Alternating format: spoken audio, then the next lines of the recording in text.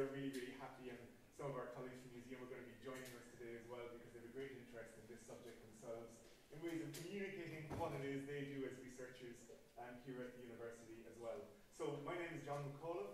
I'm a poet, I teach here at the university, um, but I'm also the, the, director of Creative Manchester. And you'll have seen many of my colleagues wearing a Creative Manchester t-shirt um, as, you, as you came in this morning. And if you have any questions about anything across the day, they're wearing their blue t-shirts, so please do approach them if there's anything um, you need to know.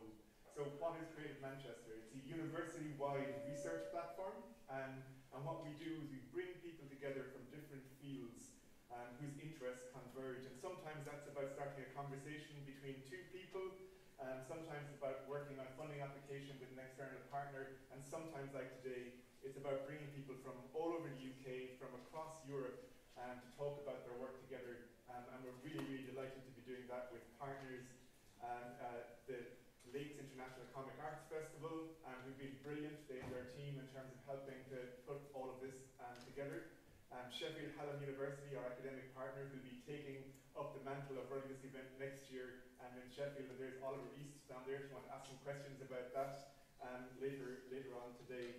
And we're also doing this as part of our um, commitment to International Mother Language Day, because I suppose that's something which, the UNESCO City of Literature here in Manchester, is very committed to the idea of Manchester as a, as a city with many languages, um, and not just the languages of, um, of comics, but also um, we're going to have uh, speakers from, um, from, from other countries um, here today talking about the art form um, as they see it.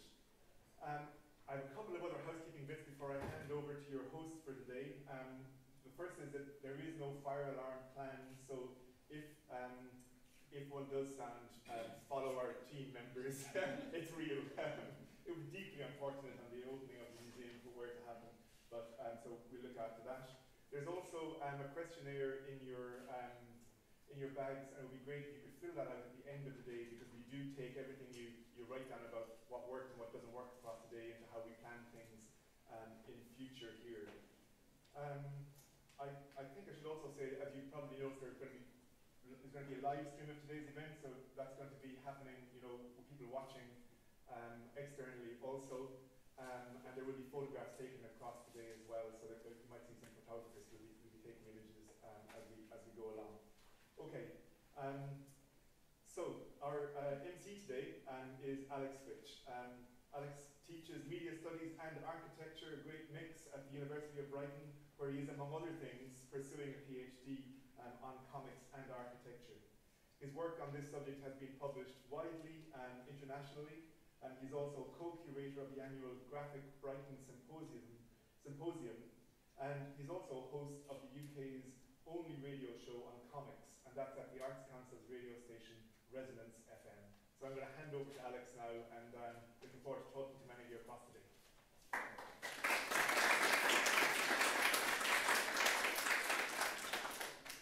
thank you, John. Um, so yes, thanks to all of you for coming along today uh, to this Comics Up Close uh, event. This is something that has run for a number of years, uh, normally as part of. Sorry, uh, hello, live streamers. Um, uh, this is an event that has run for a number of years uh, as part of the Lakes International Comic Art Festival, and so previously has been part of the festival itself. But this year and going forward, it's being separated out into its own event uh, so that it doesn't get sort of consumed within the uh, greater comics event in uh, the lakes, but rather starts to bring kind of academics and comic creators together in venues uh, such as this to begin a discussion uh, between both practitioners and researchers. Um, as you'll have seen in the program, there are some fantastic uh, talks happening today. Uh, this morning, uh, we have um, uh, Benoit Peeters, who is both an academic and a comic book writer, talking about his work, followed by Dave McKean, who's doing very exciting uh, research into AI in comics. Um, this afternoon, we have representatives of Comic Art Europe and some luminaries from across Europe, including uh, the curator of the uh, Bande Dessinée Museum in Brussels. Um, then academics also talking about their research, including people like Oliver East, who is also uh, a comic creator and an academic. So again, seeing those two kind of roles, those two kinds of approaches uh, to comics uh, mixing.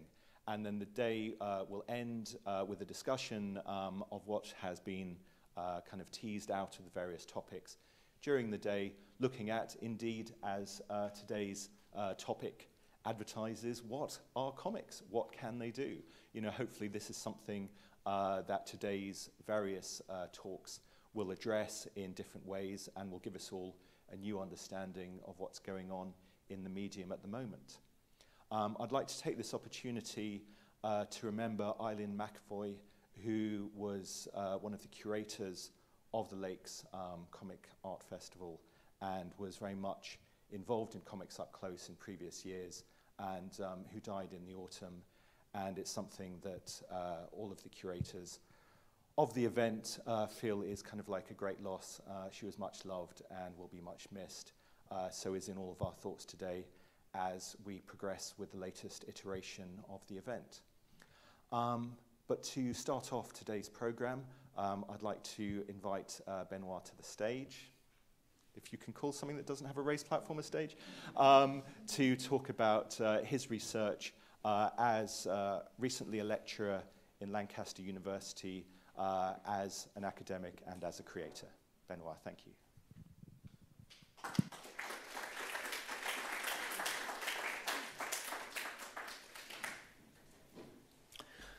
Thanks a lot. Thanks a lot for the invitation. I will try in a few minutes to give you an idea of the art of comics, why I love it, why we love it in its different forms. And this is a drawing by my great friend and artist, François Schuiten, a Belgian artist. We have done a lot of work together, but I will not speak about this aspect, but more generally about the art of comics through a long period. And the father, certain people say the grandfather of comics, is this man, Rodolphe Töpffer. He was born in Geneva in the eight, end of 18th century, and during his short life, he did a major work because he believed in a new form of art. He was not just a creator, but also a theoretician about comics. And when we look to his portrait, we, we, we can see his glasses, and maybe those glasses are a secret origin of comics, uh, because he had a sort of uh, eye illness, and he wanted, as a young man, to be a painter as his father, but he thought that uh, he was not good enough, clear enough, but he was able to write, he was able to draw caricatures, he was able to, to play theater plays, which was very important for him, and um, he was also a professor, and for the joy of the uh, students, he drew some stories at the beginning very privately. And the great, great uh, German author, Goethe, uh, saw the manuscripts when he was very old and was fascinated and encouraged Töpffer to publish it. So in 1833, um, the first story, Monsieur Jabot, was published as a book, not in a newspaper. And Töpffer wrote a small review, uh, only with his initials, about comics and defining what it could be. So this little book is of a mixed nature. It's, it is composed of a series of autograph line drawings, line drawings. Each of the drawings is accompanied by one or two lines of text. The drawings without this text would only be obscure in meaning the text without the drawings would mean nothing. The whole continues a sort of novel, all the more original in that it does not resemble a novel more than anything else. This is the first definition of comics, and with the idea that there is something new. It's not just an addition of words and images, but it's the idea that there is a transformation, specific dynamic going from text to image and from image to text. We don't have speech balloons in the seven uh, stories drawn, created by Töpffer, but we have a lot of other inventions. First invention is that to, to, to draw the text with the same instruments uh, as the drawings, to, to try to do both in the same form with a great freedom. And you can see in, in this first published story, you can see the insertion of music, you can see the insertion of a, an image in the image, uh, a, dream. Uh, this is extraordinary because it directly invented in this small form, going from left to right, so many things. And here we, we, we see some sort of parallel editing and a lot of people think, oh, this was an invention for the movies. It, it was created at the end of uh, 19th century or beginning of 20th century. But we see here two parallel stories uh, perfectly connected with those very small images, the way, the very funny way to, to insert the text, and, and so on. We could show many, many examples of Töpffer because in each of his stories, this is the last one, he tried new things and to use the drawings not only as a picture, as a representation, but as a theory of uh, signs, small elements that you can combine. And of course, here we, we, we, we understand that those images have to be read and understood together, not one by one. What is also very important in Töpffer's art is that he wrote uh, an essay, an essay in a form close to comics because of the insertion of drawings in the text at the, the exact place uh, that the image is needed and is in this essay of physiognomy, which was partially translated into English recently, um, he explained that something new is happening. It's not to have the idea of a story, to have the idea of a text, and then put images to illustrate it. The idea, the basic idea of Töpffer is to take the human face as the basis of the language. So, what happens with the human face, for example, in the uh, upper part of the page, which is a character called Monsieur Crépin. He was a real hero of one of the stories. What happens? You have, you need to have this character easy to recognize. So this is the permanent aspect of the character. But to have an interesting story, you need to have a lot of transformations of the face. This is a non-permanent aspect of the human face. And so the basis of Töpffer's story is the idea of the transformation of a drawing. A drawing is continued step by step, but expresses a lot of things. And years ago, I was in Tokyo, I was discussing with mangakas, and they said, oh, but your Töpffer, he was really a mangaka. Because it's exactly the problems that we have a simplified face, but a lot of expressions and the possibility to read on the face some aspects of his emotions and of the story. Though this was Töpffer. During the 19th century, I will only show a few examples because I'm going very quickly. But we have a mixed form. Some artists are working for the book and a lot of artists will, uh, work for the press, but Gustave Doré, famous engraver, uh, at the beginning of his career, created three important comic books continuing the heritage of Töpffer, because Töpffer was directly very influential. It was imitated in many countries and translated. And here we can see the conquest of the page. The page has a whole thing. in Töpffer stories, you see it, it's sort of line. You could put all the pages on a wall and read them from left to right. But some compositions, only two examples in the wonderful book of uh, Gustave Doré. The story is hmm, politically possible to criticize, but there are a lot of inventions and, and symbolic in inventions. So to give the idea of a thing and not only to represent it, and also to give an idea with different images on the same page.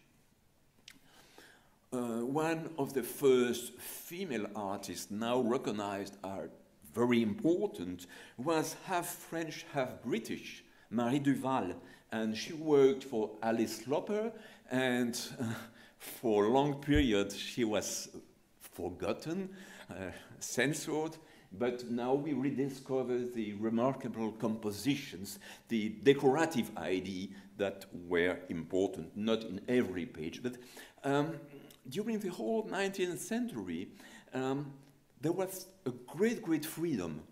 People were trying in different directions. They didn't want just to tell a classic story, but more to experiment with drawings and words.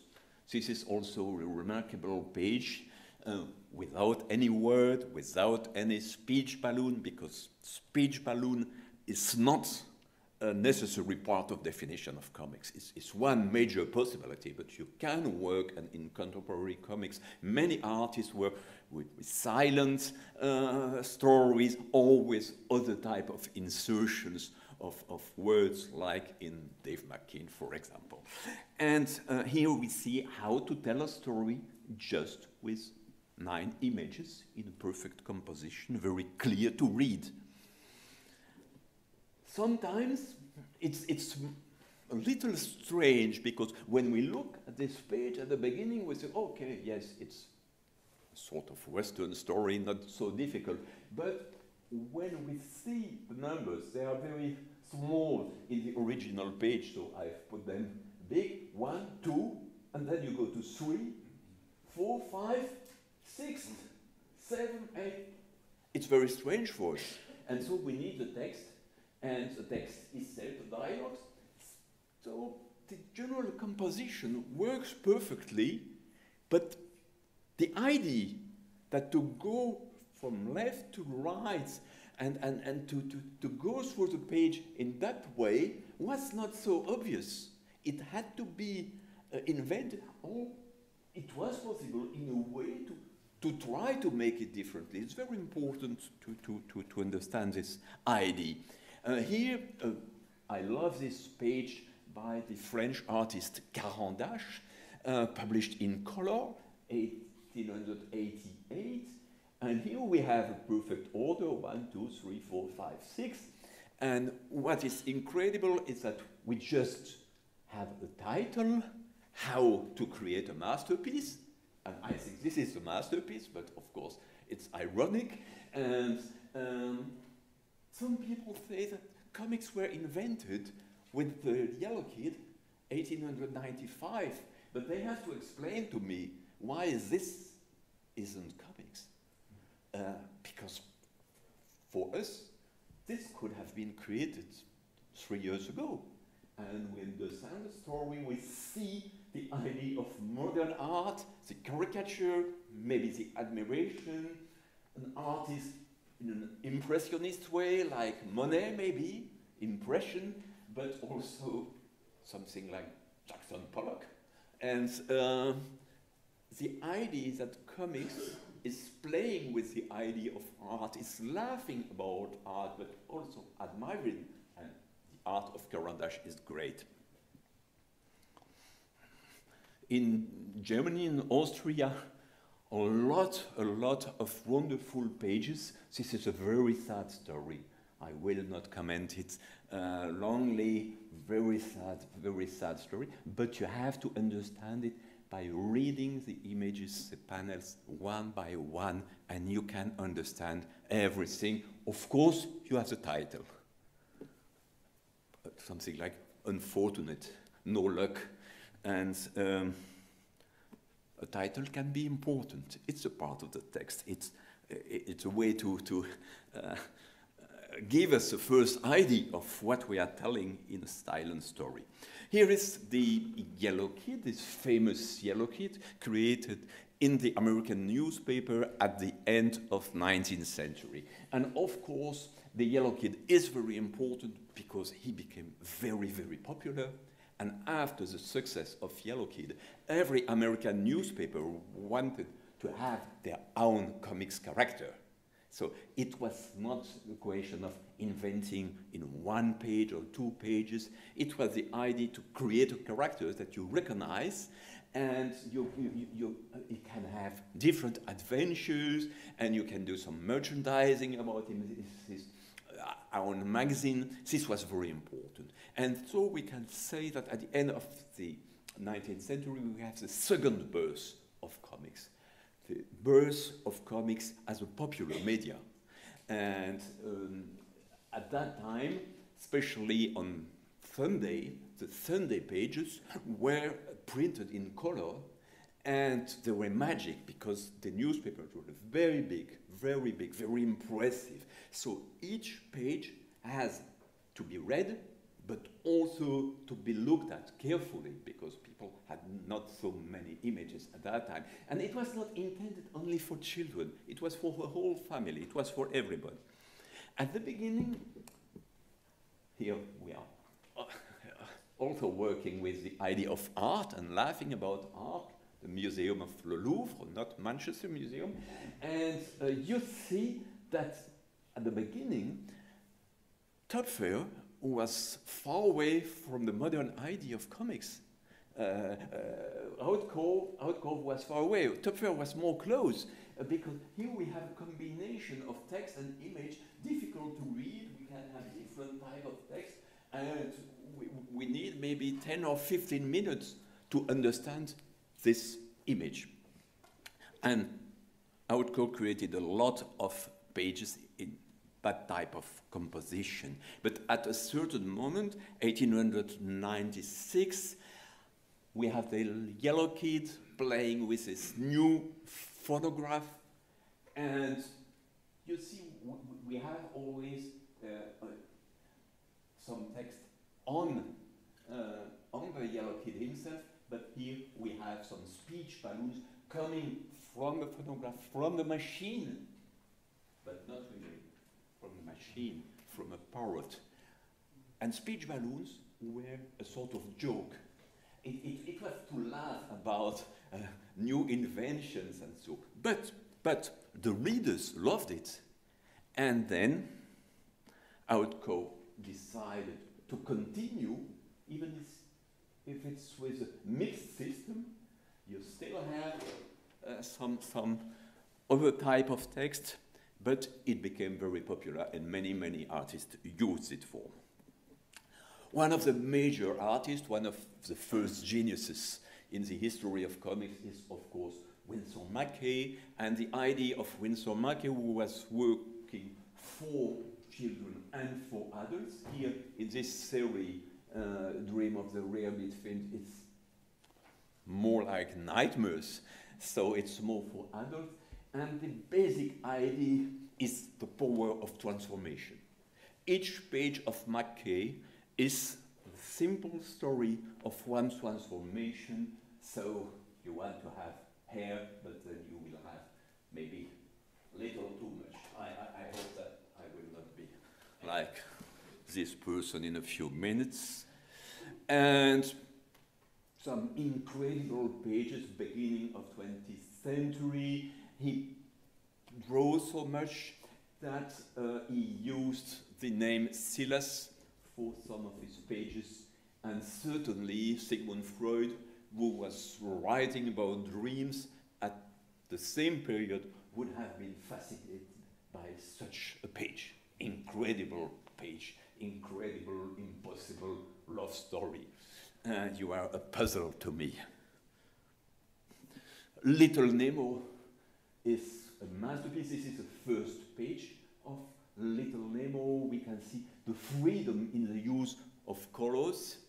At the beginning, we see that we have some caption text under the images because maybe McCay was not sure that it was as easy to understand and to read. Now we see that we, we, we could perfectly understand the page without the captions. But it was the beginning, and even the idea to go from left to right, and then second line, third line, it, it was built in a way. It, it was not a natural form. It's very important to understand. I had a discussion yesterday evening uh, about this subject. Of course, this idea of the whole impression that a, a page can give. It's not just an addition of panels. The effect here is direct, incredible. The elephant taking all the place. You can see also the first line, which we have to read. It's not just a question of title. The title is drawn as an art form. And we could say so much about uh, Winsor McCay, and if you haven't read Little Nemo in Slumberland, I highly recommend you to, to, to read this masterpiece because each page is an invention. This is here the end of the year and beginning of new year. The old year is falling, and you can see the two parts of the page, how to, to go from one part to, to, to, to the second, and of course, always at the end, you come back to reality. The poor little Nemo uh, is away. His parents are desperate, but they cannot do anything, and we enjoy it because he dreams so, so, so much. And there is a sort of continuity from one page to another, but the most important project for McCay is to give uh, this whole idea of one page. This is the conquest of the page. This is maybe the most famous page of Little Nemo. We could stay for a very long period. I just show it quickly the idea of the transformation of the bed, step by step, the walking bed. The bed doesn't use shoes, and we are inside. We understand it perfectly. Two characters in, in the bed. Something is happening, and then how we go from inside to outside. Of course, it's impossible. The bed is, is too big, with the drawings it works, and through the buildings, bigger and bigger, and the Art Nouveau, and higher images, and then this perfect way to go from one image to another, and this is so natural, done with such art in a way, there is no progress in comics history because it was already perfect. and the idea to play with the medium, which is constant in Winsor McCay's work. Other artists, other major artists like George Herriman with Krazy Kat, very simple situation, three characters, a strange, surrealistic love story, and a lot of inventions in each page, a strange language. Comics as an art, in a way, with, with dialogue, which could be in James Joyce novels, and very difficult to, to, to translate or to understand. Incredible inventions during 40 years. It was never very, very successful, but the owner of the newspaper wanted to continue this Krazy Kat masterpiece.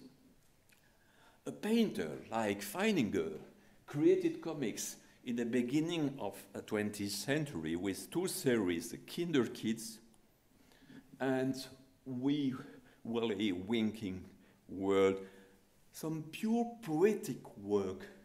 It's not really a story, it's a way to arrange images together to give impression, emotions, pleasure of color. It's art. And I'm always sad when I see a painting by Feininger in a museum that nobody mentions that he was also a major comics creator because he was an artist in both forms, not only as a painter. And it's the same universe. Look how wonderful it is and, and the way to integrate the title and, and the text and some pure continuity. Uh, in some contemporary comics, we, we, we find the same type of thing. One major, major artist recently redis rediscovered, especially by Chris Ware, uh, was Frank King, and he created this wonderful, extraordinary story called uh, Gasoline Alley.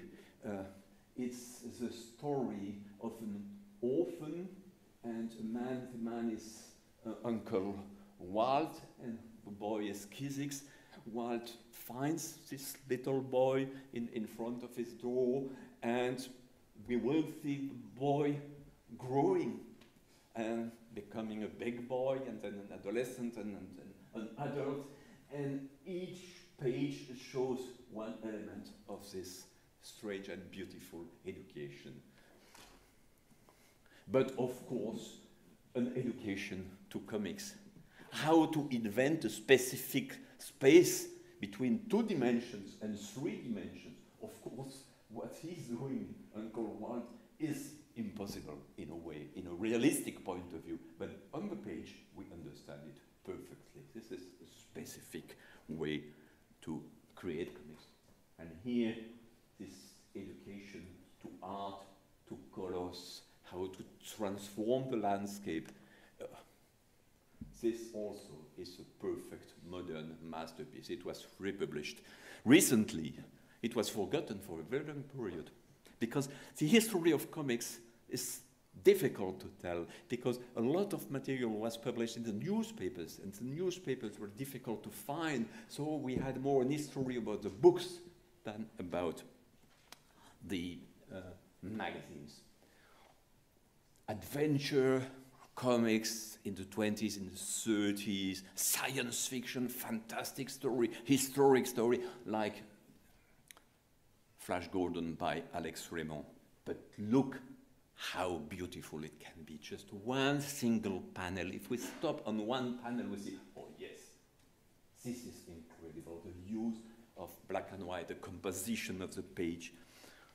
And we can see the same thing about another major artist, Milton Caniff. And uh, Terry and the Pirates was a long, long story.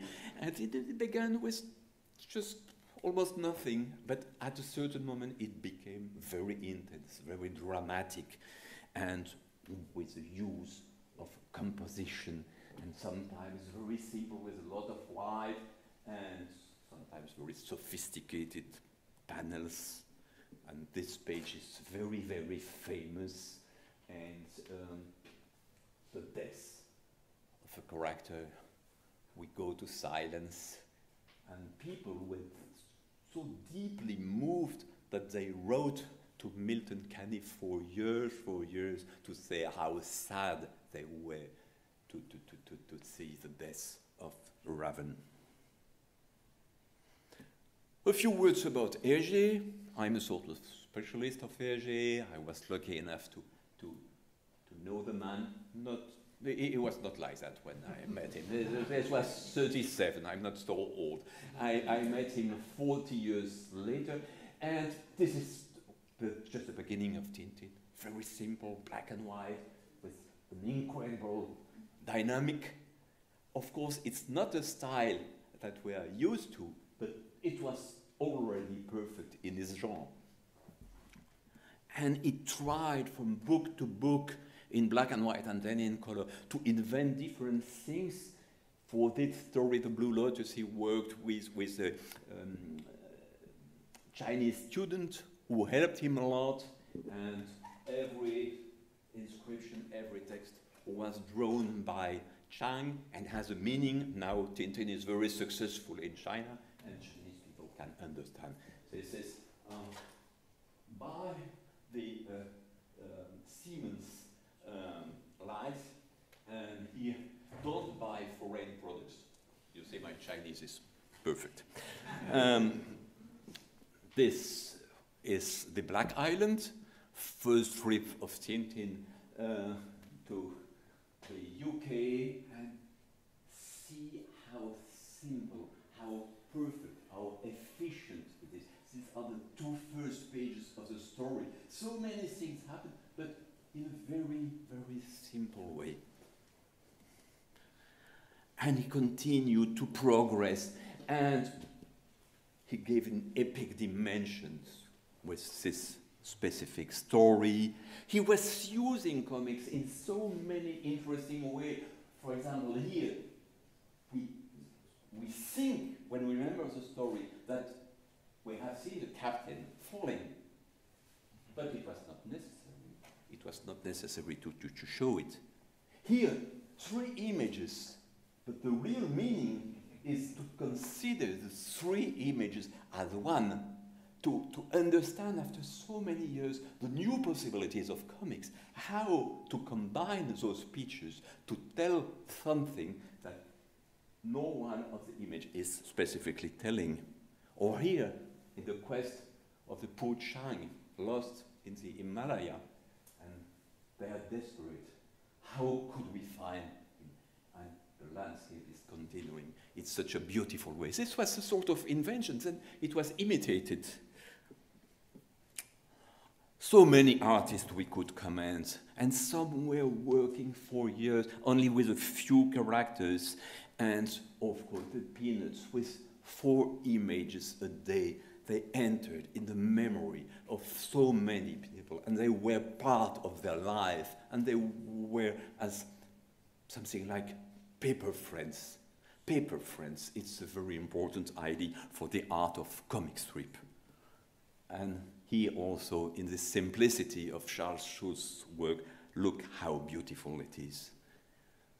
With this female artist in France, Claire Bretécher, we see, we should see it more carefully, but we see that we can tell a story with only a few words, maybe only one word, and you can tell a story if you consider specifically the drawings and the small transformations of course, many pages of Bretécher use great dialogues, but it's, it's interesting to see that with some graphic variations you can do so much.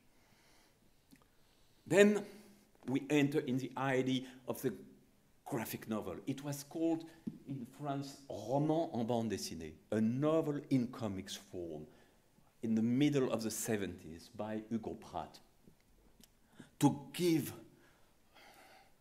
strong impressions, like a novel, with characters, with, with deep emotions, with a lot of inventions also.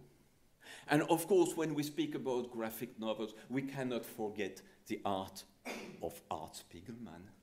Uh, this incredible and terrible story of Maus, which was so important not only as a masterpiece, but because it opened the doors of so many bookshops and library to comics and consider more seriously uh, comics, of course, is a story of his father, is a story of the Holocaust, but it's also the beginning of autobiography, Art Spiegelman and his father, and the memory.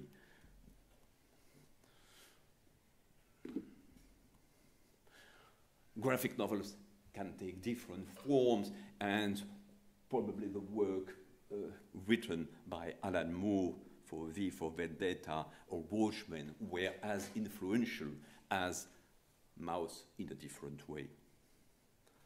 And then we saw the possibility for comics to treat every subject, to treat very personal matters, like in this very, very important book, Fun Home by Alison Bechdel. Also autobiography, the discovery of her homosexuality, of the homosexuality hidden uh, of her father. A very personal uh, story, very literary story, and this book entered in the academic world as Maus. In, in France, an Iranian young author created Persepolis, Marjane Satrapi. Very simple drawing, but a very strong story in the United States, some people were inventing, inventing new forms like Craig Thompson with, with he came in Kendal some years ago, uh, with such a subtle way to manage with words and image, to combine them, to use freely with the form of the page, the double page, and the whole book, because it's a 600 page book. He continued with Habibi. He uses comics art as a natural language, as an evidence. Text and image combined in such beautiful way, Arabic writing. In Japan, just one example with this story of Kiriko Nananan and the friendship between two girls, the love story between those girls, simplicity. To stop in a moment, to give an impression with only details, to use a page with no image, but the beautifully drawn text.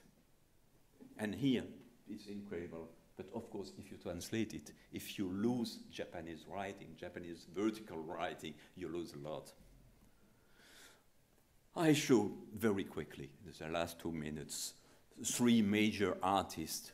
There are so many others, but just to give an idea of the freedom in the use of comics. Here, by Richard McGuire, the story of one place through the years, through the centuries, the transformation of a place with a new way to include panels in the whole page. Incredible experience, something really new, a new way to invent comics. One of the contemporary genius, Chris Ware, incredible, working with images, working with text, working with very, very sophisticated pages. Believing in the possibility to express everything in comics, as in a movie, as in, in high art, as in a sophisticated novel. To give impressions that are not only the continuity, but different impressions coming at the same moment, and we have to reorganize it like in our brain symbolic image, dreams, like in Töpffer Jabot. A book that is not even a book building stories, but a combination of 15 forms. Uh, extraordinary experimental way, work. And last example, Emil Ferris, who created one masterpiece. My favorite thing is Monster, using in a totally new way the language of comics. It's said that it's the notebook of a young girl, very talented young girl, of course, and she uses different type of language, different ways of integration of text and images. And so the story is still continuing, and you can see how powerful are comics and that they really are a form of, of, art, a specific form of art, because what they are doing perfectly, no other media could do it. Thank you. And sorry to have been a little here. Um, well, we've got about five minutes before uh, it's Dave's turn, so I was wondering if I could ask you a couple of questions. Do you want me to hold the mic for the live stream?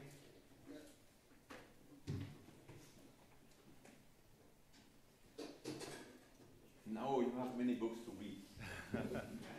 um, you were saying, Benoit, that uh, comics do things that other media can't do, and I absolutely agree with you. But also, I wonder, with some of the innovations in the form, if you actually see the influence of other media coming in. So, for example, that page uh, by Winsor McCay, where the elephant is getting closer and closer. McCay was also a filmmaker, and that was made around the same time that we hear these apocryphal stories of audiences watching early silent movies and a train coming towards the screen and them running out of the cinema, which I think probably never happened, but is a lovely story. Do you think see things like that, you know, encroaching? Yes, um, McCay worked also as um, um, um, theatrical uh, artist. He presented his films on stage and drew on stage. So he was a multimedia artist, and certainly there are a lot of influences. But the problem is sometimes people think that comics are something under the movies, and the, the best thing which can happen to a comic artist is to be adapted to, to movies. But I think that there were a lot of influences in both I love also movies, of course, but I don't think that comics are inferior and they can invent something. Um, the images are shown together on the page, on the double page. We have the freedom when we are in a book to look at it first quickly and carefully, to, to stop on an image, and this, this is extraordinary. And also, we don't need so much money to, to, to, to create a story. The example of Persepolis is incredible because we had this young woman deciding to, to, to tell an autobiographical story about her childhood and let's imagine that she came to a movie producer and said, I would like to make uh, um, an animation uh, long movie about my childhood. And people would have, nobody would be interested. But she created the book, the book was successful, and then she was able to transform the story and to make the animation movie. This is a freedom um, that we have now with, with comics. Everybody with patience and talent can create a story, and if it's a good one, it can be successful. Yeah. This, this is not the case for, for every form of art. If you want to create an opera, you need to convince a lot of people and to find a lot of money. Maybe there needs to be more comic book adaptations of opera to get the productions put on. Um, and then someone like uh, Feininger, um, you know, he kind of has dialogue with other kind of German expressionist fine artists, and you can see some of the rendering of what was going on in fine art in Germany at the time, then also turning up in his comics. And that's something you very rarely see a dialogue between comics and fine art. So it's fascinating to see these historical examples where occasionally that does happen.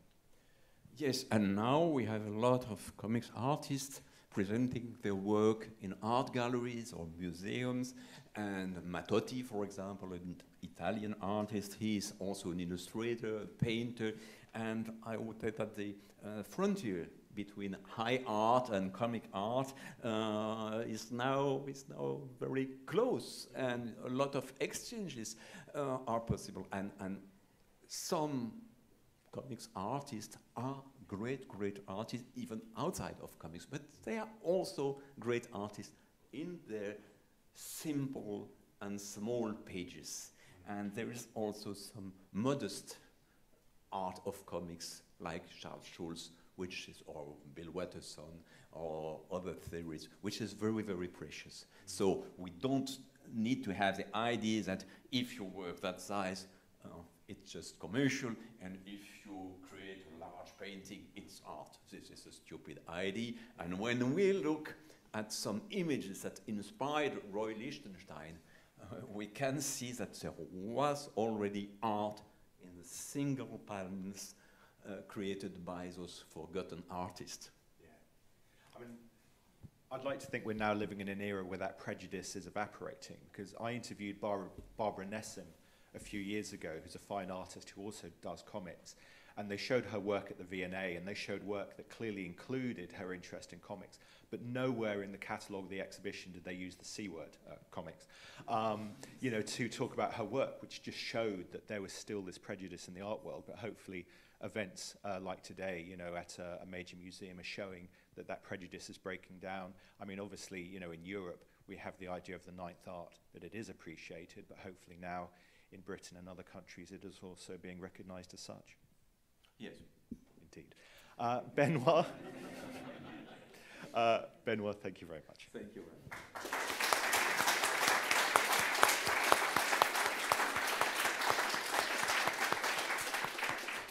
Um, I'd like to now very much invite Dave McKean to talk about his latest research into AI. Well, his integration of AIs. Yeah.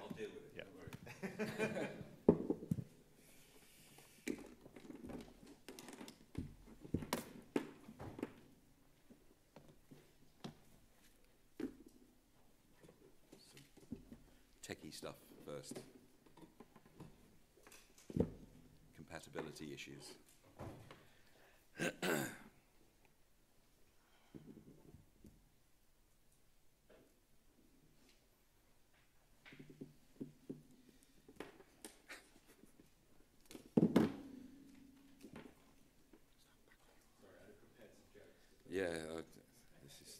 this is great, isn't it? Watching somebody unwrap my earphones. Okay. Yeah. I, I didn't think I'd be standing here unwrapping earphones today. Right.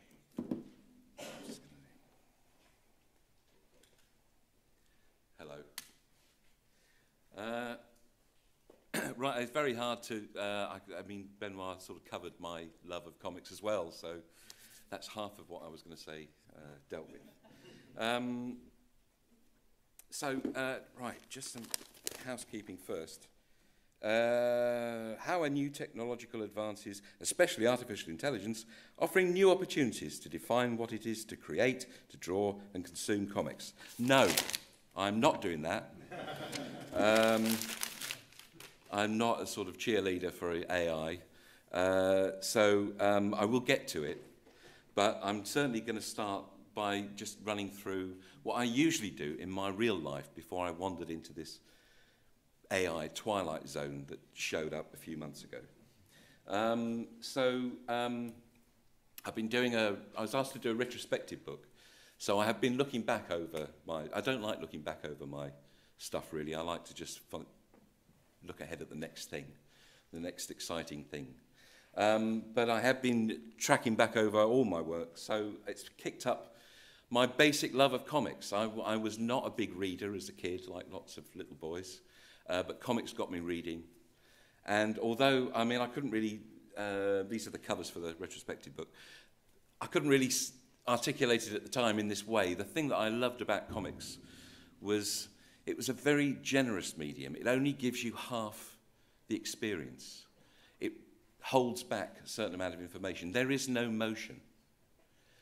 But a really good drawing can imply that motion, and you start to see how people speak and move on the page. And there is no sound, but a really good piece of illustration can evoke a place and an atmosphere, and you start to feel that you're there within that story. And it's so it, it's a medium that invites you to create as well, along with the piece. And I really loved that as a kid, and that's what I still love about the medium. Um, so I'm just going to, these, um, these are some old art, art school projects that I'm tracked back right to my beginnings. The very first comics I drew uh, before going to art school and during art school with some similarly enthusiastic mates. There were about there were three or four of us who loved comics in the school, and we went to the printing department and printed our own books and sold them, um, and taught me a lot. Uh, but this was uh, the first book that I did with um, out in the real world with um, author, struggling journalist called Neil Gaiman. Um, I had no idea what happened to him. Uh, and uh, he was uh, very good at putting his foot in the door, so we got an interview with DC Comics. Uh, but this was the first book that we did together. He'd written a, he was in a writer's group to learn how to write uh, fiction, and he'd written a little story called Violent Cases and gave it to me. And I'd been doing a lot of collage work in art school. And the book is essentially about memory and the fallacy of memory. And so I thought these, uh, these sort of collage constructions was maybe an interesting way of evoking memory. You just get a, a sense of a colour and a texture and a, a face half seen. So that was my first sort of crack at dealing with memory in, in comics.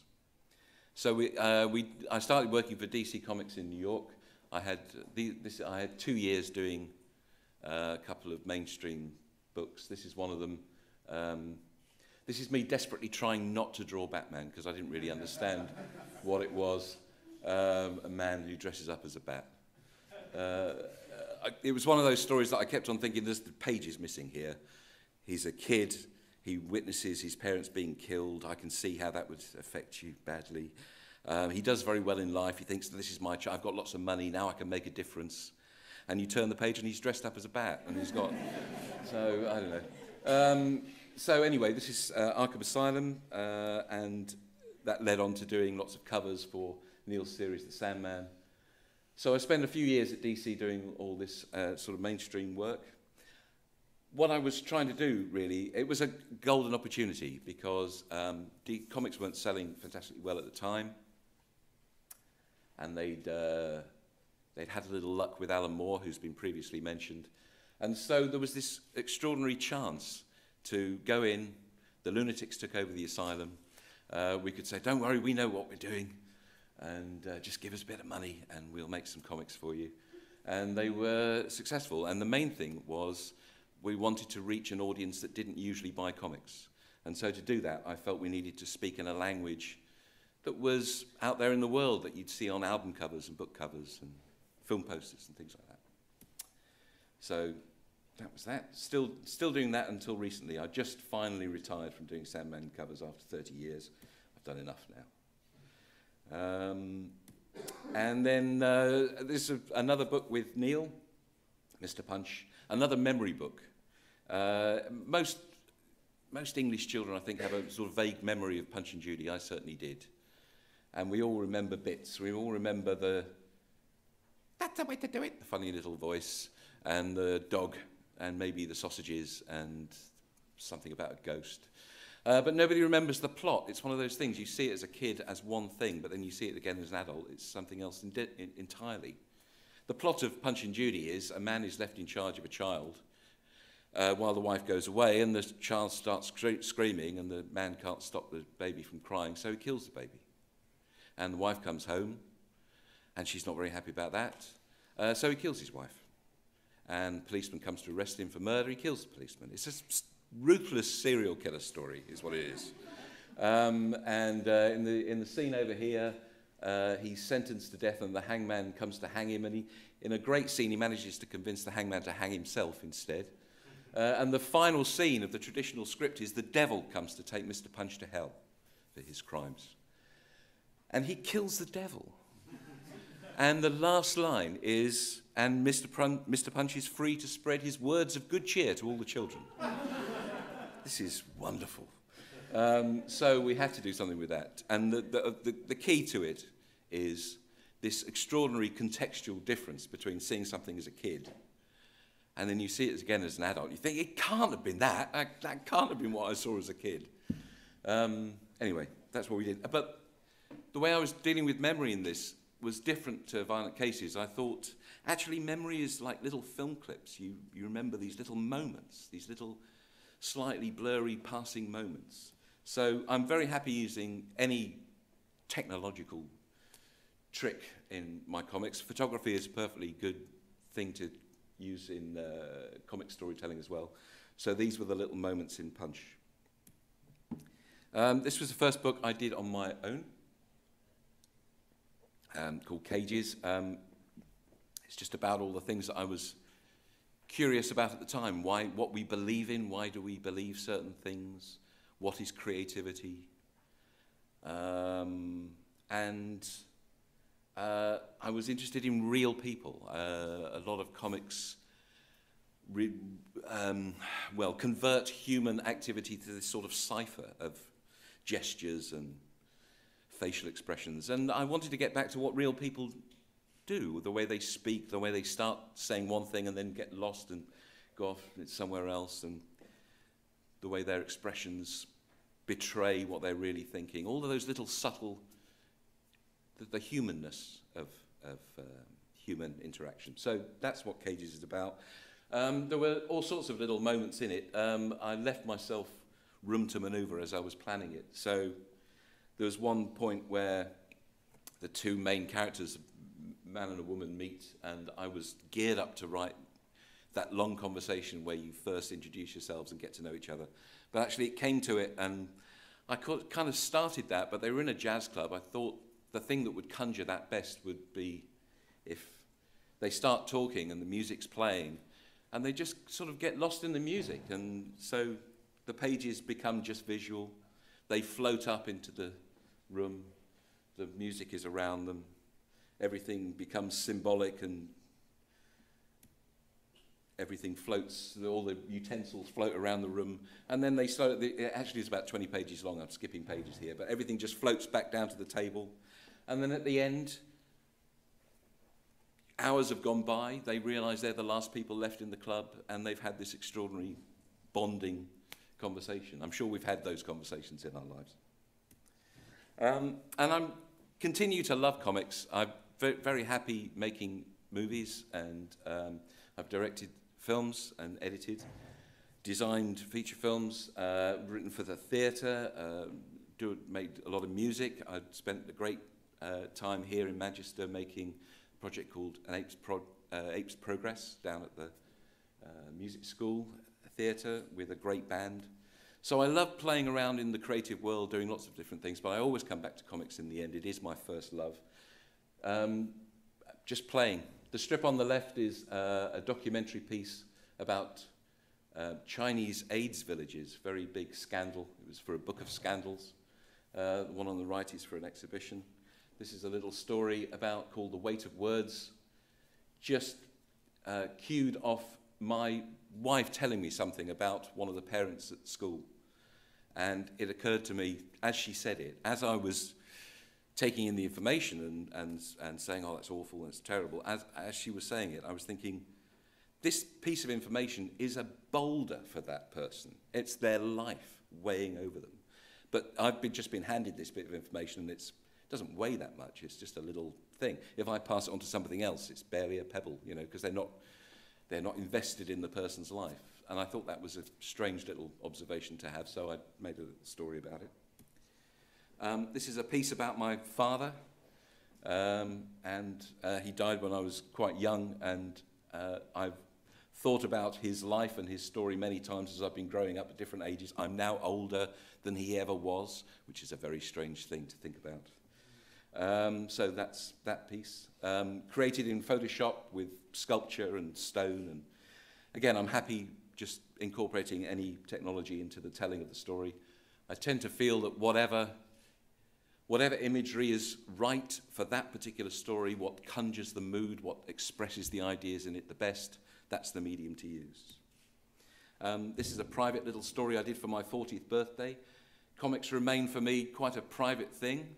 Um, I, I know they're often used to tell big demonstrative adventure stories, but actually, when you read the thing, there's just a little voice whispering to you. And I like that relationship, this, this personal, direct uh, voice on the page, but also visual language. And it feels very private and personal. And most of the stories that I've done have that intimacy. Um, I've done some children's books, uh, and I like, again, using comics whenever I can. These are with David Almond. Uh, this is a story called The Savage. Some children playing in the woods, and the savage is uh, watching them. And then there's a visual echo as he tries to dance as well, but remembers watching them. Uh, this is a story called Mousebird Snake Wolf, again with David Almond. A world created by lazy gods with lots of gaps, so these children fill in the gaps with their own creations. This is an idea forming in his head of the mouse.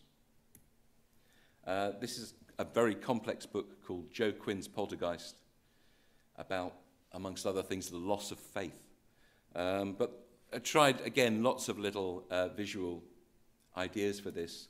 I was quite happy with this. A child has died, and uh, in the memory of her, she becomes the gap in between the comics and the border, just touching the shoulder of the mother. Um, this is a book called Varjak Paw, um, about a cat that has to go off into the world to save his family and find a dog, even though it doesn't know what a dog looks like. But this big noisy thing coming at it must be a dog.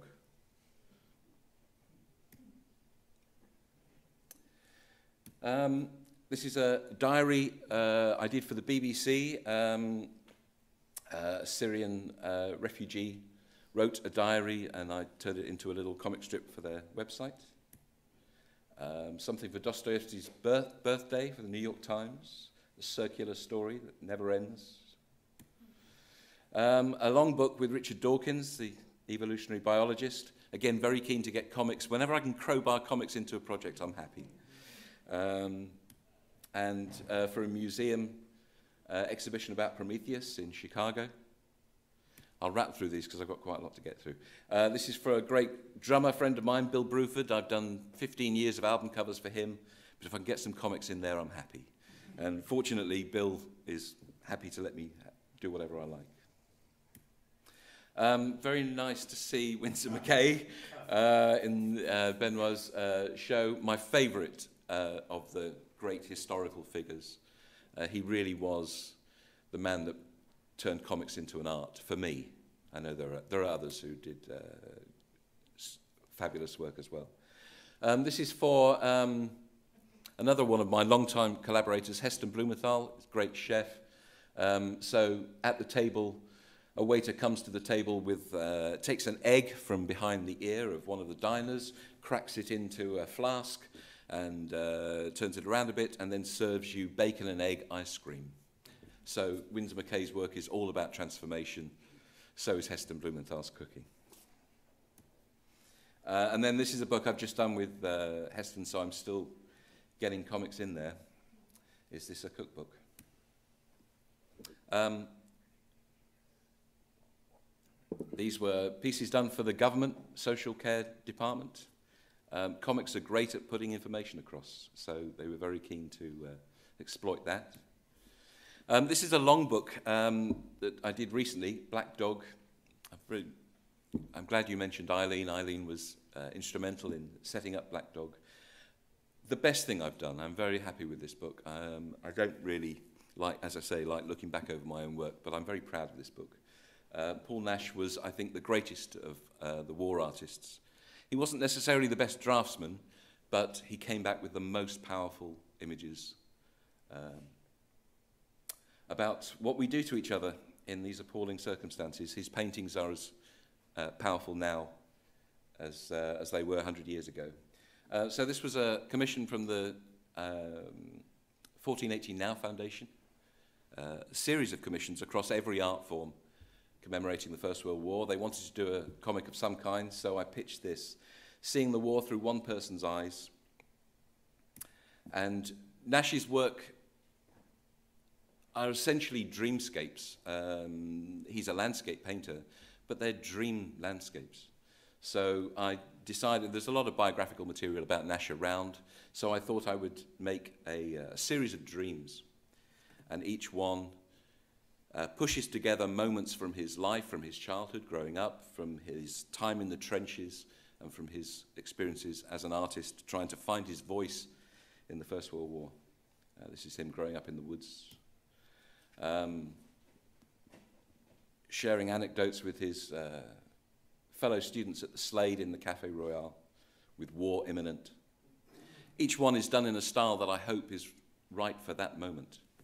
Um, narrowly missing going to uh, being commissioned in Greece, where he almost certainly would have died uh, because he was uh, very ill, so uh, was held back. Um, the boredom of being in the trenches and using abstraction as a way of expressing that. Uh, he felt that his artist's eye saved him because he was stuck there and every little moment of green shoots that, that come up, he could spend time making that into a whole landscape and a whole painting. So uh, he and his brother were both artists, and they both felt that their creative imaginations kept them going through, the, through those experiences. Uh, getting married just before uh, going off to the trenches, and uh, the first Zeppelins went by uh, on the evening that he got married. So in his mind, he turns them into that. His relationship with his father uh, turned into a chess game. He oh, felt quite distant from his father, so uh, I turned that into this uh, metaphor running through this story. Um, one of his uh, compatriots, Eric Kennington, was a great uh, portrait painter, um, and so he tells the stories of Eric Kennington in the style of the time, really, going to the uh, expressionist and uh, woodcut images that he created and that uh, was very popular at that time. Um, waking up, uh, having, having fallen in the trenches stupidly, he uh, ended up back in hospital, and this is him exploring uh, the, um, the forest of forest of thorns and veins he finds in the hospital in his imagination, uh, coming to terms with uh, what he's facing, stretching out, finding this little egg. And this is a sequence with uh, talking to Lovat Fraser, who he befriended after the war. Fraser was a very colourful, boisterous character, so that's why he's expressed in this way. And then I ended up turning everything into uh, a musical performance. So the comic strips were turned into animatics. Um, the narrative was done on stage by myself and Matthew Sharp and my wife playing violin. And I wrote uh, an orchestral score and um, songs, a song cycle to uh, take us through the story. And then this is a recent comic, uh, Raptor, uh, again exploring this idea of iteration and memory. The same sequence appears several times, different styles. Um, and essentially, this, it's a story split into two. One is set in the late 1900s with a writer coming to terms with his wife's death, and the other one is a sort of fantastical story, and these two stories uh, rub against each other and uh, influence each other.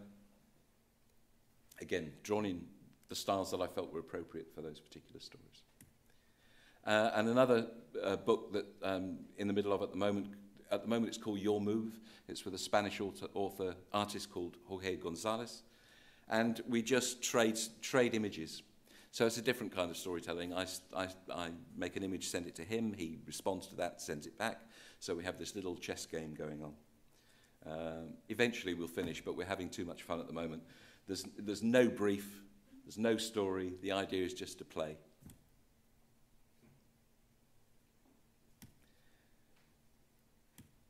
Um, I've done, I like doing exhibitions uh, occasionally, but especially narrative ones. This is um, a story told in a gallery, uh, a trip around the south coast of England where I live, following this, uh, the disappearance of a woman's husband um, who strangely keeps on cropping up in artworks by other people. She spots him in a painting. She's sure it's him. So she gets in touch with the painter and he passes her on to somebody else. He's appeared in the background in a photograph. He seems to be appearing, wandering through an installation piece by Ian Sinclair. And, um, so he follows her. I won't tell, her, tell you whether she finds him. You'll have to read the story. Um, but it's nice doing these narrative stories in galleries. People come along, they're used to just wandering around the space, seeing a bunch of images separate from each other, but very quickly understand that there's a narrative going on. So go back to the beginning and then spend a much longer in there than usual, following, tracking the story through. And we've had some really lovely, very emotional responses to the narrative. This is called The Blue Tree. Um, and then this is um, the last of those, um, called The Rut, uh, was in the Pump House in London. And I had a lot of fun with this, using comics to bring you into the narrative and then splitting the story in the room so it heads off in the walls in different directions. Somewhere in that room was the truth, but it was really down to you to decide which path you felt was the truth. Um, in the middle was this strange object, uh, and there's some text on it. And you, there are masks, and you could align your face up with the mask, and the text would come together to tell you one version. And you'd go around to another mask, and the text would realign to create a different version of the truth. Um, but of course, then you are playing the character, you're wearing the mask with the horns.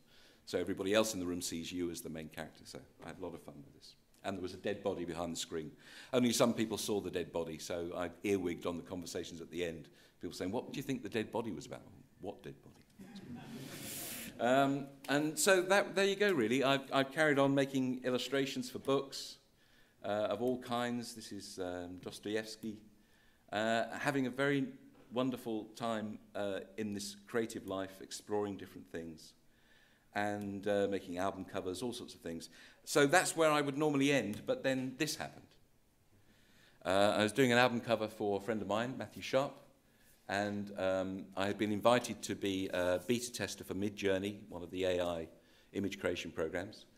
And I didn't have an idea really of what I wanted to do for this, a vague possible idea. So I fed in eight words to Midjourney, you type in eight words, and a minute later it spat that out.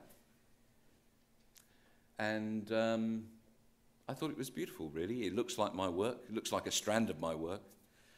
Uh, and uh, it took me about half an hour to do the research to work out exactly how these image creation bots work. And, um, and then I spent a day on the floor in a sort of fetal position. Um, so, um, I mean, obviously it's a very powerful tool for generating stuff.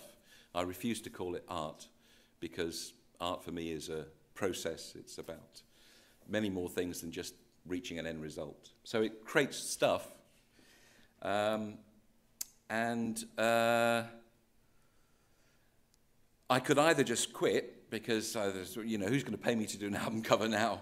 when uh, anybody uh, with all of the commercial pressures of getting something done quickly, on time, as cheaply as possible, could just endlessly type in into uh, an AI generator and get an infinite amount of possibilities for their marketing departments that always want hundreds of possible things to choose from because they don't actually know what they want. So this is a sort of marketing department's wet dream, really, this thing. So I thought I could either pack it in and become a beekeeper or something like that, um, and, or respond in some way. So I thought I needed to respond. I make books, I make comics, so I made this thing called Prompt in 12 days um, as a way of exploring the thing, exploring AI, showing my audience what it does, and, and then just asking a lot of questions, trying to, trying to make sense of how I fit into this and how we all fit into this future that we're careering towards and, and what it all means. So I've set up three little um, uh, experiments for myself, really. Uh, the first one, I happened to be talking to another uh, author about Gilgamesh, the Epic of Gilgamesh. So it's in my head, it was in my mind at the time. So I took the fifth tablet of Gilgamesh, the most current uh, translation of our oldest story. This is humanity's oldest story. Um, and then fed the translation two lines at a time into the AI to return the narrative, which started as cuneiform stone tablet carving, this incredibly visually beautiful uh, tablets. Impenetrable initially, we had to learn how to decipher them back into a totally visual language. And I was curious to see if, from 2,000 years in the past, well, 4,000 years in the past, to now, whether anything of the story could survive that turbulence. Um, and it's been interesting. I, it, it, it looks pretty impenetrable to start with, but I've given it now to a few people, starting with my wife, of course, um, and just said, what do you make of that? Just go through it. Just say what you see. And it, I've been really amazed at how many key moments from the story they alight on and have survived. Anyway, so that's that. That's obviously the violent bit in the middle of the story. Um, and then the next piece um, was uh, I wondered how AI saw us now. So I decided to feed one headline from my morning newspaper into the bot for a month. Uh, and these, this strange alternate version of our reality emerged. Um, when I started doing this, by the way, I, I happened to live next. My neighbour had done uh, has done a master's degree on AI, uh, so I ran around to her and said, "Look at this thing." Um, and she said, "Well, what's happened is it's gone off into the internet and it's probably found your images and uh, that's why it looks a bit like you. So as I said, no, I did not put my own name in the prompt. I didn't use my name. I used very neutral words in the prompt. And she said, well, it probably knows your IP address. I thought, Jesus, is that, is that a thing? Um, it turns out it's not a thing, but uh, it's enough to turn you into a paranoid, delusional schizophrenic. Um, so this is the uh, sequence of headlines. Halfway through doing this experiment, one of the um, Apple computer programmers was sent home on leave uh, because he reckoned his chatbot had become sentient. And that seemed perfect. That was, became the central moment for my little story here. So I tracked that story back for a starter. The first one here is artificial intelligence gets smarter, is it game over for humans? And then tracked it forward to the next one. Um, lots of amazing images came out. This is Boris Johnson's food policy. um, this, is, this was the strangest one for me. This was a headline about the Labour Party becoming the new uh, party for British values and patriotism. And look at that. It's taken the red from the Union Jack, the red flag, Labour's red flag, and wrapped up these figures in it, being wrapped in the flag. You know that expression, being wrapped in the flag, being overly patriotic. This is some kind of weird AI joke. this was the only one that I censored. Um, one of the headlines was about the Texas school massacre. And everything that came out of it, I tried many, about six, seven times to get it to render something other than these obviously squelched together photojournalism shots of teachers and pupils grieving.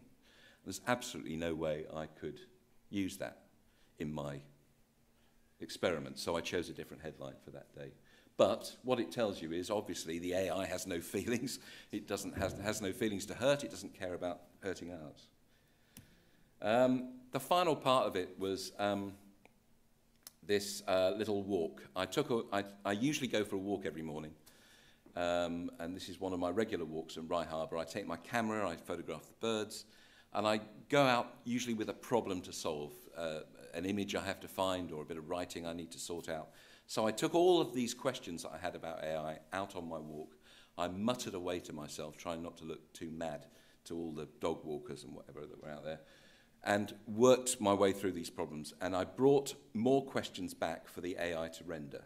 I then rendered those images and I took all of the photographs that I'd taken, including the photos of the birds, all of the rendered images, and fed them all through a different AI program, which retextures them all using the textures from one of my painting, paintings. So they all start to feel like they're in the same world, which is exactly how I felt at that point.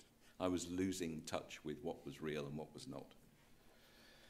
Um, I'm not sure what conclusions came out of that, but there, there, there, are, there are some conclusions in there. I've continued to use AI as a tool because, apart from everything else, it is a, there is a, it is a tool. It's also much more than a tool. Uh, so the argument that it's just a tool I, doesn't wash for me. Um, images for, this is a magazine about AI that's just started up. Uh, this is an album cover I did for a band called Delerium. I've regularly done album covers for them. I did this. They wrote back and said, well, you know, it's nice, but it's a bit too fantasy. And I agreed, so I just did another one for them. Now, if I'd painted that, I'd have been a week painting that. I would have been annoyed if they'd just dismissed it out of hand. But it took, them, you know, it took a couple of minutes to render it. So I just rendered another one. I'm completely conflicted about this state of affairs. Um, so finally, I'm going to, I'm doing a paperback version of this book prompt. And because a bit of time has passed, I did it about uh, five, six months ago. Um, i wrote an afterword for the book. So, and I only wrote it this weekend, so I thought I'd just read, read you that to finish up, if that's okay. Who is that woman? Over there, the soulless gaze through button eyes, the putty white smoked skin, the raven hair, the cleft lip, and vaguely Asian attire. I took part in a discussion at the Arnolfini in Bristol, arranged by and moderated by Tom Abba, Director of Digital Cultures Research Centre, about AI and its impact on the creative world. I took along some pre and post AI work to show, and I thought I'd begin with a provocative prompt to throw up on the screen as the audience arrived The Death of Art all the images the AI generated in response to that statement or question featured this woman, usually in close up, staring back at me, impassive. I wondered if there was a well known band or theatre group or something called The Death of Art that would prompt such a specific and persistent response. A quick Google coughed up nothing along those lines. She remained a question marker. After the talk, a lady in the signing queue told me she is embedded in the algorithm And it's either her or a nebulous figure with its back to us in a non committal landscape that are the defaults for dealing with questions too high concept for the bot to scrape anything more particular off the floor of the internet. I still wonder who she is and why the slight deformations. This all feels like we're helping one of the coders deal with some deeply repressed psychological trauma. But this is already old news. More recent iterations of the software have abandoned her. The death of art now gets more allegorical responses. In fact, everything now looks more slick and finished than the strangely morphed bacon and clay world of deformed unreality that I summoned in the creation of this book back in mid 22. Now you get this. I wonder if this is machine learning in action or whether the coding is being changed, and therefore we are given an insight into how much we are going to be reliant on, slaves to, the coders, and their, for want of a better word, taste. I've now taken part in a barrage of online conversations, podcasts, and discussions, and watched as bewildered journalists try to work out what the hell's going on and why we should care. I'm very happy that so many people do care about this cordyceps that has started sprouting out of our collective con creative consciousnesses. The main issues remain as they were when I first became aware of the technology, and despite much heated discussion in the press, on current affairs shows, and burning down the below the line comments sections of antisocial media, nothing much has been added to the debate. It remains a powerful tool for generating curious and surprising stuff, and that stuff, when curated by interesting prompters, like my friends Mario Cavalli and Ryan Hughes, for example, can be genuinely engaging. It can be used as raw material for further collage or physical media work and can therefore be part of the creative process. And the downsides. Exactly what are the algorithms being trained on? Clearly, everything, which means a vast amount, no, all the copyrighted work that has been uploaded to the web in simpler times but which is still owned by its original creators. The sheer audacity of the moral vacuum that is the creator of Midjourney concerning their dataset, There isn't really a way to get 100 million images and know where they're coming from is enough for any formal hearing, isn't it? If we'd only killed a few people, obviously that would be murder. But we've killed so many people now, we can't possibly know who they all are. So it's just not worth the court's time. But the court cases are beginning, and good luck to Sarah Anderson, Kelly McKernan, and Karla Ortiz, because even though I don't think there's any chance of returning any or many of the contents to Pandora's box, I do think the total lack of any forethought on the part of the radical tech fundamentalists has to be called out. The argument that it is just a tool remains hopelessly naive. It is a tool, but not just a tool. We're racing to keep up with the implications of how it will change society. The idea that it democratizes creativity is also utterly bogus. Creativity is already completely democratic.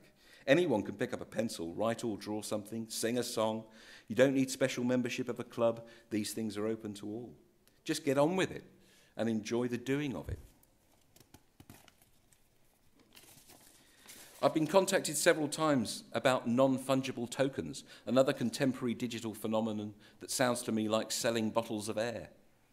But it is, if it is possible to blockchain an image to prove its ownership, no matter what turbulence happens to it online, then it must be possible to watermark AI activity to at least prove beyond doubt and conspiracy theorists that the photorealistic image of a beloved television news anchor in sexual congress with a koala bear is fiction, or that, or that photo of Elvis being abducted by greys, or Ukrainian soldiers wearing swastikas, whatever depravity some human mind wants to conjure, is fiction. The Midjourney founder interviewed by Forbes opined, it would be cool if the images had metadata embedded in them about the copyright holder, but that's not a thing. Well, you made it. It's only not a thing because you failed to make it a thing. There had been some frantic, frantically drawn lines in the sand in the illustration uh, annual sector with many, including the Society, sorry, the Society of Illustrators, American Illustration, Communication Arts, AIGA. Oh, man. Back to the beginning. Oh, no, we're not. Um, and most hilariously ironic spectrum, all refusing to accept AI images. Sometimes this feels to me like shouting traitor at the 1965 Newport Folk Festival, but of course it had to happen. Policing it, however, is a whole other kettle of pixelated fish. I was particularly proud of the Art of Dave McKean, I didn't set that up, Facebook community, when after the first few AI images were posted, um, prompted using my name, I think assuming I'd be honoured by that, Administrator Kevin Guthrie asked for the group's opinion on whether to accept AI stuff on the page and was met with a pretty much unanimous no. I'm glad the overwhelming majority felt that the difference was important. Most commenters said it should be somewhere else, maybe way over there, in a box. We could call it Pandora. I spent an afternoon with writer and professor at Cambridge University, Robert Macfarlane. This is us plotting using handwritten bits of paper, not a computer or device in sight. Um, just as he had been forced to get to grips with Chat GPT essay writing AI, now available, together with 12 or so alternatives for the discerning lazy wastrel, on the interweb. They crank out C or D grade passes while the prompter catches up on a few more hours' sleep. Not great essays, but still passes. Programmers issued a half hearted attempt at a filter that spots AI activity with a caveat that it wasn't very good. It's an arms race. AI trained on AI writing to spot and tag AI writing. Insanity. I very much hope uh, this and this final little comic strip in the book will be my last words on this tedious issue, although I doubt it will be, as AI becomes ubiquitous. I'm booked a chatbot with Iain Sinclair in March this year to mull the subject. With Iain's mind engaged, I dread to think on the Ballardian dystopia in which we'll find ourselves.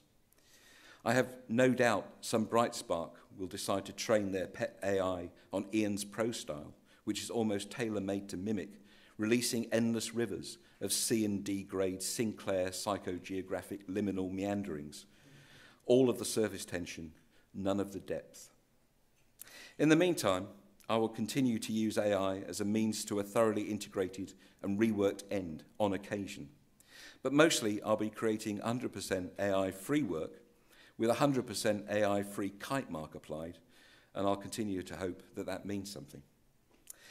And uh, I don't want to end on a depressing note, so uh, here's a picture of a hedgehog in a paper plane. Thank you.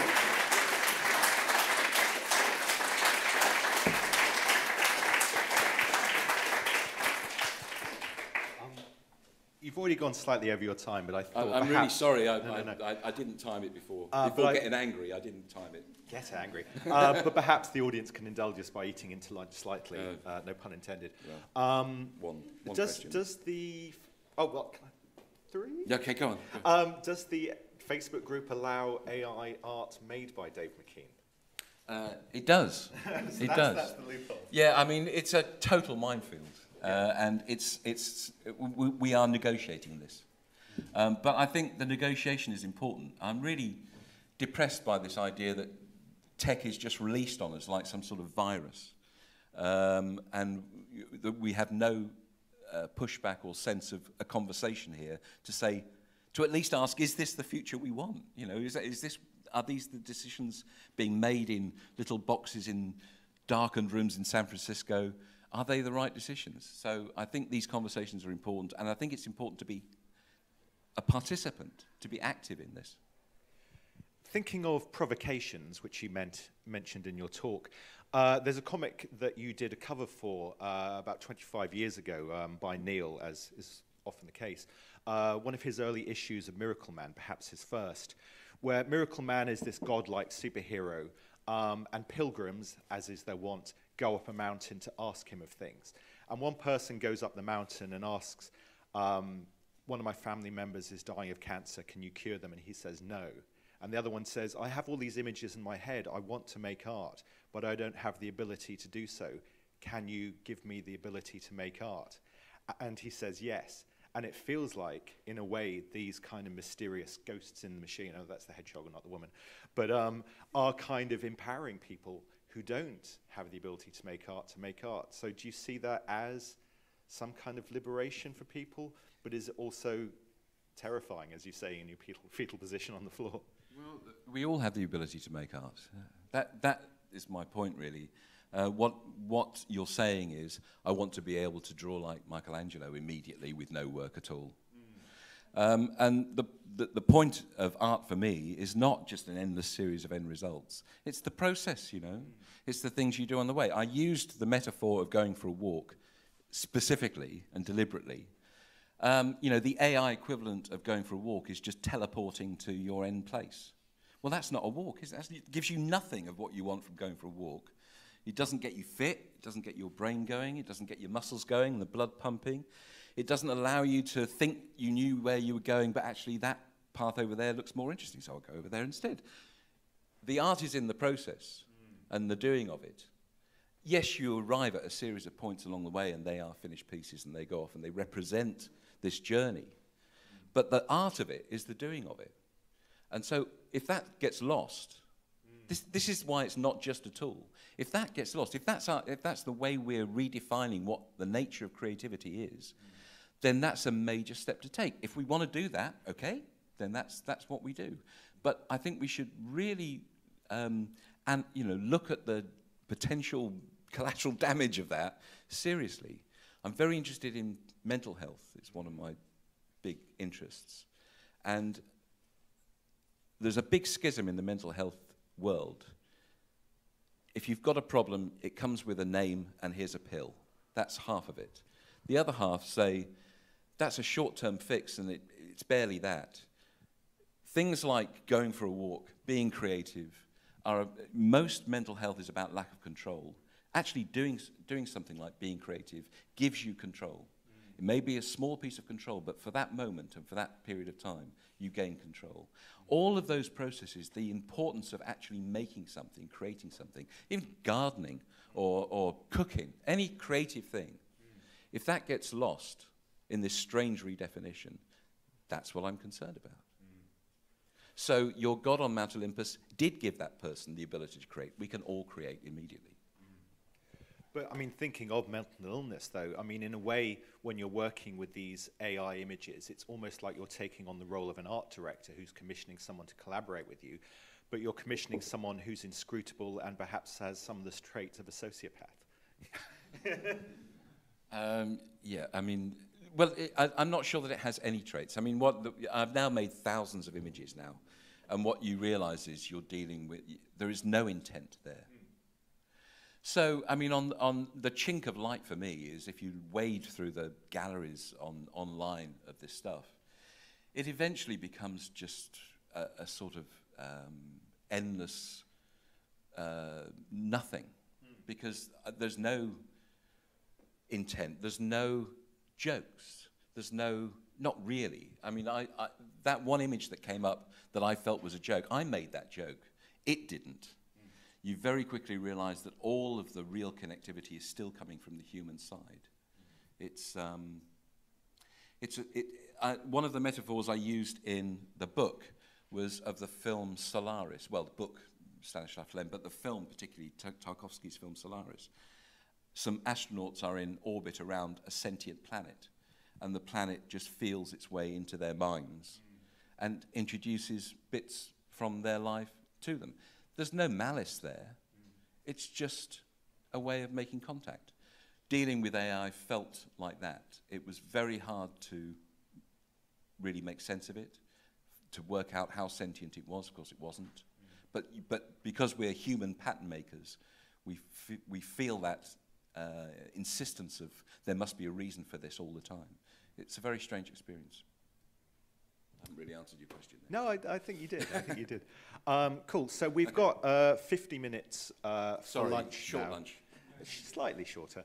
Um, obviously, don't disturb Dave when he's got a plate of food in his hand. But are you happy to answer questions if people want to come up to you and have a chat uh, in the lunch break? Yeah. Uh, Benoit, same question to you. Do you mind if people come and chat to you in the lunch break and ask uh, Yep, fantastic. Um, cool. Uh, we meet again in this room at uh, half past one, and there's some fantastic uh, panels this afternoon on research and what's going on in Europe. And then Dave and Benoit will be back again at the end of the day to talk about some of the themes that have emerged in the various talks. Uh, thanks again to all of you coming.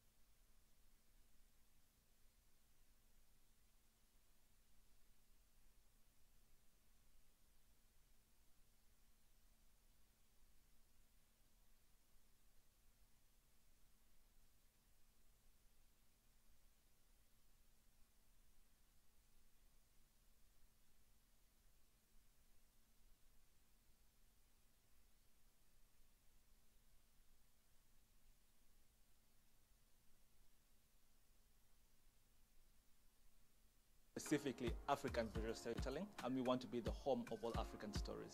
So that's what Kugali is. And what we do is we have a few fields we focus on. We started off in comic books and then evolved into augmented reality, and now we're in animation as well. So that's what we do.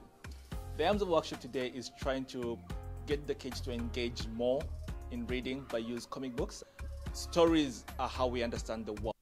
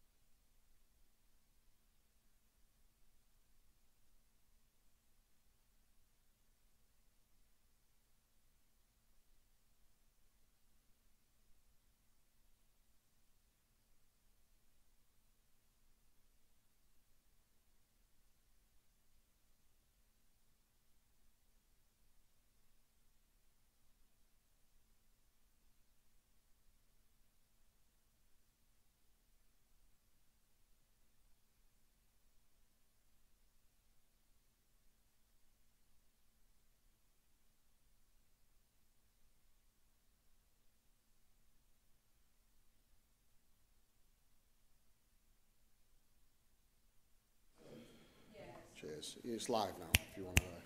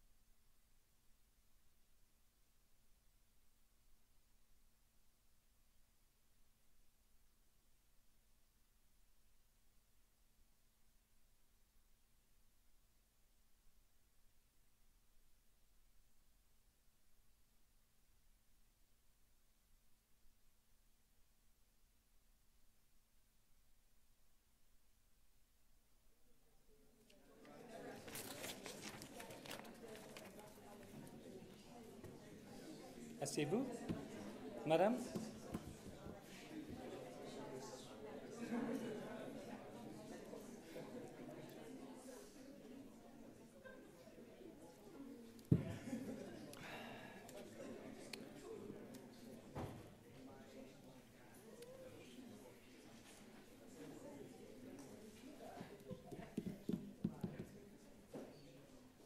Okay, good afternoon, everybody. Um, my name's Andy Miles. I'm a professor in the sociology department uh, here at the University of Manchester. Um, Manchester Museum is actually part of the university, I'm proud to say. Um, and I'm going to introduce um, the session and um, uh, the speakers who, who are going to contribute to it. Comic Art Europe is a project which brings together four European organisations representing different elements of the comic book ecosystem, a higher education institution, festivals and a museum, with the aim of strengthening the comic book sector in Europe by experimenting uh, with collaborative working methods. The four organisations involved in Comic Art Europe are Escola Joso in Barcelona, LICAF, the Lakes International Comic Art Festival in the UK, Lyon BD, and the Belgian Comic Strip Centre in Brussels. There are several strands to Comic uh, Art Europe's project. Professional training, they, they provide summer camps and residencies for artists, creative assistance in the form of grants for project activities, dissemination of the outputs from their their, their activities in Europe and uh, globally. And then the subject of this afternoon's session, research on the social impacts of comics, uh, is specifically the relationship between comics and literacy. Excuse me. Now, I'm standing here as um, something of an imposter when it comes to comics. I'm certainly not a comics aficionado. Um, I ought to whisper this, but I'm actually not very interested in comics per se. I am, however, intensely interested in the way cultural tastes and practices are used to draw boundaries between social groups, particularly distinctions of social class. And here, comics sits outside of that set of mostly traditional art forms and institutions which are counted as proper culture by the social elites that decide these things in the realm of what I would term everyday cultural participation. And my own research focuses on exploring the value and significance of practices in this realm uh, that is masked by narrow definitions of culture.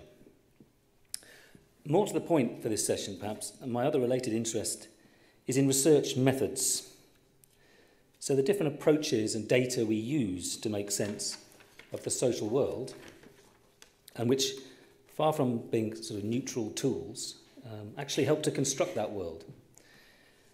In an earlier part of my career, I did quite a lot of work with arts organisations uh, in applied social contexts, uh, such as with a, a dance company working with young offenders who were actually sentenced to dance. Um, here there was an assumption that the arts are intrinsically a force for good, with the potential to transform people's lives and behaviour. And that the job of research, or in that sector, evaluation as it predominantly called, the job of evaluation projects uh, was just to confirm this, really. Uh, the problem for me, as an academic researcher, uh, was that the particular role and mechanics of the arts in such contexts was rarely isolated uh, or explained, and arts organisations weren't at all keen on being subjected to the kinds of research that might unpack that. So this is really why I was asked by LICAF, which leads the research element of Comic Art Europe, to provide some ideas and guidance to the research being developed by the uh, four Comic Art Europe organisations, partner organisations.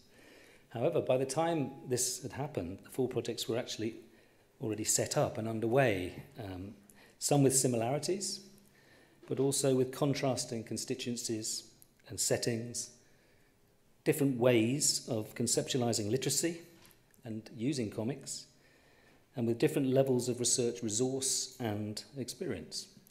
Therefore, it wasn't possible to develop a model framework which every project um, might adopt with a, with a view to making direct comparisons of approach and findings.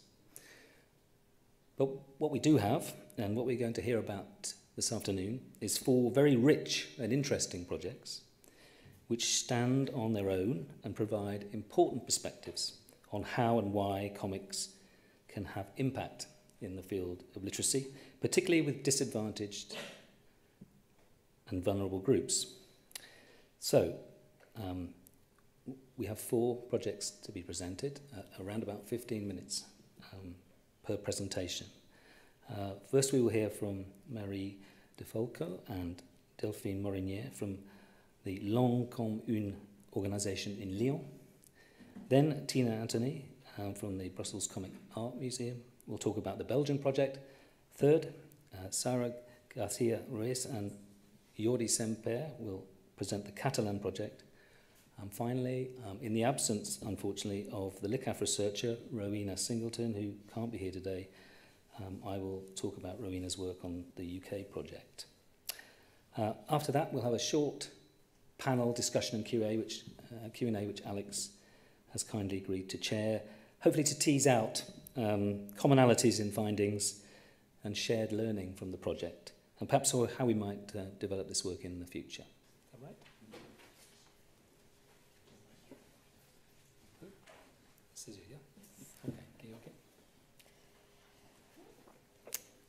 Good afternoon. So my name is Tina Anthony. I'm in charge of education in the Brussels Comic Strip Center. Uh, we are a museum. If you haven't visited, feel free to do so. Um, welcome. Um, so I was um, the one accompanying the literacy project in Brussels.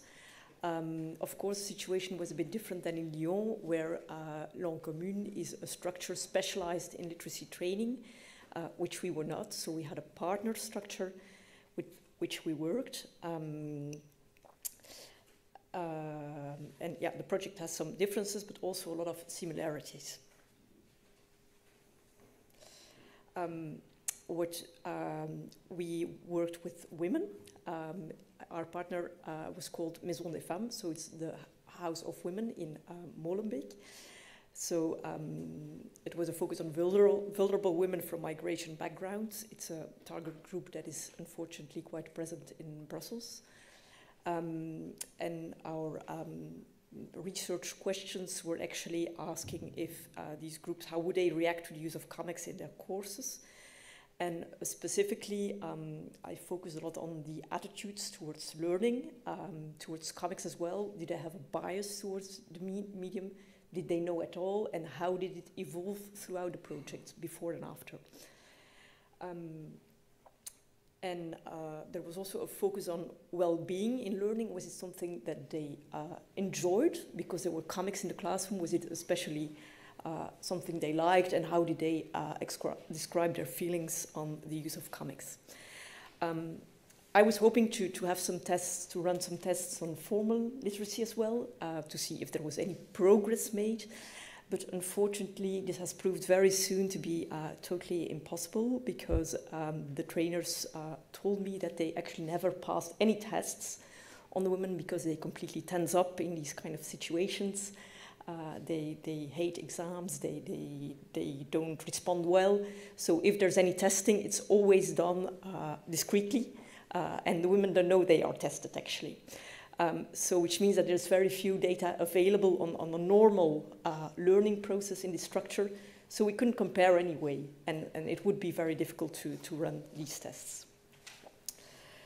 Um, so up, that was gone. Changing colors again. Okay, so this is a, a picture um, from the workshops. Um, mm, Maison des Femmes. You can already have a bit of an image of the groups. Um, Um, so our partner, Maison des Femmes de Molenbeek, um, it's a structure aiming at the um, emancipation of women, specifically women. Uh, they have four axes of work, so they have um, something they call social permanence, so it's uh, social care, really helping out with administrational kind of tasks uh, the women struggle with. Um, so um, also uh, towards uh, professional reinsertion, um, literacy courses in French that are very important, um, and there are also a range of other activities such as sports, uh, activities with children, mother children, um, many, many things. Um, so it's an, uh, a structure aimed exclusively at women. Uh, it's a safe place for the women. Very often, uh, teachers told us that uh, the women, um, apart from doing shopping for their households, it was their only um, excursion out of the house during the week was coming to Maison des Femmes. So it's a safe place. It's a place where they can go. Um, their husbands, their families agree that they come to Maison des Femmes. Um, we had two uh, interventions group intervention groups, I'll get back to them later. So in total, it was 32 women. Uh, and in, uh, we did a second project in uh, 2022 um, with only one class. So this is the place. They have also a gardening project, as you can see. Um, so some information about the, the, the women. Um, we uh, covered a sample of 75% in the interviews, um, so 27 women. Um, they were mainly residents from the uh, municipality of Molenbeek, which has sadly become quite famous uh, because of the Brussels uh, terrorist attacks. But it's just a rather poor Brussels municipality. Um, we know that the people usually have um, low income, low socioeconomic status. Uh, um, there are some, it's, it's a bit of a problem with facing many, many challenges and problems. Um, the women were also quite old. This is, uh, I think, also uh, important. Uh, they uh, were usually first generation migrants, so they were in, in their home countries. They never had any schooling or very, very little schooling. Um, but most of them had been in Belgium for a long time, which means that I have been in Belgium and they didn't get oriented towards literacy courses before, and they ended up finding this place, this safe place, quite late. Um, so they were in Belgium for 15 years on average. I even had one uh, um, lady who was for uh, 51 years already in Belgium before she started her literacy training. Um, well, no, she didn't start, but she started quite late anyway. Um, so they usually had done a few years or semesters of uh, training already. Um, a vast majority of Moroccan origin. It's a bit different. It's very homogeneous, actually, um, the population. Uh, there was only one uh, lady from Nigeria. And as you can see, there was only three women with a certificate of uh, basic education, so the primary school. All other women never went to school or very little, only one, two, or three years. Um, yes. Um, all participants are unemployed, they're usually housewives, um, only eight have a working spouse. Um, there were, however, some difference, differences between the classes, and I'll also get uh, tell you a little more about the, the levels. So the first class is the one, uh, so uh, it means O, O2 LE1 is oral 2, lecture écriture 1. So oral um, proficiency 2, which means that they could at least say a few phrases and, and sort of manage uh, to get themselves understood in French. Uh, and uh, reading and writing uh, one, uh, which means that they can't write on their own um, uh, independently more than five words. Um, so it's a very, very low level. And we had four women in the class that had been in the class for seven years and didn't progress anymore. So a lot of learning problems in that class. Um, also quite uh, interesting was that in this class there were many women that were either divorced, and they faced some stigma for that, of course, um, and uh, or widowed, so, so a bit more isolated situations, I'd say.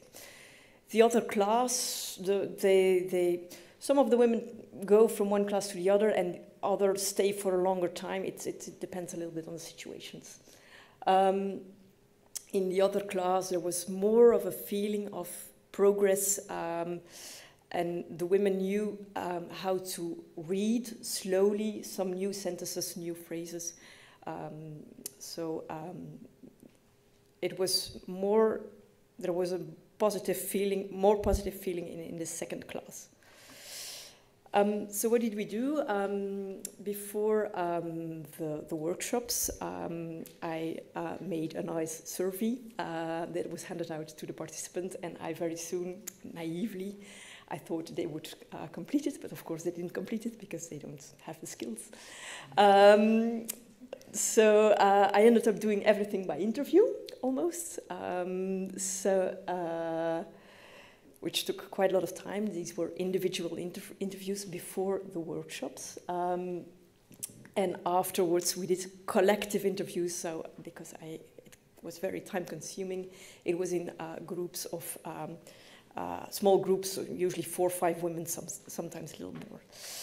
Um, in 21, we did five one morning uh, creative workshops. So we had a female artist, Juliette Bouton. So it seemed logical in this context that we would work with a female artist. She's very also uh, uh, socially committed.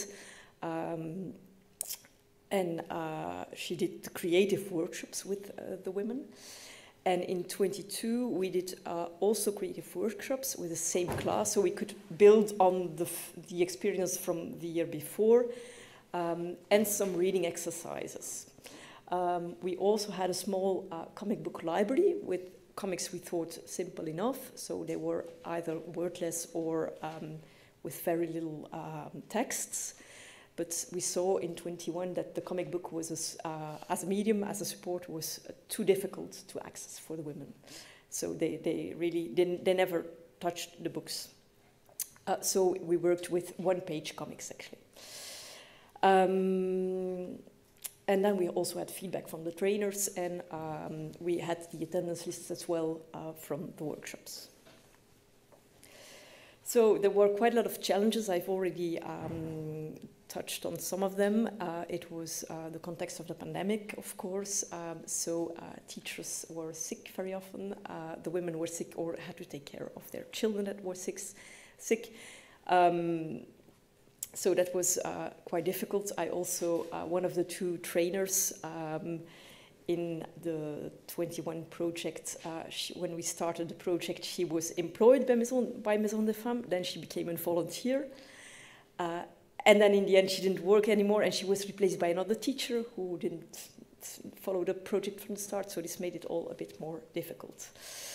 Um, but the, the main, uh, we also had no control group because we had only one class on every level, so we couldn't have parallel classes to see what was going on.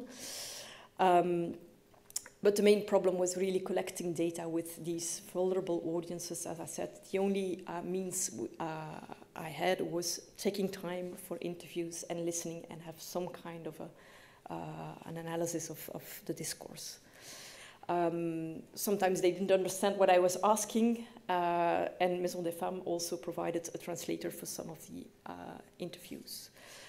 Uh, sometimes uh, I got the impression that they really gave me the answer they thought I'd like to hear, so um, that was also definitely um, part, even if I really stressed that I could talk out freely even about negative experiences as well.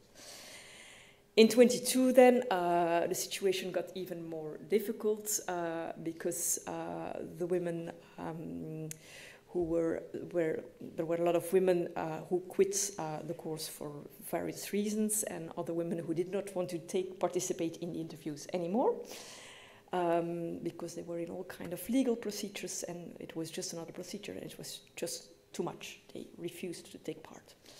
Uh, so I had only four women taking part in 22 in the interviews. So I did not really include it in my results. Um, the workshops then, we had similar methods to the uh, colleagues from Lyon. Um, these women, of course, they um, some of them knew comics before the project or had some read some comics in Arabic during childhood, um, but um, it was rather exceptional. some of them had seen it, but only three told that they might have read something uh, of the kind. So it's, most of them didn't really know, and, and definitely didn't know about the, the, the, reading direction or speech bubbles, and, uh, and we really had to introduce the medium, and we, we used all kind of similar techniques. Um, afterwards, we, um, when we thought it was somehow introduced, we uh, moved on to creative workshops.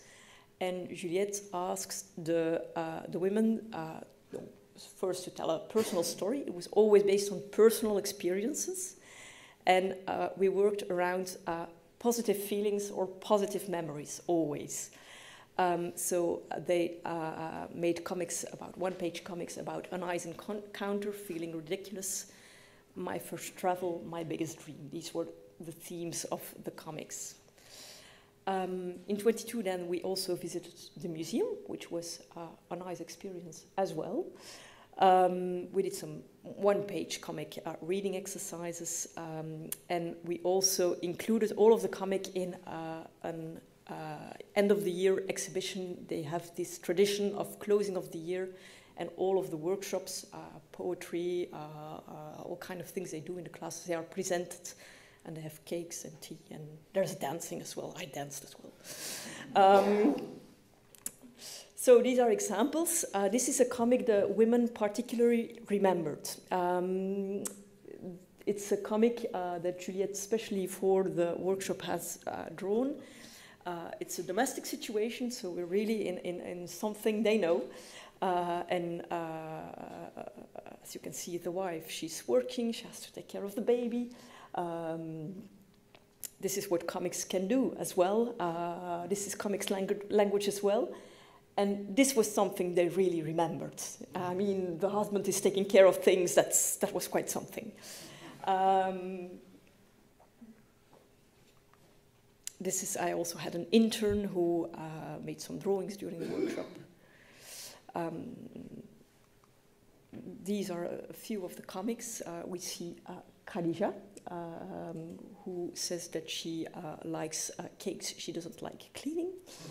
Um, so there was presenting yourself in a comic, and, and also you can see that she, she masters the speech uh, balloons. Um, the other one is about my first uh, travel. Um, so uh, Habiba, who says that she uh, has made a trip with her family, Tetuan, and that she liked the flowers. So we got these kind of very simple, we're far away from the examples from this morning from, from Dave McKean or Benoit Peeters. but anyway, these, this is comics as well, this is creativity. Um, uh, this is uh, Jamila, who says that she has two dreams, uh, learning French and traveling. I could uh, um, go to any country and I'm, I like uh, flowers and the sea. So that's about the the stories we got. Um, but they were very proud of it anyway. Um, another story, uh, it's a bit more uh, in reality, I'd say. Um, it's, um, I don't have her name, uh, her biggest dream is that she uh, will heal from her um, back, which hurts a lot. So she wants to have, live without pain. And she wants to go to the beach. Um, this is an example of one of the comics we used. Um, so it's, uh, again, very much, we had a lot of situations about education and, and family life. Um, so very simple comic. I must say that the women did not particularly remember. They have a lot of memorization issues, problems, and they did not remember at the end of the project that they had read these kind of comics. Um, so maybe we, we, we would have had to do something more challenging, challenging but this, this didn't seem to work so well. But when I was in class doing the exercises with them, we saw that they actually got their information from the context and that they, um, I was an external observer, I was not a trainer, but I saw that they read quite fluently um, in the first, the lowest level. So this is the end of the year presentation where everyone is looking at each other's comic and having some fun and some laughs. Um, so um, just maybe to uh, to get a bit to the conclusions. Uh, in reading behavior, we had little or, uh, or no changes because the women uh, they don't read outside of class. Uh, they pretend to do so, but when when I ask them, but the teacher say no, no, don't be fooled. They don't read outside of class, except for their shopping lists maybe. Um, so they didn't read. They didn't read the books, but at least they. Uh, I, I, don't think there were any changes uh, over there. Um, I also asked them uh, before and after how they feel when they read and write. Um, so um, we, uh, I saw especially uh, the women express uh, it's difficult. It's very difficult. It's heavy. It's uh, it's it's a struggle. Um, it evolves positive, positively. This this uh, attitude if they make some progress. Of course, the women who stay on the same level, it's difficult. Uh, but they are determined to to enroll for the next course. That definitely, they always speak about mental blocks. Uh, my head hurts. It hurts so much. I can't remember anything. And they look at the board. They see the word. They write it down, and they already forgot it.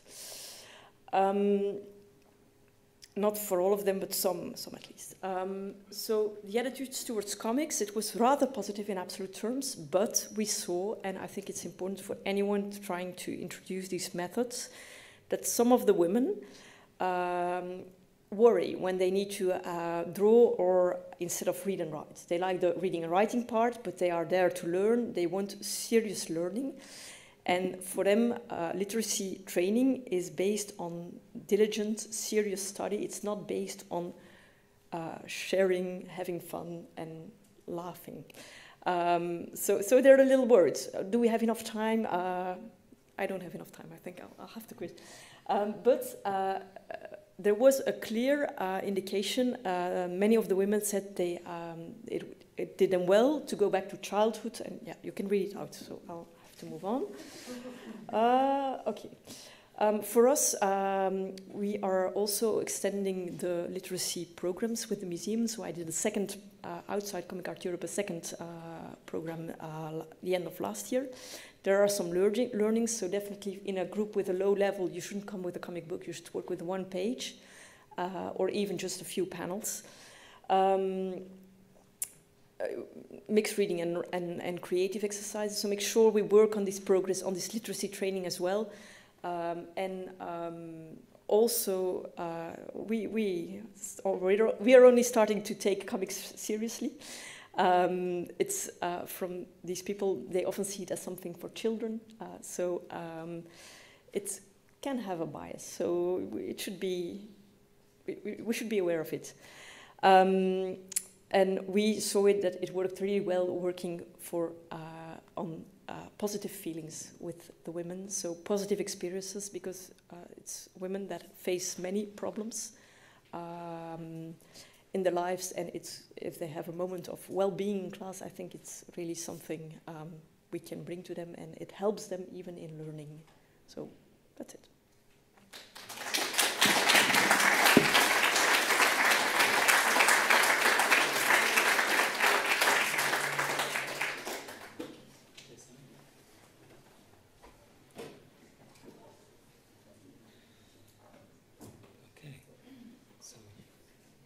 Next we have uh, Sarah and Jordi.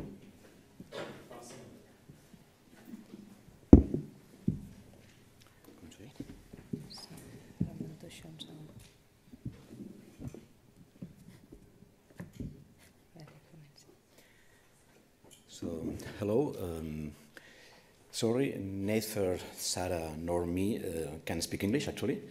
Uh, so our translator uh, um, he's not here because he's in, in Barcelona because he can, cannot uh, came. So um, it's a challenging for us uh, explain uh, our project. So we try. If not, um, Tina, Tina is gently offers to translators from from Spain. From so we can try. Uh, um, I am Jordi Sempere. I'm working um, as a teacher, as a scholar also, as a, a, a specific uh, comic school in Barcelona. And um, Sarah is a student uh, final degree as social uh, education, and uh, he, who works uh, with especially uh, homeless uh, people as a, as a fina- final degree um, project. So, Okay. I'm going to start with the context. One second. Um, homelessness is the hardest evidence of residential, residential exclusion and poverty. Having a home is what allows us to organize and base our lives. Is it essential for us to be able to develop as people? And of course, a fundamental right. Um, the actual reality of homeless is alarming, and it's that. Um, this data is from 2019, so it's before the COVID.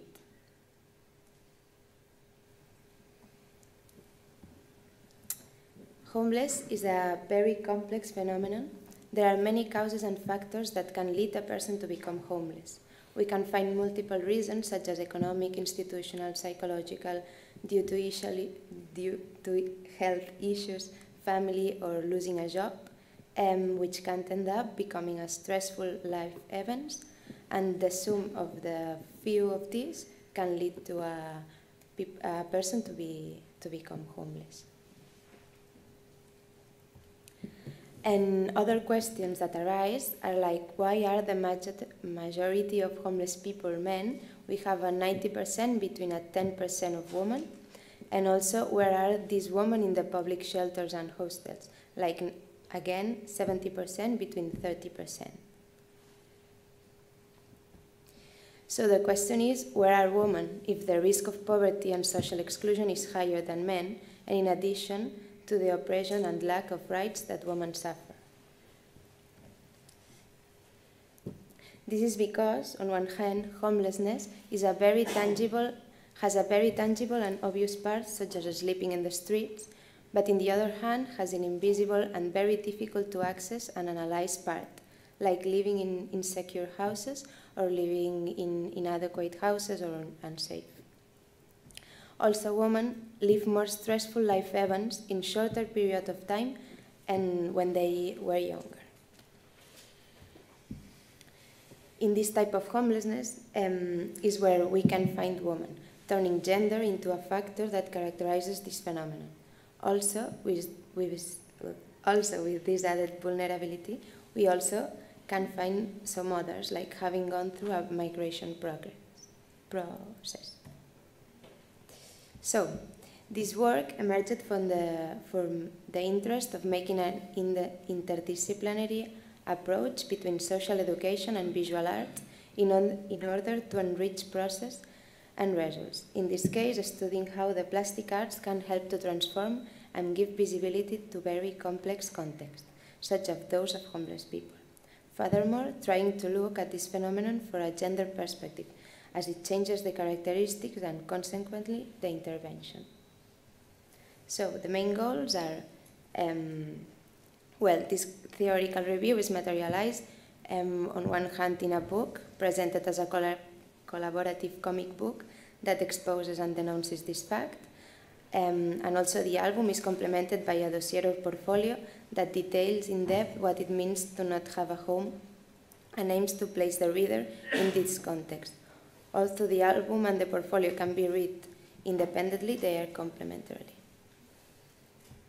So, in short, this project seeks to highlight the circumstance of this woman, vindicate their identity, and furthermore to denounce a reality that doesn't, have, doesn't been given much attention. Uh, so, these are the goals. On one hand, um, the purpose of the project is to join a group of women in a situation of homelessness in this process of reconstruction, of reconstructing her own identity and recognition while exposing and denouncing the reality. And on the other hand, uh, design a portfolio that contextuali- contextualizes the picture book.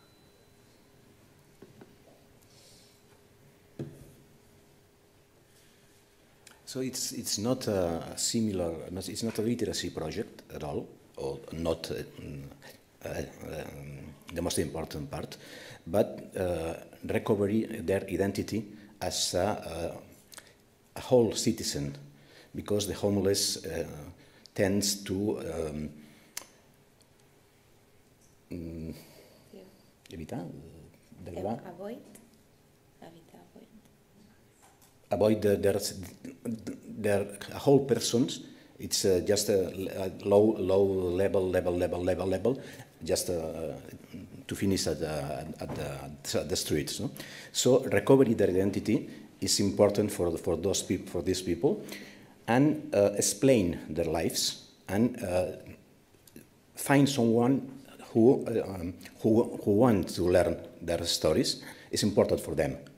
So the, um, the, the, the, the, main process is um, if you just uh, write the, their story, just explain their story, there's not, uh, it's difficult for, that, for those people.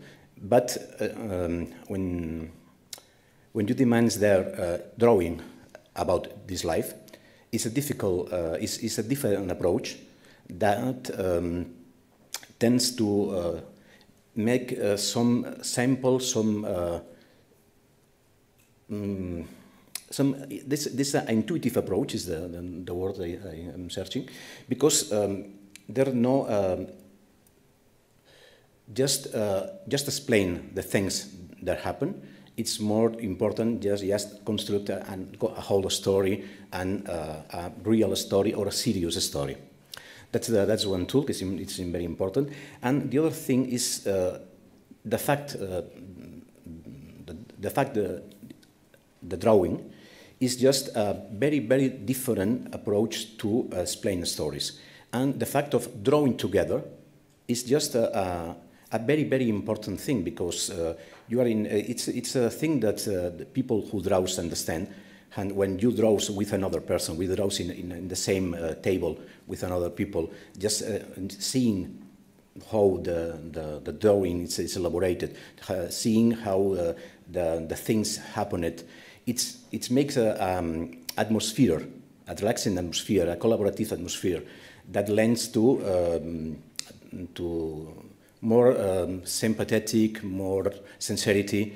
Uh, it's, a, it's a very um, difficult, different approach to explain those stories. And that's the, the, the, mm, the that's the project, that's, the, that's the, the, the, basis of the project. And the workshops uh, she did uh, with, uh, with this woman.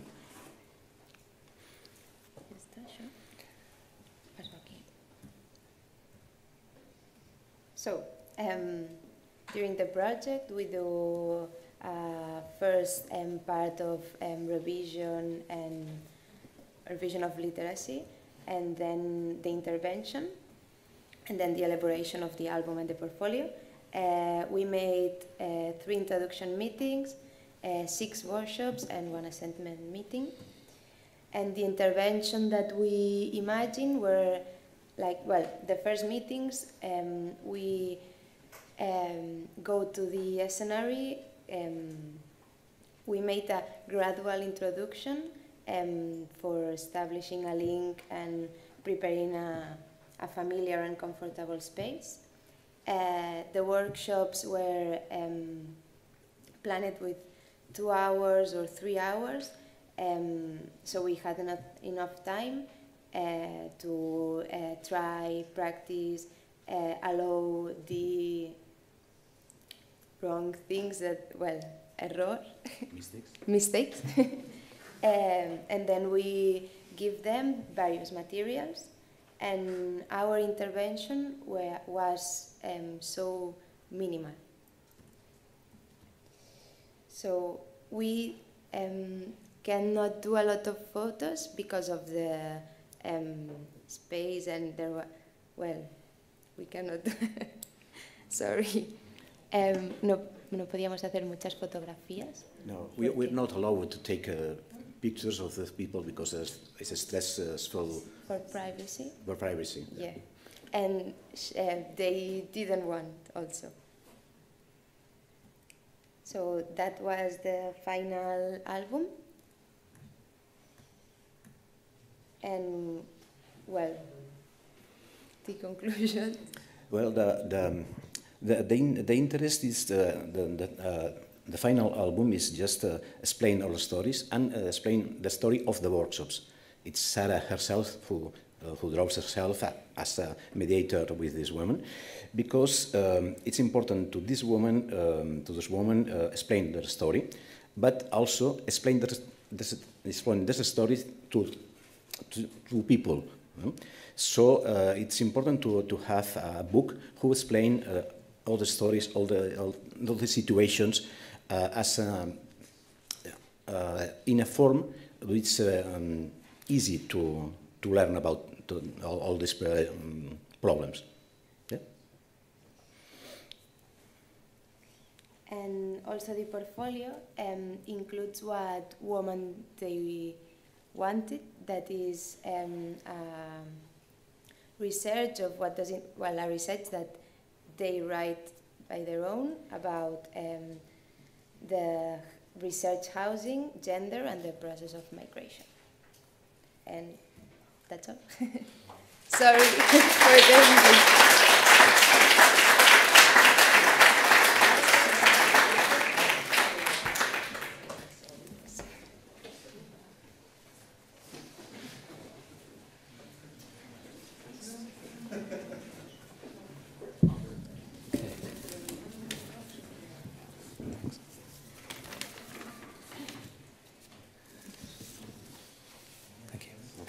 Okay, I know you've been listening for um, considerable time, so uh, I'll, I'm going to try and move through this quite quickly. Um, this is about the UK element of the Comic Art Europe project, which was led by LICAF, um, and it focused on the relationship between comics and children's literacy, and it was based in a primary school in Manchester. Um, as I explained earlier, the person who, who carried out the research and whose presentation this is can't attend. That's Rowena, Rowena Singleton, who was at the time a librarian at the school um, and sort of embedded her research, uh, bringing people together um, in a very rich project, which I'm not going to be able to do justice, but I will do my best. Um, okay. So, um, in the UK, literacy is widely accepted as the foundation for learning, uh, while literature is believed to support many aspects of children's personal uh, and social development. Reading is a key area of the Ofsted inspection framework, uh, and one that requires improvement in many schools, particularly among children in deprived circumstances. Yet, whilst educators continue to look for ways to improve reading results and develop robust reading cultures, uh, comics aren't widely accepted as the tool for this job. Um, so that's the background to the two-year study um, that was carried out to explore the potential of comics in the classroom and at home to enhance children's experience of reading and consequently their happiness and self-esteem. Uh, a national priority at the time uh, in the um, during and in the wake of the pandemic, of course. Um, so this is the sort of starting research question for, for the project. Um, the field size, as I mentioned briefly, um, Uh, the part, main partner was Abraham Moss Community School, which is a state school in uh, northwest Manchester. Um, it's an ethnically diverse school with a relatively disadvantaged student body. Many speak English as an additional language, and there's a higher than average uh, uh, proportion of children supported by uh, the pupil premium funding.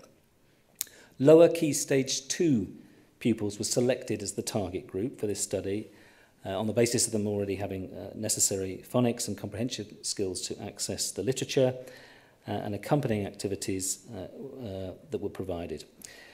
That stage refers to children in um, years three and four.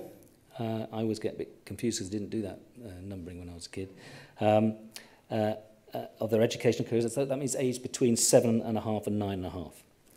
Reading is a whole school priority, Abraham Moss, and there's a huge variety of initiatives to support reading for pleasure. Many literacy provisions are in place for the range of learners, but reading is still an area for improvement. Uh, year three teachers shared uh, that there are gaps in parental engagement and in some cases too few opportunities for reading at home, um, which is one of the reasons why um, LICAF partnered with the Phoenix Comic, uh, a weekly um, subscription comic um, and introduce that to the project, and I'll just explain that in a minute. Um, I won't spend too much time on theory. There is a wide body of theory, people will be familiar with this here, I'm sure, that defines a clear and positive relationship between comics and literacy. It's argued that comics can build comprehension, inference, and language skills while enriching knowledge uh, in every subject area, not just for those children who struggle with prose, uh, but for higher uh, ability children too. Uh, in addition to uh, the benefits to formal literacy uh, uh, learning, it's claimed that making comics helps children to link the process of thinking, drawing, and writing, and encourages them to express themselves in different ways. Um, so our kind of potential outcomes framework uh, was developed from the Reading Agency framework uh, um, for enjoyment for reading, and you can see the, the sort of indicator areas um, shown there. Um, and it was then anticipated uh, that increased reading engagement would lead to a positive impact on pupils' creativity and well-being, in addition to those enjoyment for reading outcomes.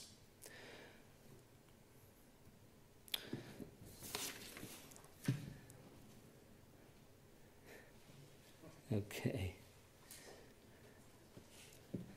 Unlike the more um, open and fluid research contexts we've heard about in the other Comic Art Europe projects. Working with a school offers a more structured and controlled environment. So here there was a possibility to implement um, so, uh, what I, I guess one would call a quasi-experimental research design involving two broadly matched groups um, containing uh, 27 and 26 pupils, year three starting, then going into year four. Um, and one one class received the comics intervention, um, uh, and, and the other in this frame did not. Um, and of course, there's an ethical dilemma with that, that kind of thing. Um, and uh, the school were very cool about it, apparently, and uh, it's not unusual uh, uh, for kids to get different learning pathways.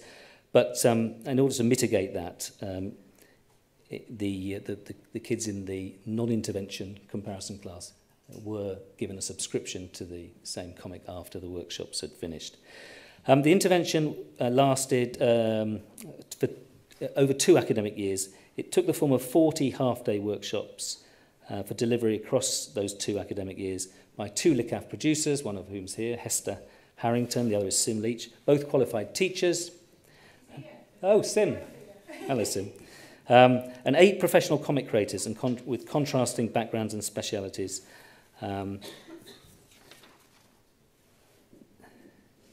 um, and so along, um, and along with a subscription to the Phoenix Comics, with the, which the intervention group got during um, the workshop phase, um, they were also supplied with a travelling library of comics from LICAF.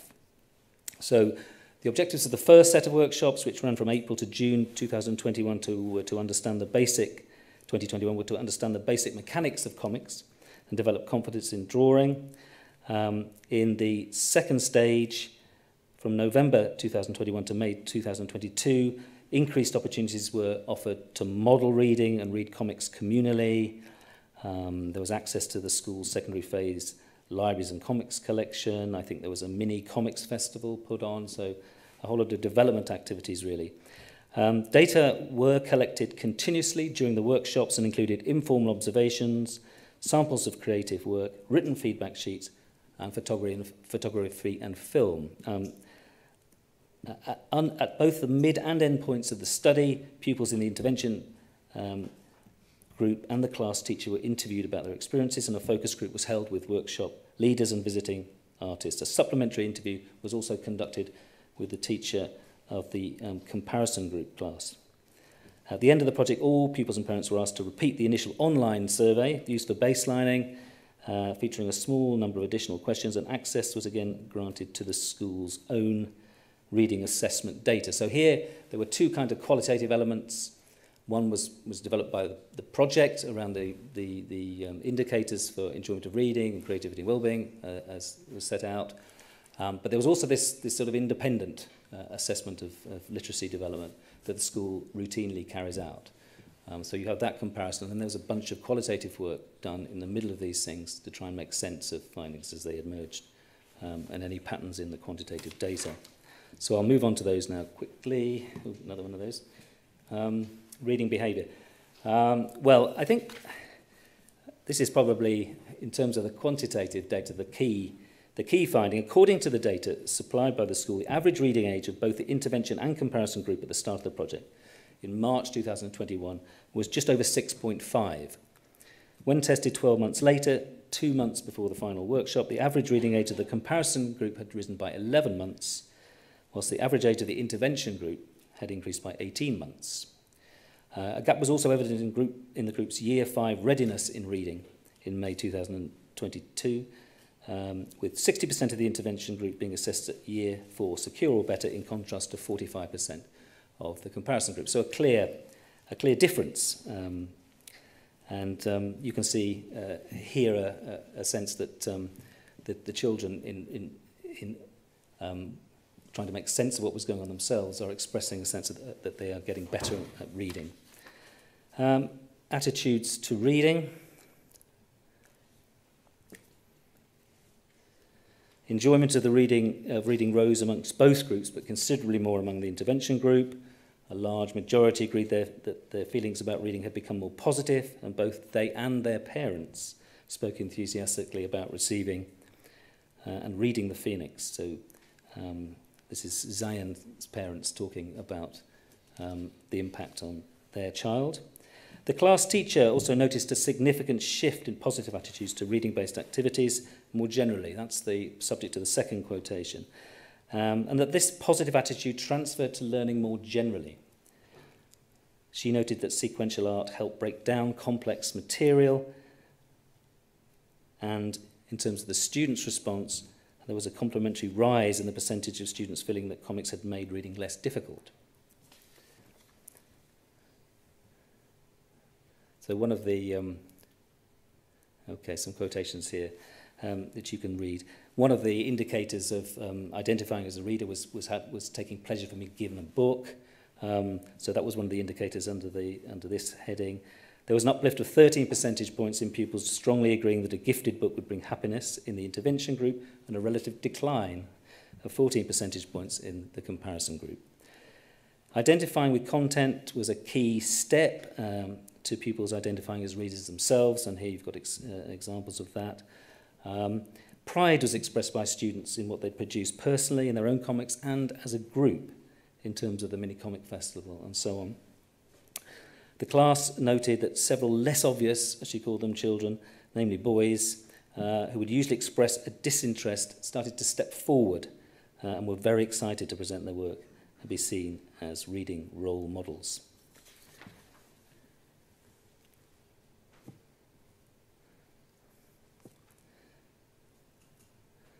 After the workshop had finished, the number of children who listed reading as one of their favourite leisure activities doubled in the intervention group, whilst it dropped down the ranking in the comparison group. And here you can see that some people sort of got an intrinsic motivation to read more, um, such as Nabila and others, um, uh, like Liam discovered, discovered reading as a, as a form of escapism.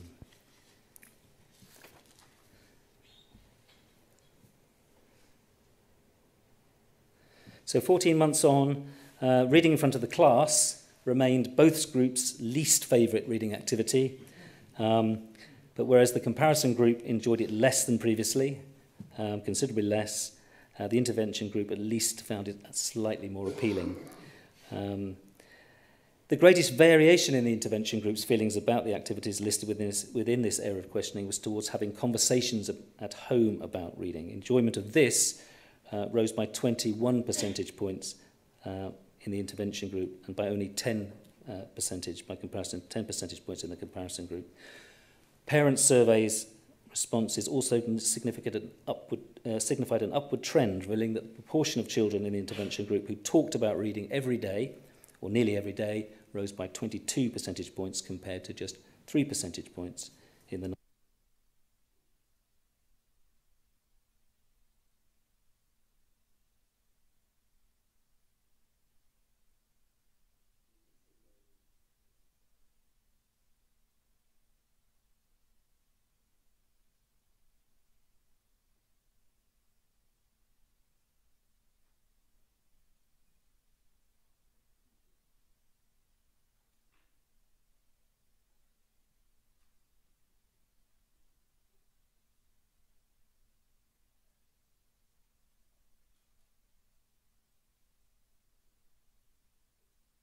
I just shout. Okay, right, thank you.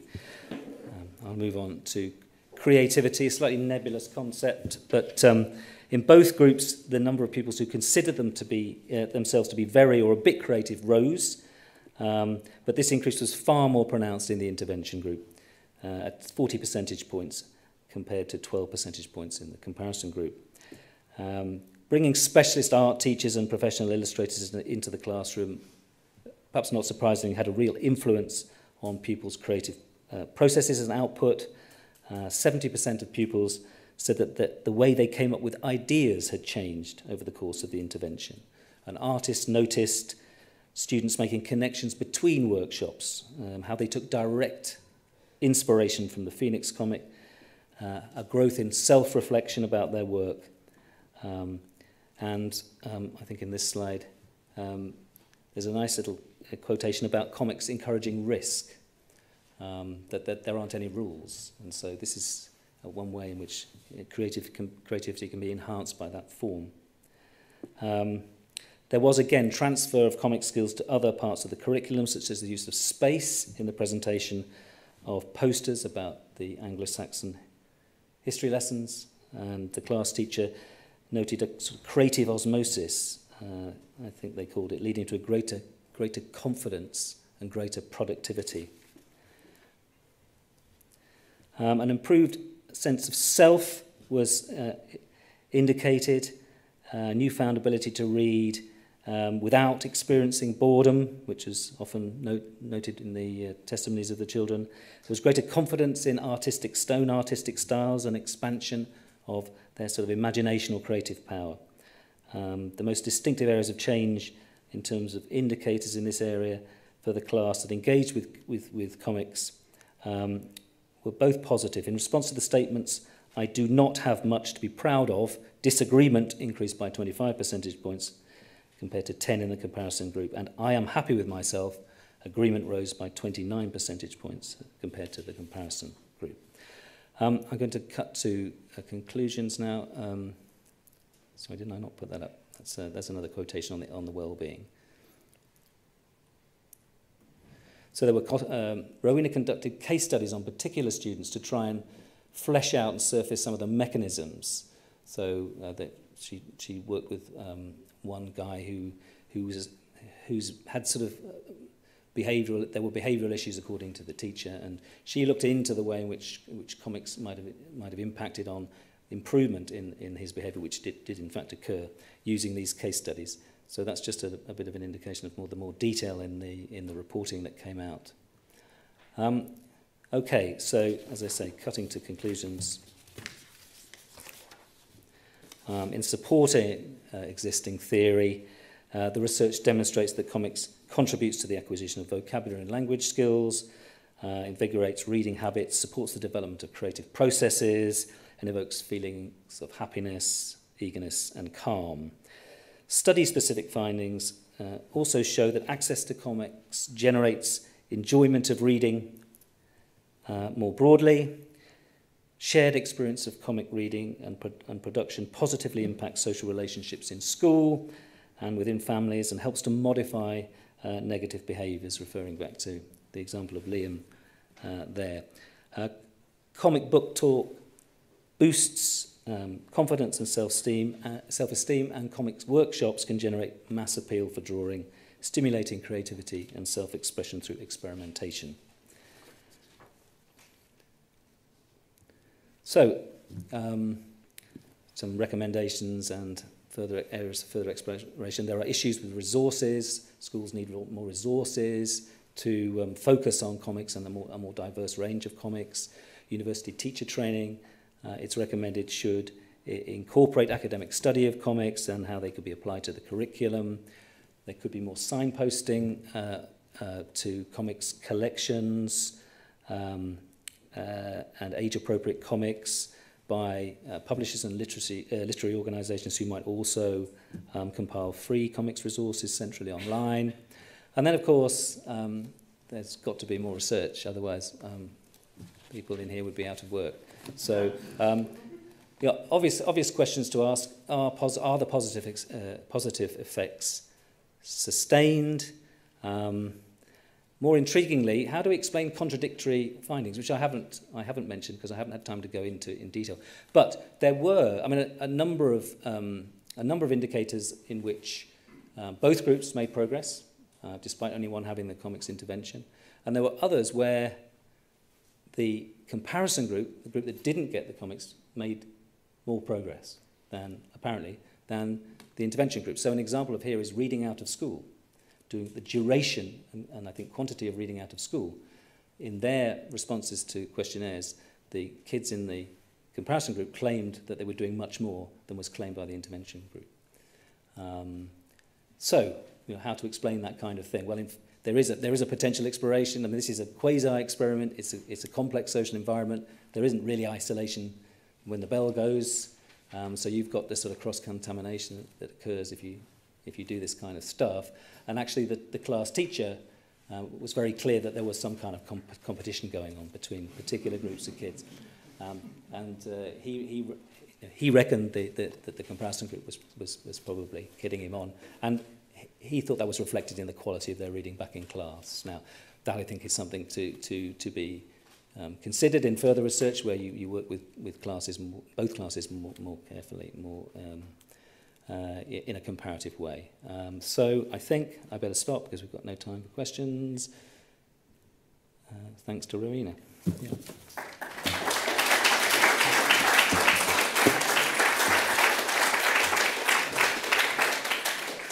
Yes, sorry. I, I, I knew I'd forget that. So um, I think we have two members of Kugali here. Is that Kugali um, are one of the um, artist groups that uh, provided a very successful workshop, and they've just helped, um, just given us a little film to show you whilst we, we put the panel in place.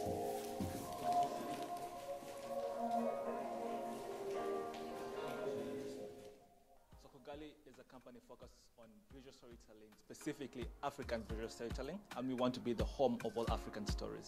So that's what Kugali is, and what we do is we have a few fields we focus on. We started off in comic books and then evolved into augmented reality, and now we're in animation as well. So that's what we do. The aims of the workshop today is trying to get the kids to engage more in reading by use comic books. Stories are how we understand the world, and it's a very easy way for anybody to understand. That's why we make sense of ourselves. So getting kids to use stories to learn how to do different things, it makes it a lot more exciting and a, a lot more of a human way of understanding things we are very surprised because they think way more than we thought they knew. In terms of like, these kids know what paneling is in comics. Um, they noticed little bits of color patterns and how one panel blends into the other. Um, so yeah, in that sense, they're very intriguing. The aspects of comics that pupils are looking at in today's workshop with Kugali are diversity and representation in comics, looking at a number of different comics that are created by Kugali that have completely different um, stylistic presentations. And then um, in the afternoon session, we're going to look at partnerships between um, the writer and then the visual aspects and how the comic can be created by two different people with two different skill sets. So we're going to look at how they can take on those roles themselves in little pairs. One thing they should take away from today is how to build a story, basically. Um, we want them to go away from here knowing what they need to do in order to build a story from A to Z. The benefits of us bringing artists and writers and comic creators into the classroom are that they bring a real life element of comics that myself and Sim can't bring just as educators. So alongside the workshops that we lead that are led by effectively teachers, myself as a secondary school teacher and Sim as a, a primary school teacher, um, we don't bring that life of actually having worked in the industry. So by bringing comic illustrators or writers or both into the classroom, it gives the children an opportunity to see what there is out there in terms of the comics industry and seeing more role models um, and things to aspire to. Um, so in general, um, the children's sort of level of engagement with reading is noticeably higher than in other children of their age group. So compared to the other year four class, their level of engagement and enjoyment of reading and their wanting to read is really high. I've been teaching for a few years now and I've really noticed a difference in them. So pupils are engaging really well today. For the first time today, we're looking specifically at African comics and the content of African comics. And I think particularly with Lake of Tears, the subject material, um, as Fami described it, is biopic. So you're telling a story, but through real life experience. And I think some of that subject material um, is really serious. But because it's told through a comic with comic elements, it helps to lighten it in an appropriate way which makes the subject material digestible which as a concept if you were to talk about um, child slavery in the classroom it would be really difficult to navigate that subject material but by demonstrating it through a comic it brings it to life in an age appropriate manner and the visuals alongside um, the written narrative help to tell that story in a way which they can comprehend, which you wouldn't be able to do if you were watching a video or if just a teacher was talking about it. We noticed as a children, one, they were very engaged, or paying attention the whole time, and if you know any kids around that age, it's very hard to get them to do that. That was the first thing I noticed. Second thing is their creativity was very unbound. We tend to put kids in a box where they think they should be like this, so cute, wherever, but kids are kids. They imagine whatever they want, and we want them to explore those.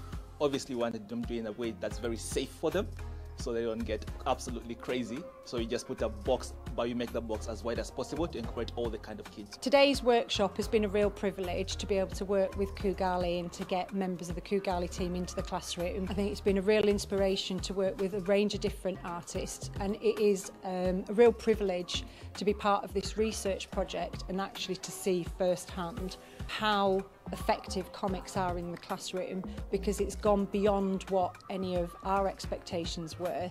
And obviously we you know we'd hope to prove that you know comics do improve reading for enjoyment do improve children's well-being. But everything that we're seeing today and across all of our workshops really do um, back up that we've got the evidence to prove that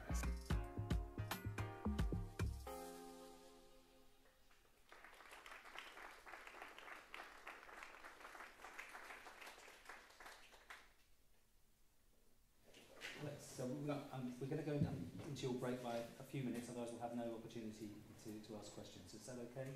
Obviously, go and get a, a, a drink if you're dying for a break. But uh, we, we added that film uh, at the last minute, so it's, it's just we're just a little bit down on time. So can I invite the presenters to come up and then Alex to share some questions?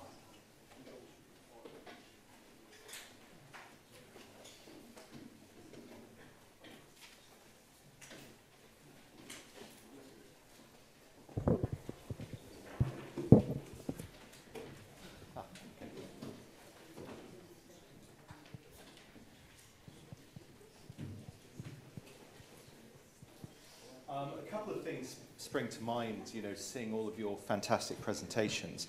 Um, first of all, you know, you very clearly demonstrated that comics can help with kind of literacy.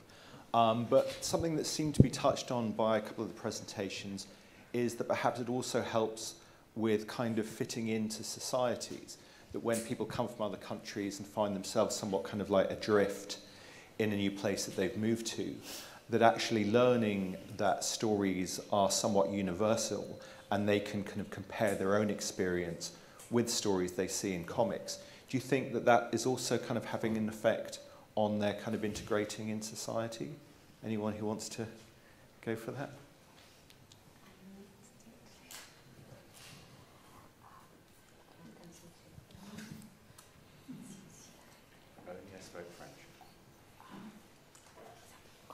I mean, I, I could ask Andrew a question while the others are deliberating. Um, conversely, I mean, you know, with the research uh, that LICAF is doing with these primary schools, it seems like the next obvious step is, you know, talk to government and say, look, we've proved that comics helps literacy. Can we get comics on the curriculum? Yeah, uh, I think that that is, um, I think that's part of the organisation plans, I believe. Um, but yeah, I think what you could do with this kind of work is scale it up. Um, like a GMCA level or something like that. Um, obviously, you need a lot of resources, uh, but I think that uh, you, could do, you could do it at various levels. You could do a, you could do a, a, a proper randomised control trial, which is one way of doing it. Um, but if you wanted to do a fully fledged research um, project, you have to put in a lot of time to qualitative work. A lot of time. So, regarding the other question,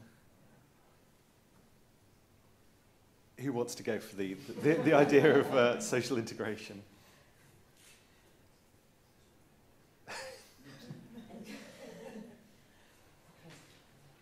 Um, okay, I, will give it a try. Um, I think it's hard to speak from from our participants' point of view because they, they don't really they're not really aware of everything that's around them of, of, of all of the, the culture and I don't feel as comics using comics as an essential step into getting closer to society.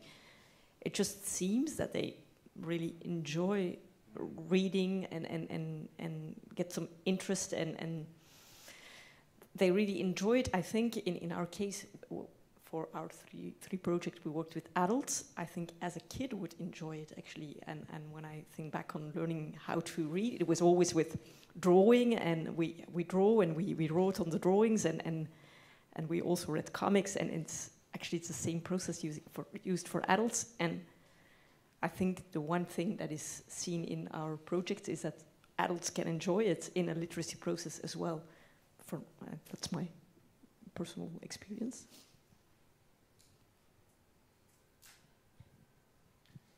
I think there's a, a difference um, when you um, work with children and with adults. That's a very, very different thing because uh, children are drawing naturally, uh, mm, but adults lost this ability.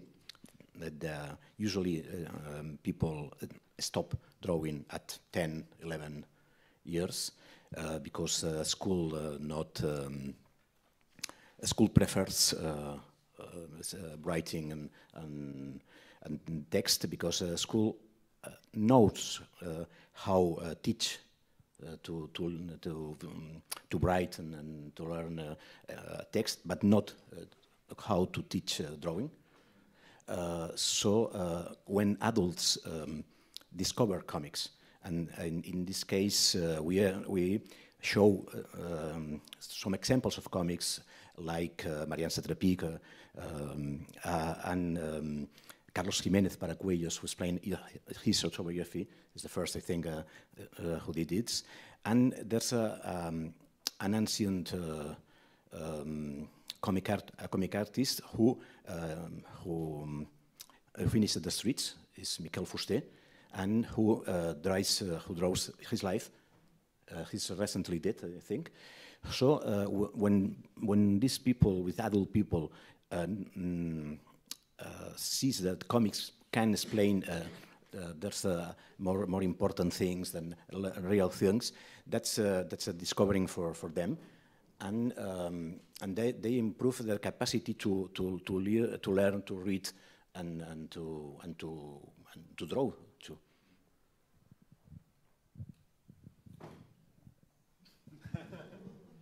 um, I suppose you know LICAF in general, you know, its kind of uh, mission statement is to bring comics, you know, to a wider audience. But in terms of the European perspective, as Brits, you know, we think of in um, France and Belgium, you know, comics just being completely integrated into society, that everyone loves it. But I get a feeling that you still all sort of struggled in a way to get comics accepted as a legitimate way of, you know, kind of contacting people and helping people and lifting them up. Does that seem a reasonable comment? Anyone want to respond to that?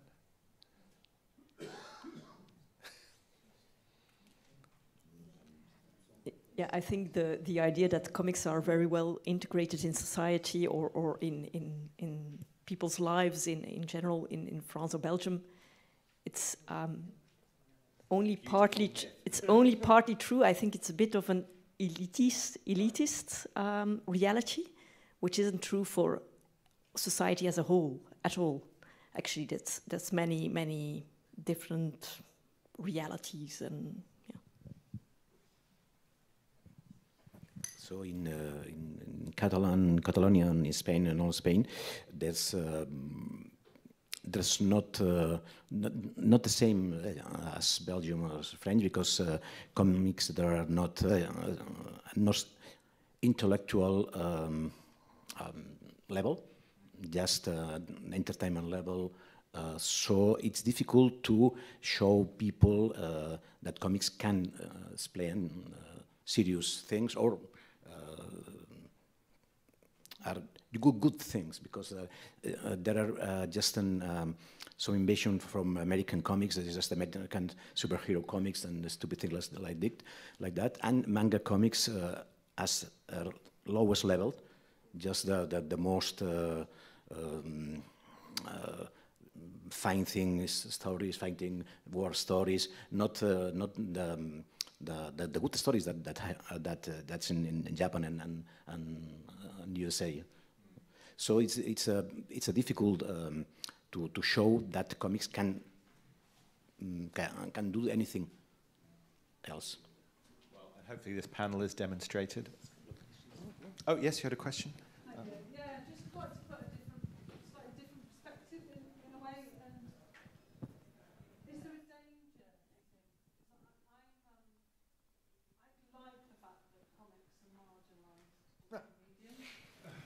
And it, sorry, is there a danger in mainstreaming comics and turning them into kind of like so, a sort of intervention or a treatment almost to get people to sort of fit government agendas um, as a sort of instrumentalist medium?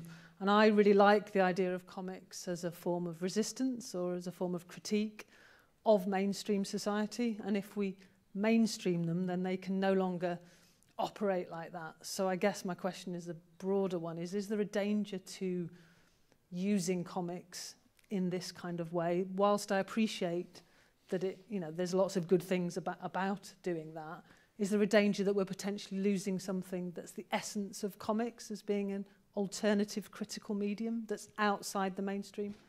What kind uh, what kind of danger you think about what kind of danger you are thinking about? Danger, yeah. Okay, so that they lose their critical edge and they can.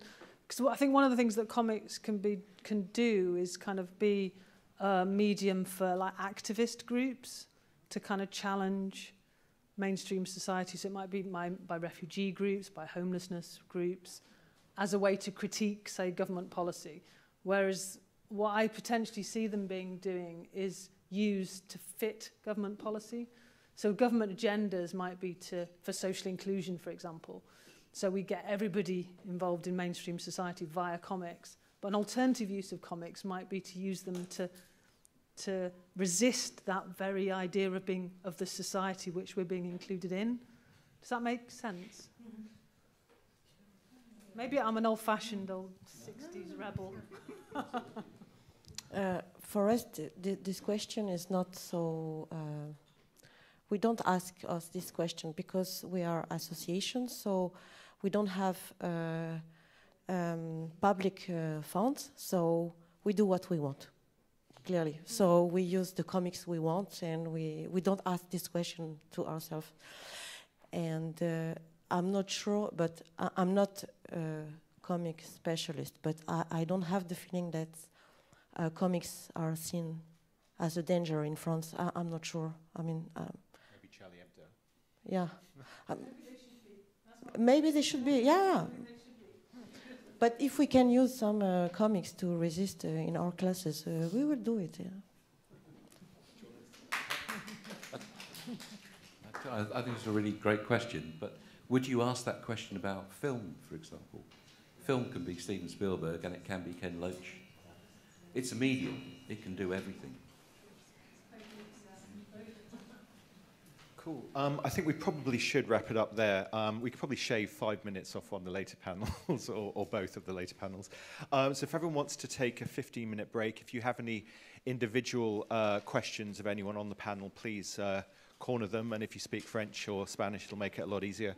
Um, and in the meantime, I'd like to thank everyone who has assembled on page.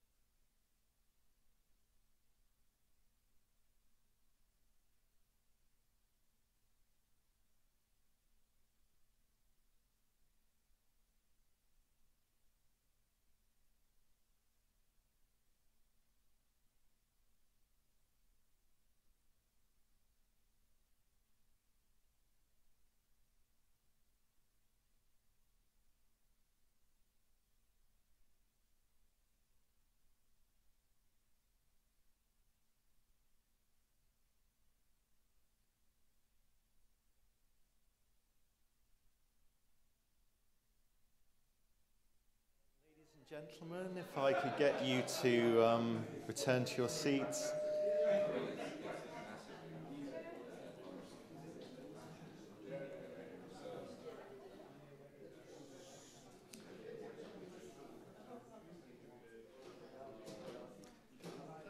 Okay, um, for our next panel, we have three comics researchers who are going to be talking about uh, areas of sequential art that they've currently been looking at, all on three very different topics. But I think, you know, when it comes to uh, the panel afterwards, perhaps we can tease out some connections.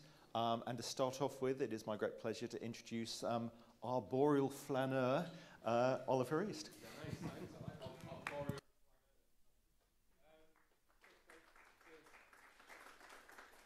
Um, so, uh, just a bit of context before I start. The work I am going to be presenting began in 2016. Uh, up until that point, I'd been making comics about walking and landscape for about 10 years. So I'm close to 20, 20 years of making comics about walking. I grew up down the road, so I'm from Manchester. If anyone knows Manchester, you can probably get the 142 outside of it to my birthplace. Um, I've made comics about uh, convoluted excursions with arbitrarily imposed restrictions, and then I tell you how badly they went. So I've walked from Manchester Oxford Road to Blackpool North train station, Manchester Piccadilly to Liverpool Lime Street. Uh, I've walked from Berlin to the Polish border. And if any of you have braved downstairs yet, there's a uh, skeleton of an elephant, which is a famous elephant that in 1872 walked from Edinburgh to Manchester. And as a commission, because I was the walking comics guy, I recreated that uh, walk uh, 220 miles in 10 days um, back in 2015. So this research starts uh, from a place where I'm the walking comics guy. Um, so, bit of context there. So, I was the walking comics guy, but I wasn't the teacher guy yet. Um, a friend and colleague uh, runs the educational program at the Whitworth Art Gallery, which is part of this university just next door. She asked me if I would be interested in doing some drawing workshops with children she assumed I'd worked with children before. I let her think that because I needed the money. I hadn't. My first teaching experience was with 36 year olds all around me. Workshops were two hours, and for the first six months, I only had an hour and a half's worth of material in my locker. So, for the last half an hour of every workshop, I had 30 children around me going, What now? And I don't know. Uh, so, th- so my research was born out of necessity and panic. Um, we would we, we would do exercises in the work in the gallery, and then the children would look up at me and go, "What now?" So I said, "Well, I don't know. Let's um, uh, everyone in the park because the gallery's next to a park, and it would take five minutes to get in the, the park. So we'd get into the park. What now? Shit. Um, oh, oh, right, okay. Draw the park, but you're not allowed to stop walking. Brilliant, great idea. So it was a restriction. I'd already introduced them to drawing restrictions. Walking was just a new one, and it killed half an hour. But I, I quickly got really good feedback from, from teachers of students with special educational needs that had struggled with previous drawing exercises, but given the freedom to walk about, they were high-fiving me on the way back onto the coach. So I knew there was something in it. Um, and so I started to explore it. I was already interested in um, chance and time as constraints around which to build my comics work. I'm really interested in creating scenarios where things can possibly go really badly, and then I can tell you about those. Um, and so I, in 2018, I did, I did an MA around this walking and drawing at the same time method. I came across this guy who said this thing which meant, okay, so maybe I'm an architect now, and I like the sound of that because architects are cool and they make loads of money. So I started to explore walking as a creative act, um, as a form of architecture. So thanks to the sadly missed Aileen McAvoy and the LICAF team, uh, for they carried on a pattern of crazy excited people who keep gi giving me big bags of money to do comic stuff for some reason and sent me to the Helsinki Comic Art Festival with some help from Arts Council England as well as part of a grant called the it's not a grant anymore but it was a grant for um, sending people uh, abroad for projects but they don't do that grant anymore. Anyway so I was a guest of the Helsinki Comic Festival for a week and a half Um, and I devised, again, uh, a arbitrary line to follow, which might put me in a situation where things could go terribly wrong. Um, so I found, did the slightest bit of rudimentary research, and apparently Tampere uh, is known as the Manchester of the North in Finland, and that was all I needed as, as an excuse just to walk that way. So the route sticks as close to the train line as possible, so the, the decision of where I go is taken out of my hands. So it's, it, it's, uh, it absolves me of responsibility of where I might find myself. But also it, it prevents the temptation to walk like if there's a safari park there, like uh, an amusement park here, you know, booze land here. You know, it, it, it absolves you of the responsibility of where you are, but also the uh, expectation to go anywhere interesting. Um, so the I'd been I'd been teaching the walking and drawing as part of a workshop for a year by this point. I hadn't actually tried it myself, so that took eight days. So I, I thought I'd better put uh, my research where my mouth is and do it myself. So the only stipulations I'd put on myself were I couldn't stop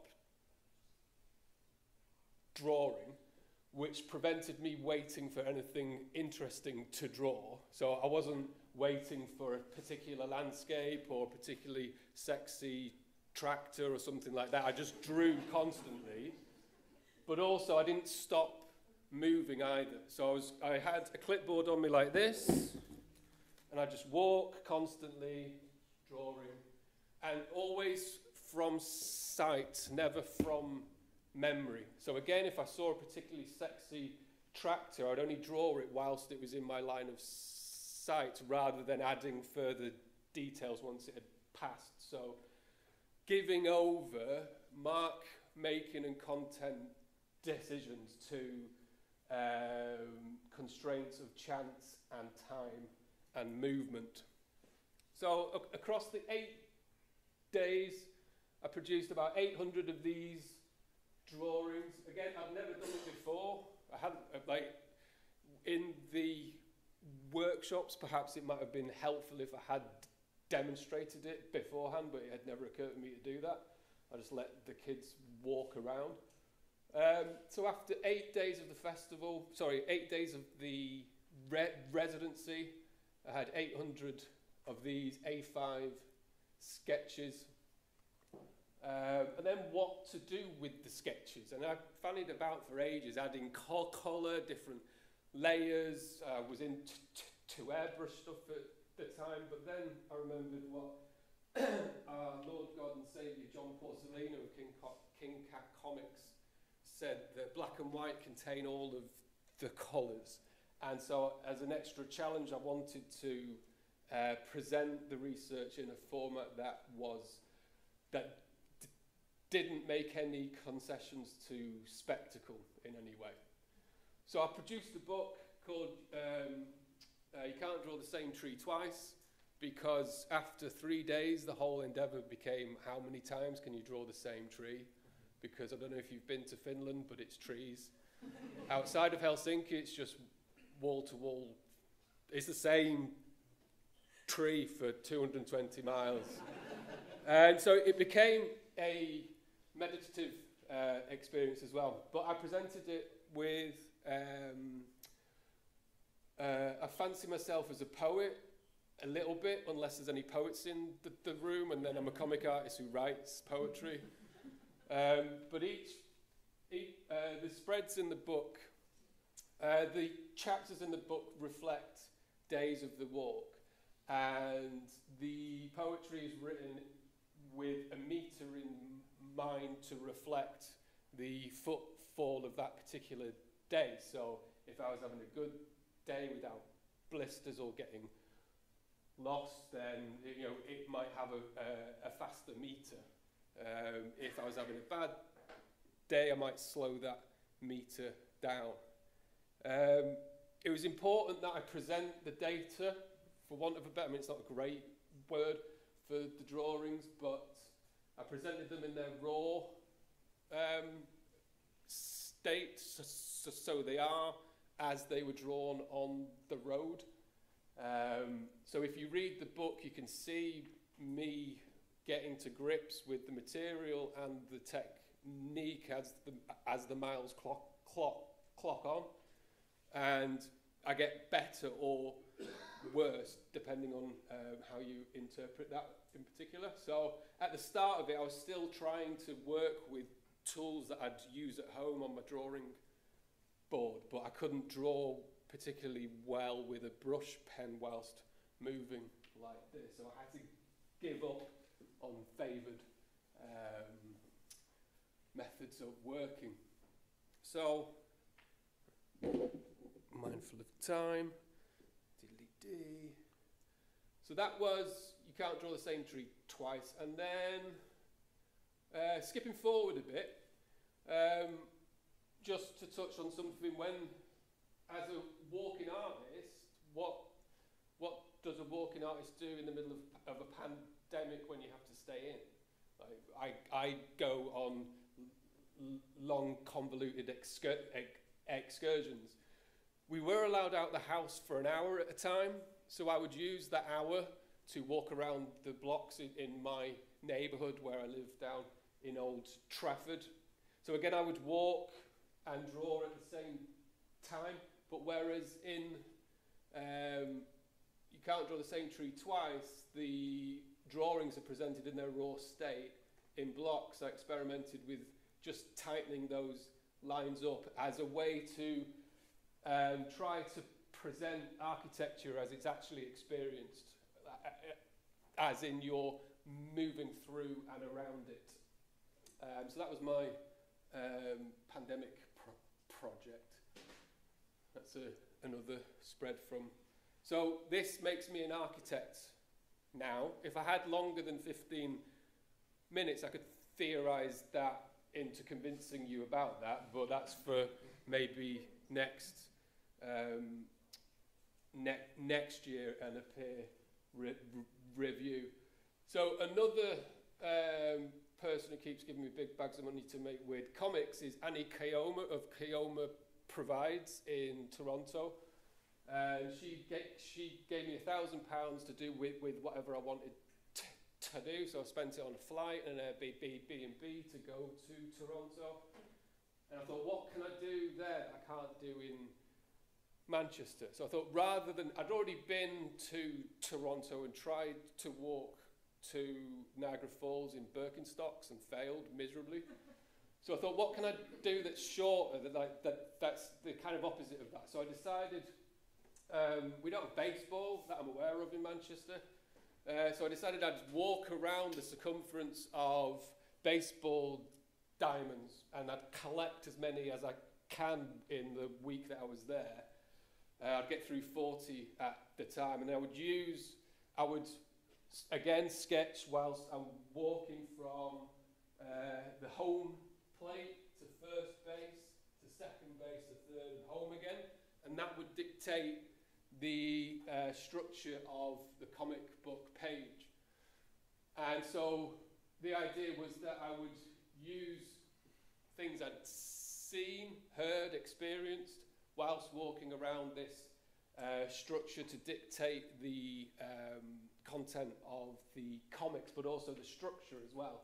So because of the four um, lap nature of the diamond, that dictated a four-tier approach to the comic book page. And each baseball diamond has this kind of faded, um, narrative-laden uh, metal structure around it. So the first and the last legs were split into panels dictated by these. Um, and so I, for a week, a week and a half, I walked around 40 or 50 baseball diamonds, drawing things I could see and hear. And, um, and I used those sketches and notes to riff off uh, works of fiction. So this is, um, I was privy to a conversation. Uh, I was privy or spied on, or um, uh, this. I was often witness to local uh, park keepers tending to the ball park area. So that became um, a repeating narrative. Uh, so, th so, these, so these are the original sketches. This is the finished comic work. It takes on a story where this guy's a park keeper and he's got an Instagram where he shows off his, his favoured line work in the ball park, and the two um, members of his audience are taking the mickey out of him. Uh, this was another one. This was another ballpark called Christie Pitts. So these are the um, raw sketches from uh, the first plate, second plate, third plate, home plate, and it eventually became a narrative about how this young lady who I'd witnessed on a swing had crippling OCD, which meant she couldn't actually get off the swing. She dies in the end. Um, somewhere in between her parents monetize her OCD. So the walking and chance constraints are used as tactics to riff off new um, fiction works. And I think that might be. Oh no, wait. So to come back around again, uh, just to end on. Now I know what I'm doing with walking and drawing. LICAF kindly had me back uh, last year to uh, teach a, a, a workshop based on the, the research, not based on a hunch now. So, thank you very much.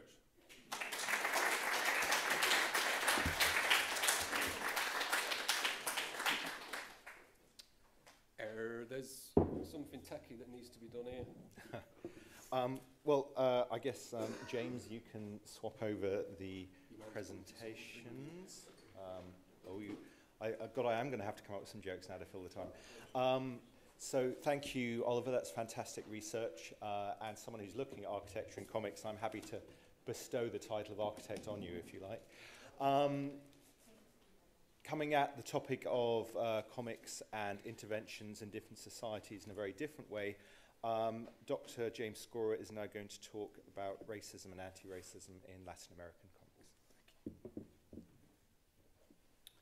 Well, thanks very much. Thanks very much, everyone, for the organisation of this event and for inviting me to participate.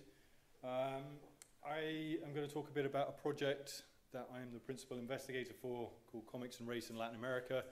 Uh, it is a, a, a team project, um, so I'm partly sort of speaking on behalf of the other people who are involved in this particular project who are listed there. So some of the things that I'll talk about are actually things that they've um, discovered, researched, thought, so I'm sort of appropriating their ideas in, in parts of that. Um, but it's a, it's a three-year project and um, it essentially has two elements to it. One is a historical element insofar as we're trying to look at different forms of racial representation in Latin American comics from the late 19th century right up to the present day. And that's looking at you know, newspapers, magazines, blogs, zines, um, anything else. We're pretty liberal in our understanding of what comics are. Um, and then at the same time, there's a sort of a contemporary dimension where we're working with a group of six artists um, from three different countries Argentina, Peru, and Colombia and sort of working with them in different shapes and forms to get them to produce some comics, but also to talk to us about creating comics and perhaps how race impacts their work in different shapes and forms in their respective contexts. Um, the project is funded by the AHRC, but we also have some collaborators. Um, I put three of them up there, but there are some more uh, universities as well um, that we're working alongside, creating events and uh, sort of drawing on uh, their expertise in different shapes and forms. Um, and that is the, the project website. Um, and uh, it's worth exploring because there's some interesting zines in particular. I'd, I'd flagged those up. Um, and these are zines that have been created as part of the project. Um, to a degree, sort of collaborations between academics and artists, although maybe I was a bit, um, uh, I don't know, pie in the sky about what that might actually mean in practice. Um, but there are certainly sort of elements of col collaboration in those, and there'll be more zines being added to that particular part of the website, hopefully in the next month or so. But I thought I'd focus mainly just on using some images to demonstrate different ways in which race has been taken up in Latin American comics. Uh, as we know, comics have a sort of a, tr a fairly troubled relationship to race in different shapes and forms uh, across the, the globe. Um, but we were sort of interested in tracing not just the kind of uh, the racism, if you like, but also maybe the anti-racist gestures that we could find uh, alongside those kind of more racist elements, and also maybe to kind of nuance some of our perspectives on what we would quite simply designate as something that was racist. Like, how was it racist, or in what ways? Or could we find elements that maybe were trying to sort of approach things in a slightly different way at the same time? Um, you know, maybe differences in terms of narrative and image, for example, that we might find. So obviously these kinds of quite early images, this is sort of around 1900, um, you know, a kind of a, a classic depiction of a troubling relationship between technology and blackness. Um, these kinds of things are also clear sort of, you know, Asian immigration to Latin America, and again, a sort of troubled relationship to technology, and obviously with the presence of the camera, the sort of the whole politics of sort of visualization and technology and race mixed up in that. And sort of interesting that this idea recurs in, in uh, several different comics. So, um, you know, here the idea that uh, the, the kind of uh, indigenous populations are not really sure what the camera is and think that it's some kind of weapon, and then they end up attacking the, the photographer.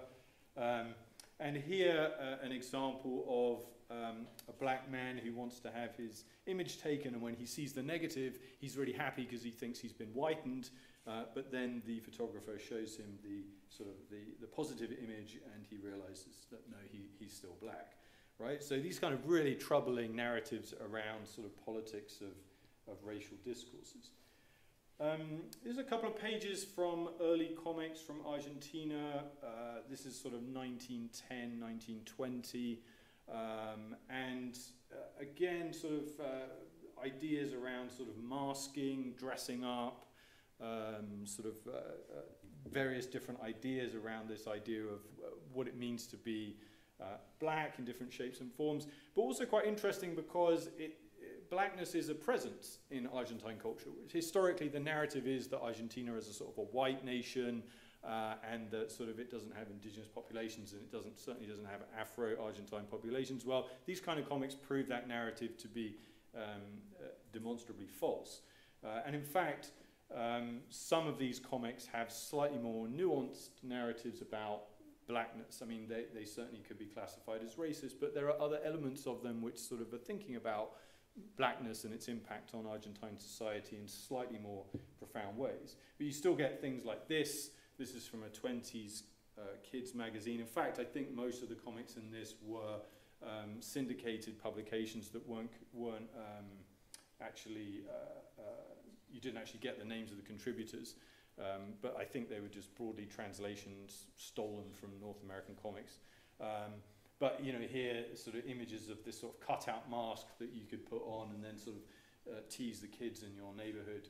You know, you get images like this kind of thing in comics of this period. But then as you go into the kind of um, 30s and 40s, certainly in, in this case in Argentina, there's an interesting um, shift, if you like, towards more indigenous groups and indigenous populations in a more sustained way and a more kind of, uh, at least as an effort to try and create a sense of historical veracity in the depiction of indigenous populations. So, you know, this is, comes from a kind of a work that was done by a very important Argentine um, artist in which he sort of compiles images related to uh, the life on the Pampas indigenous populations. Um, and certainly some of the some of the narrative and some of the text is quite racist in terms of um, what it's trying to tell you about these populations. But there is this sense that in which you get these very specific details about um, kind of life in this particular part of Argentina, which is in fact in the past. Um, and that fits with definitely a sense in which artists are trying to sort of uh, group racial identity in different shapes and forms and get these kinds of images where you kind of sort of um, describe, document, and then sort of, I, I, guess, disseminate certain racialized profiles or groups. Uh, and this last one comes from the Escuela Panamericana uh, de Arte, the Pan American School of Art, which was based on Alex Raymond's work. Uh, and it was an idea that you would kind of subscribe to this and learn how to draw comics. There isn't an awful lot about race in it, but I, I did find this particular page where you sort of get a clear indication that you are supposed to draw uh, you know, indigenous black people in this particular fashion. Um, this is just a couple of examples from Peru, sort of um, now heading more into the kind of uh, 60s in Peru, where you start seeing um, real presence of indigenous um, uh, populations, and not least the figure of the Cholo, who's a sort of like urbanized Indian migrant. Uh, and uh, this is a sort of a frequent trope in Peruvian culture as a way of sort of trying to think through national identity in relation to race uh, uh, in different shapes and forms.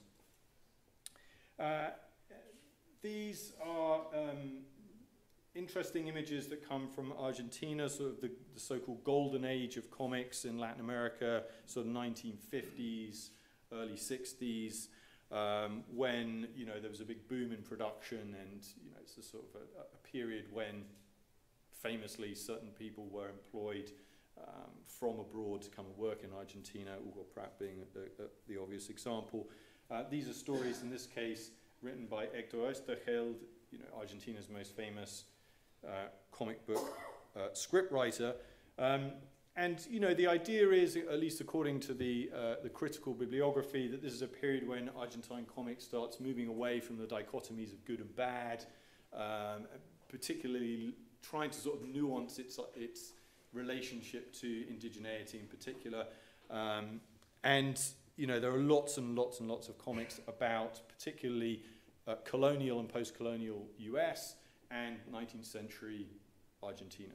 And these are the two periods that get picked up on a, a, lot in this period uh, in terms of sort of representations of, of race in different shapes and forms.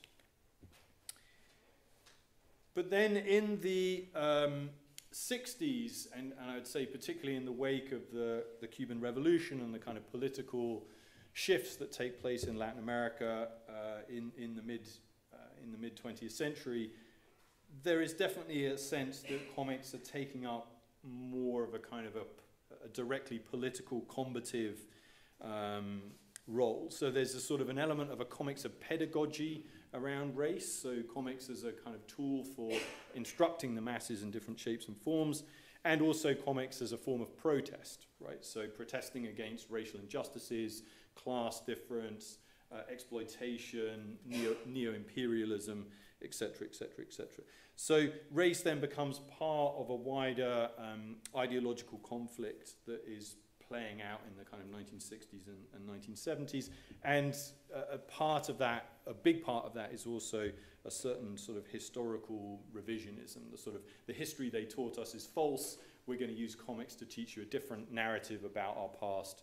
Uh, and um, yeah, that, that happens across the continent, I would suggest.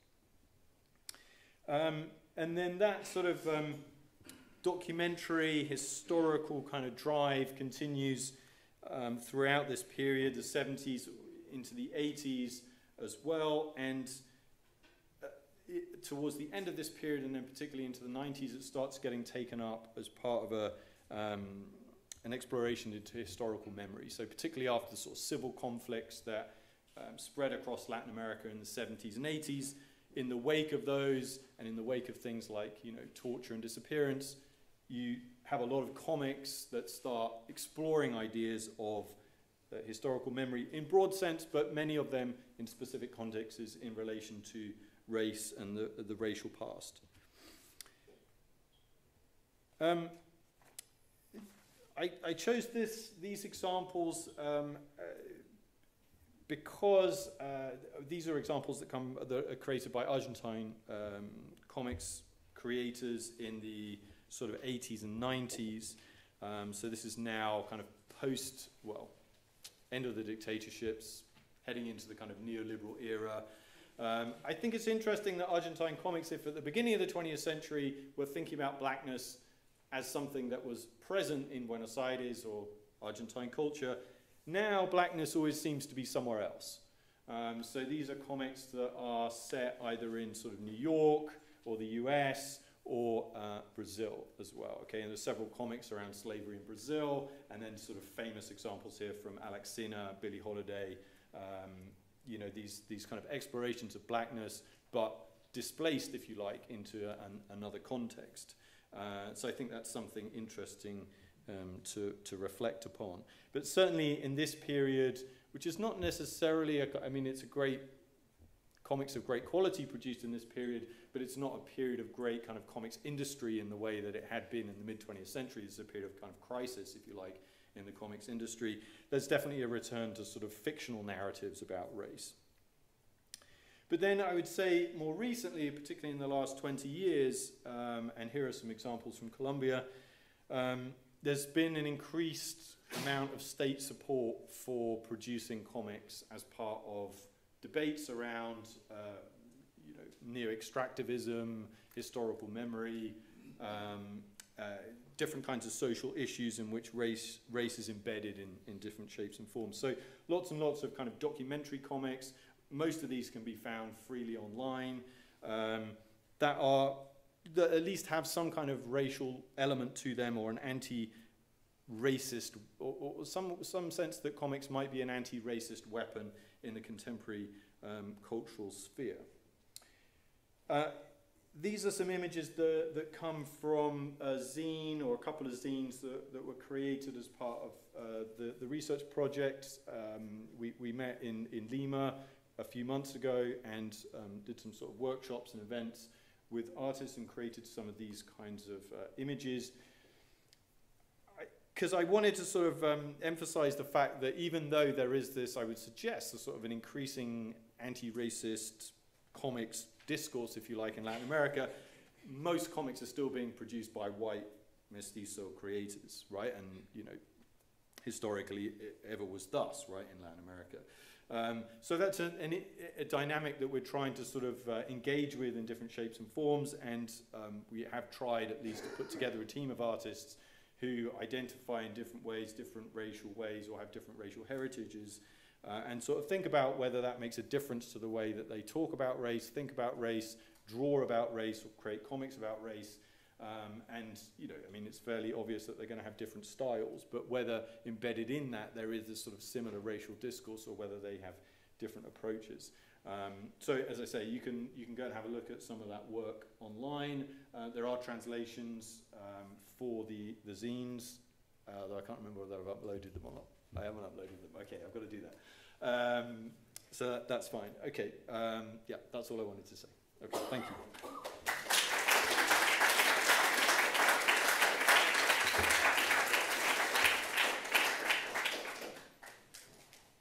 Um, and third in our panel of comics researchers talking about different aspects of comics around the world, Dr. Harriet Earle will be looking at comics and social change. Thank you, Alex. um, thank you. Um, okay, let me see. Just past perfect. So, when I was given this topic, I thought, and I, which I, I'm sure is everyone's response to, to such things. Um, but I thought actually what would be the easiest thing to do is to think about a specific case study of a comic that I think is doing interesting things with big stories that can uh, provoke social change. Um, before I begin to get into that, just to introduce myself, um, I'm Hattie.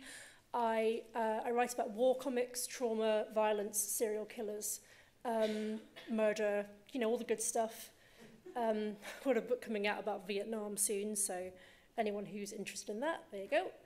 Um, and this is what I'm going to do. I'm going to explain um, what I mean by social change in relation to comics. I'm then going to give a very quick case study, Persepolis, in five minutes or fewer, um, and then answer the question of so what? Why am I saying this? Why should you care? Why is any of this interesting?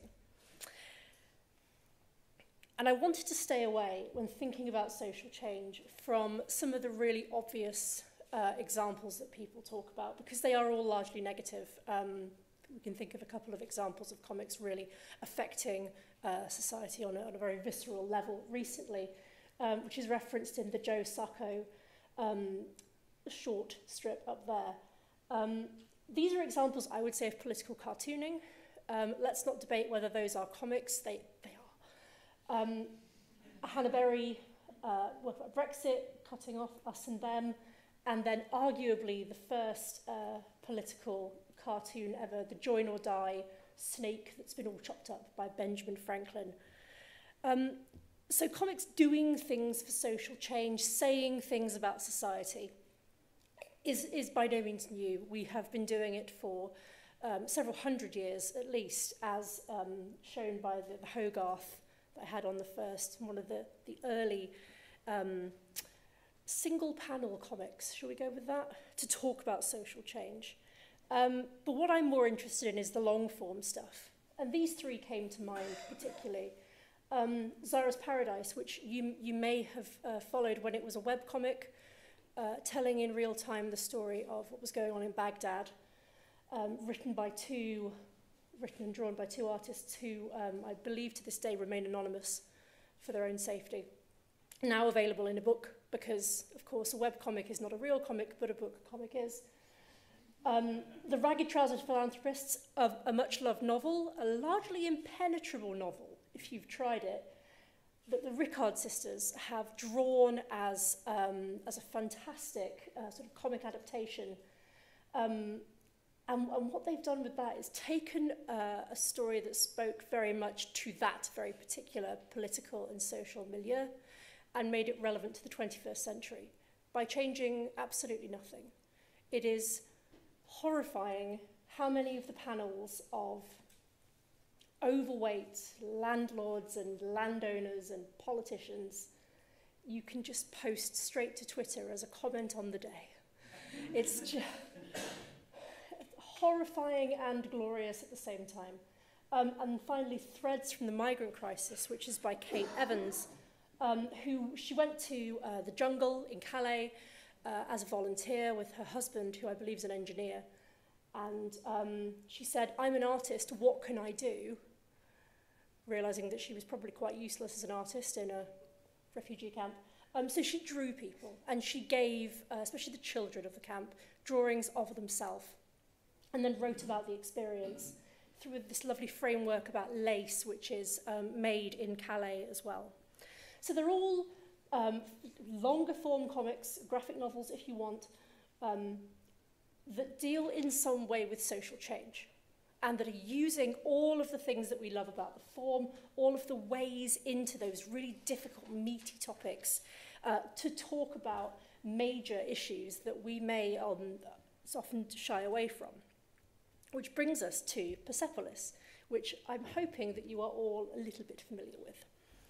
Um, so Persepolis by Marjan Satrapi. I've just lumped the whole thing in together. I know it's two parts, but let's just lump it in together. An autobiographical uh, graphic novel that focuses largely on the Islamic Revolution in 1979. Um, I will freely admit going into this comic, I knew absolutely nothing about that part of the world or that history. Uh, I grew up in Central Europe. I didn't have any understanding of what that was. So this was my introduction. And I think this is probably not an unusual position to be in for a lot of people. Um, originally published in French, she wrote it in, and drew it in France. It is... one of the top 10 most challenged books. What a badge of honour. That's great. Um, and I had a look to see if it was still banned. Oh, hell yeah. It's banned all over, especially in the US. All of the South, it's banned, which I think is a great badge of honour for Satrapi. It shows that she's, uh, she's made something really quite fantastic if it's going to be banned to that level.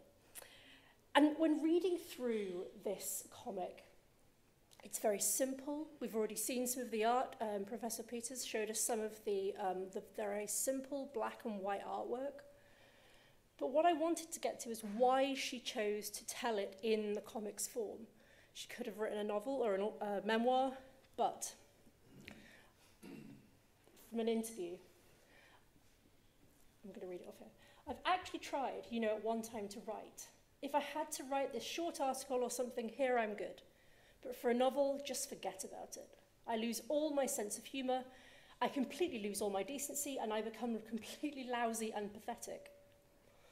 Drawing gives to me the possibility of this sense of saying what I want to say. Comics is the only media in the world that you can use the image plus the writing plus the imagination and plus be active while reading it. I don't think I could have said it better myself. Um, and certainly I, I understand what she means about writing because it's, it's so difficult. But that drawing plus the imagination plus be active. So bringing the reader into the story. And that's really the thing I want to, uh, to emphasize here. Comics and social change are about bringing the reader into the story. I really have no interest in the story of um, the Iranian, the Islamic Revolution, because it isn't my story. I shouldn't say I have no interest, that was poorly worded. But it's not my story. I am, I have no horse in this race. So bringing me into it through the medium of comics is what's important. I apologise, I cut this page in half. I'm used to smaller presentation screens. This is one page. This is the very first page of the comic. You might, you might recognise it. And we start off with Marji, there she is on the very far left, in her veil. The children, the girls, have just been told that they have to be veiled and um, the, she's sitting next to her friends who are all equally veiled, looking miserable. Immediately underneath that, the, uh, the revolution happens, this lovely iconic gesture of the hands, the fists. Are they for the revolution or are they against it? We don't know. That's for us to think about. And the school saying, wear this. No explanation. Wear this. So, where is the reader in that? Well, the reader is with Marji. Someone is handing her the veil and saying, Wear this, without explanation. And we're with her, so we have that confusion with her. We're being given this garment that she doesn't want, she doesn't understand, and the reader is right there. Maybe we're peering over the, uh, the wall there, looking at this happening and thinking, what is going on? And then, of course, the children are being children, they're pretending to be a horse, she's skipping with it, someone's being strangled. Um, all normal playground stuff, I assume.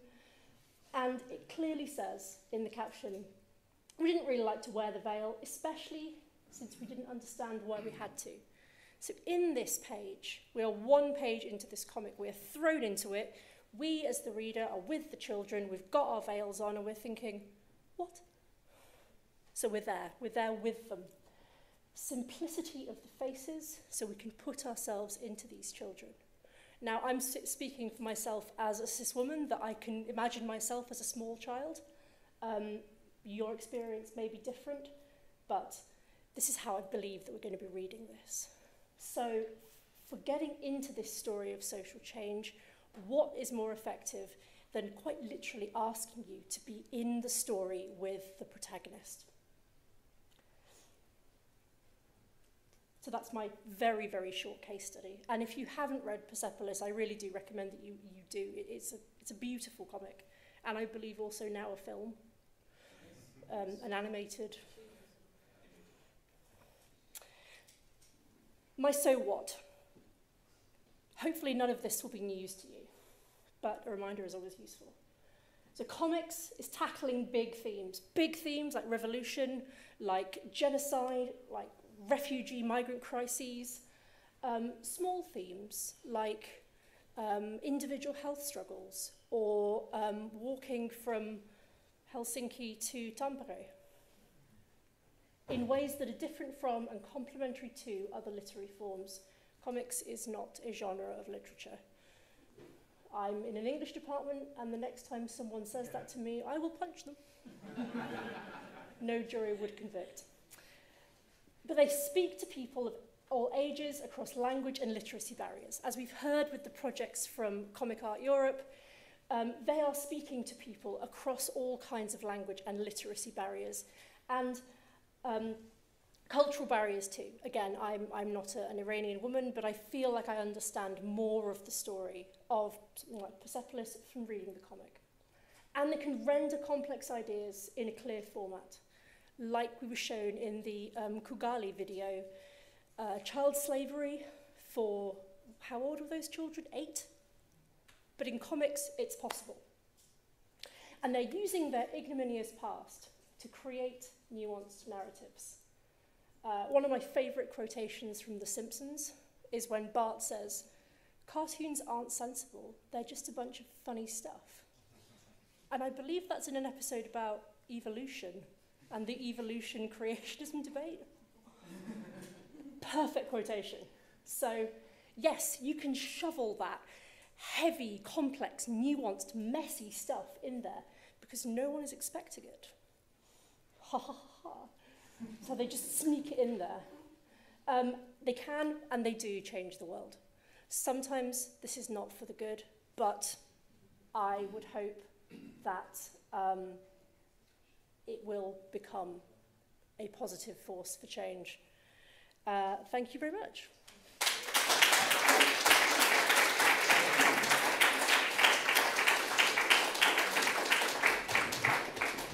Uh, thank you, Hattie. Um, if I could invite James and Oliver to, I think this one's died, uh, to join us on stage, to have a quick Q&A.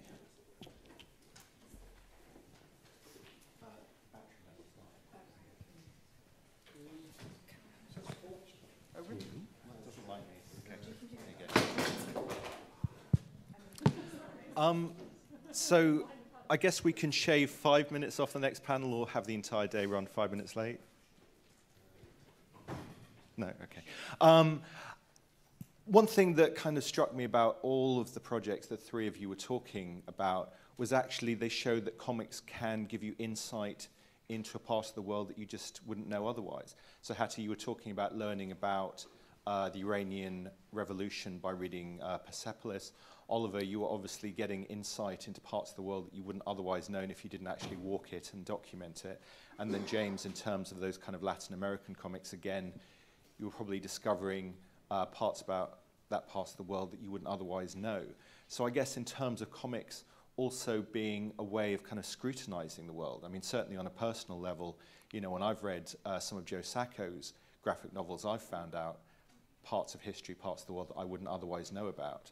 So I guess could you all kind of comment on the way that comics actually are a fantastic tool for kind of aiding um, understanding of just kind of areas uh, of geography, of society, um, and so on that otherwise people might not be able to understand in other ways.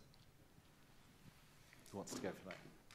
I'll break the ice then. Um, is this on? Hello? Yeah. Yep, hello. Um, well, for me, um, when you read my work, you're, you're reading the work of, of uh, someone with dyslexia, uh, ADHD, um, someone who uh, doesn't learn well in traditional scenarios.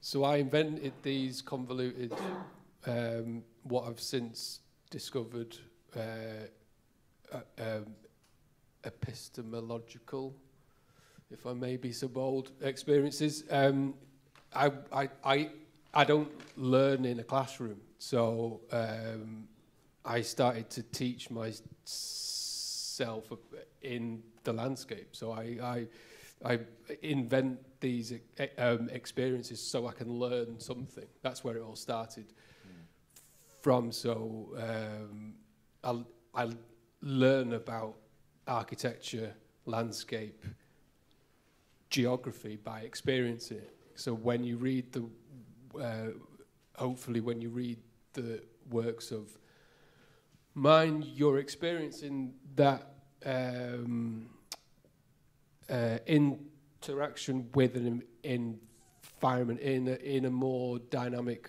way, perhaps than uh, through um, regular research, whatever that might be. Sorry if that didn't answer your question at all, but no, I think um, yeah, uh, comics for me is about the process of making them more than the book that uh, you've not bought yet. Mm. So uh, it, for me, it's a process. So it's the process of collecting imagery from a walk or what have you, and then arranging it, it, it in what to me is a co coherent manner, using those drawings to um, riff off poetically. It's about making sense of my environment despite um, my cognitive kind of hurdles I have to go over, you know? Mm. Sorry if that didn't answer your question. No, I think it did. I, I think there's always been a sense that comics is interested in storytelling from below or from, I don't want to say the gutter, although I love the pun. Um, and I'm thinking like going right the way back to the yellow kid, he's a street child. And the Hogarth is, it's Gin Lane, there's also Beer, is it Beer Street or Beer Lane? Where yeah. they're equally drunk and half naked. But, but not that, quite as much. The beer drinkers much. are shown to be more civilized than the gin drinkers. not my experience. But uh, that, that idea that actually what comics has always been interested in is the, the, the people on the ground. And certainly um, looking at the, the English lit syllabus, um, teaching in an English department, we don't necessarily do enough of that actually listening to the individual stories of people who are workaday folk.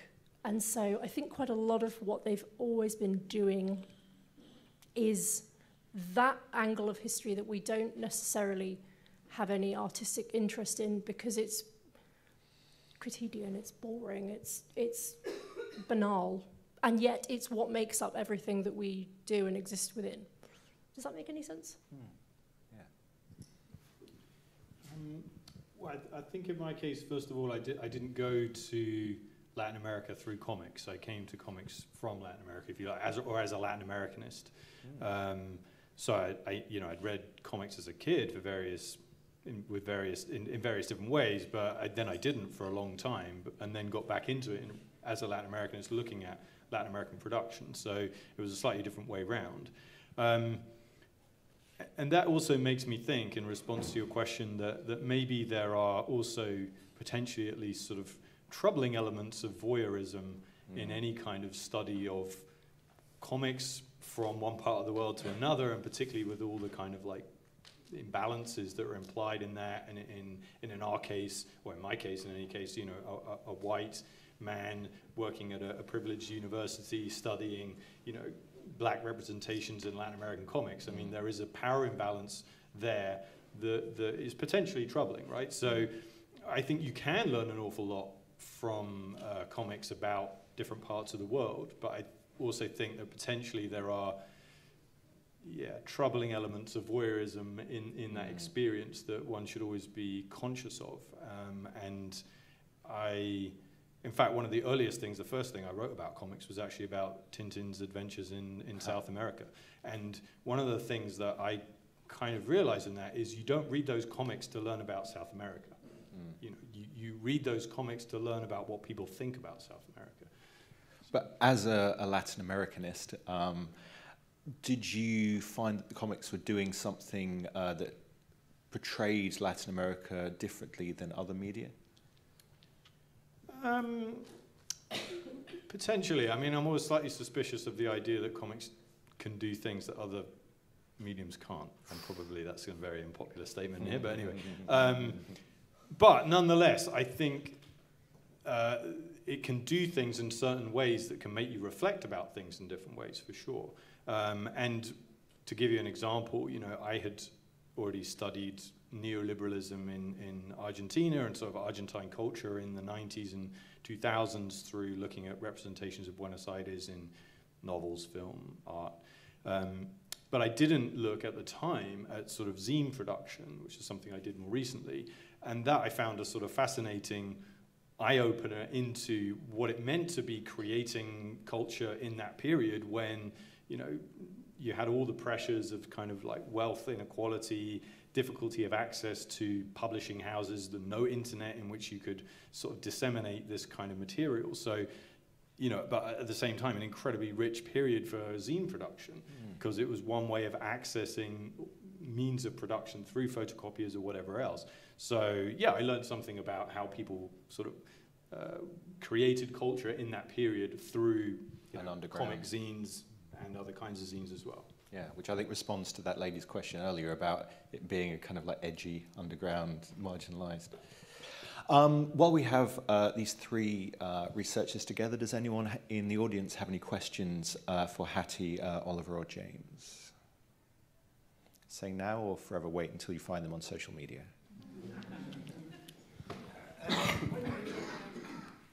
Sorry, when you're looking, ooh, when you're looking at comics in Argentina, did you find a qualitative difference in the period of the junta? You mean in terms of sort of the production of yeah of the topics covered and the kinds of places you would find them? Um, so I haven't I haven't sort of extensively looked in that period in part because there wasn't a, a lot of the comics produced in that period were produced in exile. Um, so lot, there was a lot of sort of cultural repression during that period. There was an important comics magazine called Super Humor, which did produce satirical uh, comics, um, but that's not something I've sort of read extensively, I have to say. Um, so I can't really say whether there's a difference in terms of racial representation during that period. Um, but, you know, for example, Alack Sinner you know, in which there is kind of a lot of representation of race and looks at sort of black communities in New York. I mean, that, a lot of that was produced in exile. Okay. Thank you. Thank you. Uh, anybody else? No? Okay. Um, well, uh, Hattie, Oliver, and James, thank you very much for coming and presenting your work.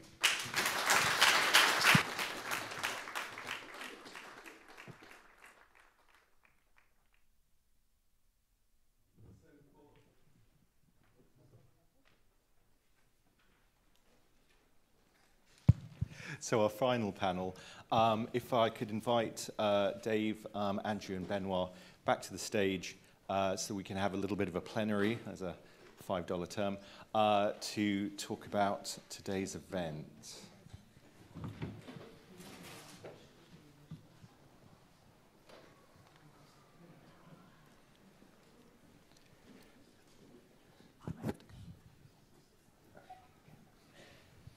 Um, well, maybe Andrew, I could ask you to go first. I mean, in terms of this being kind of uh, a LICAF event and being a place where uh, comic creators and um, academics are mixing, do you see kind of like, you know, a rich seam um, evolving in terms of kind of research and practice?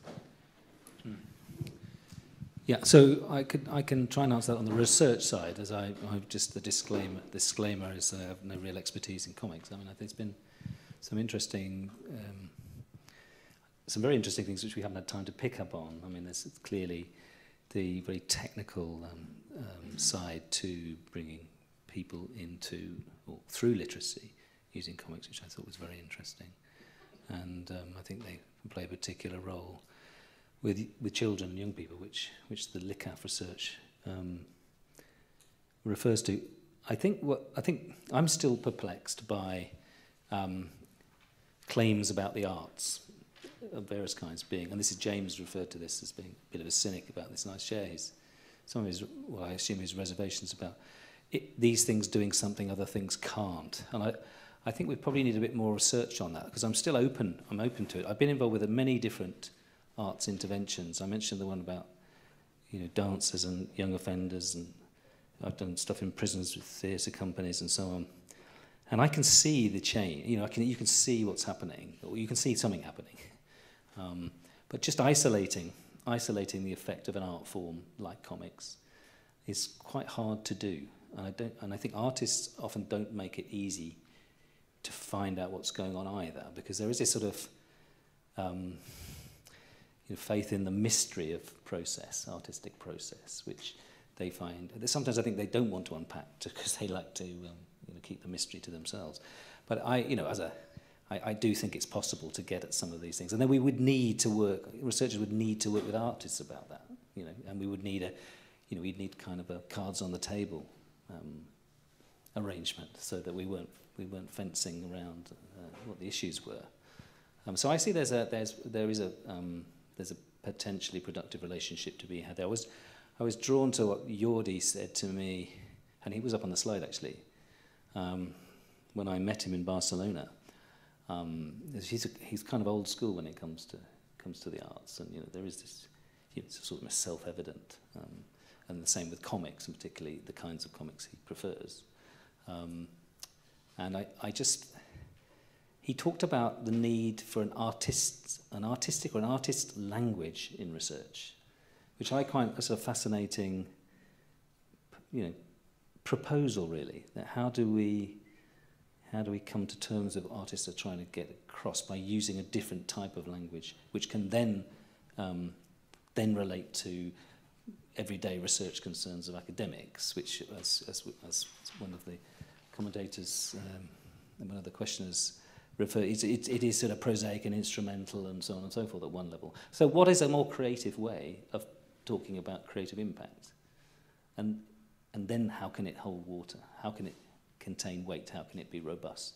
So I, and I think there's, there's quite a bit of potential for that. I mean, it's an, it's an intriguing proposition, and just to sort of do the sales pitch, in my school, School of Social Sciences, and in John's school. Um, and the Creative Manchester platform sort of creating bridges across uh, different types of work and different types of research. There's a lot of good work going on on so-called creative methods.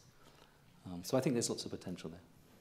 I, mean, I don't know if anyone was sketchnoting today, but I've read comics which show conference proceedings, you know, as a kind of an artistic expression. So it's an ideal medium for that. Um, between the two of you, uh, Benoit and Dave, you kind of rather nicely had a kind of uh, a talk about the history of comics and then, albeit from your point of view of practice, uh, a look at the present and possible future of comics. And it's really interesting where you see these kind of like themes come and go. I mean, the um, uh, example you showed from Töpffer, um, Benoit, where he does amazing things like that uh, page set in a wine cellar and the panels get thinner and thinner and thinner like weird little slices of space-time.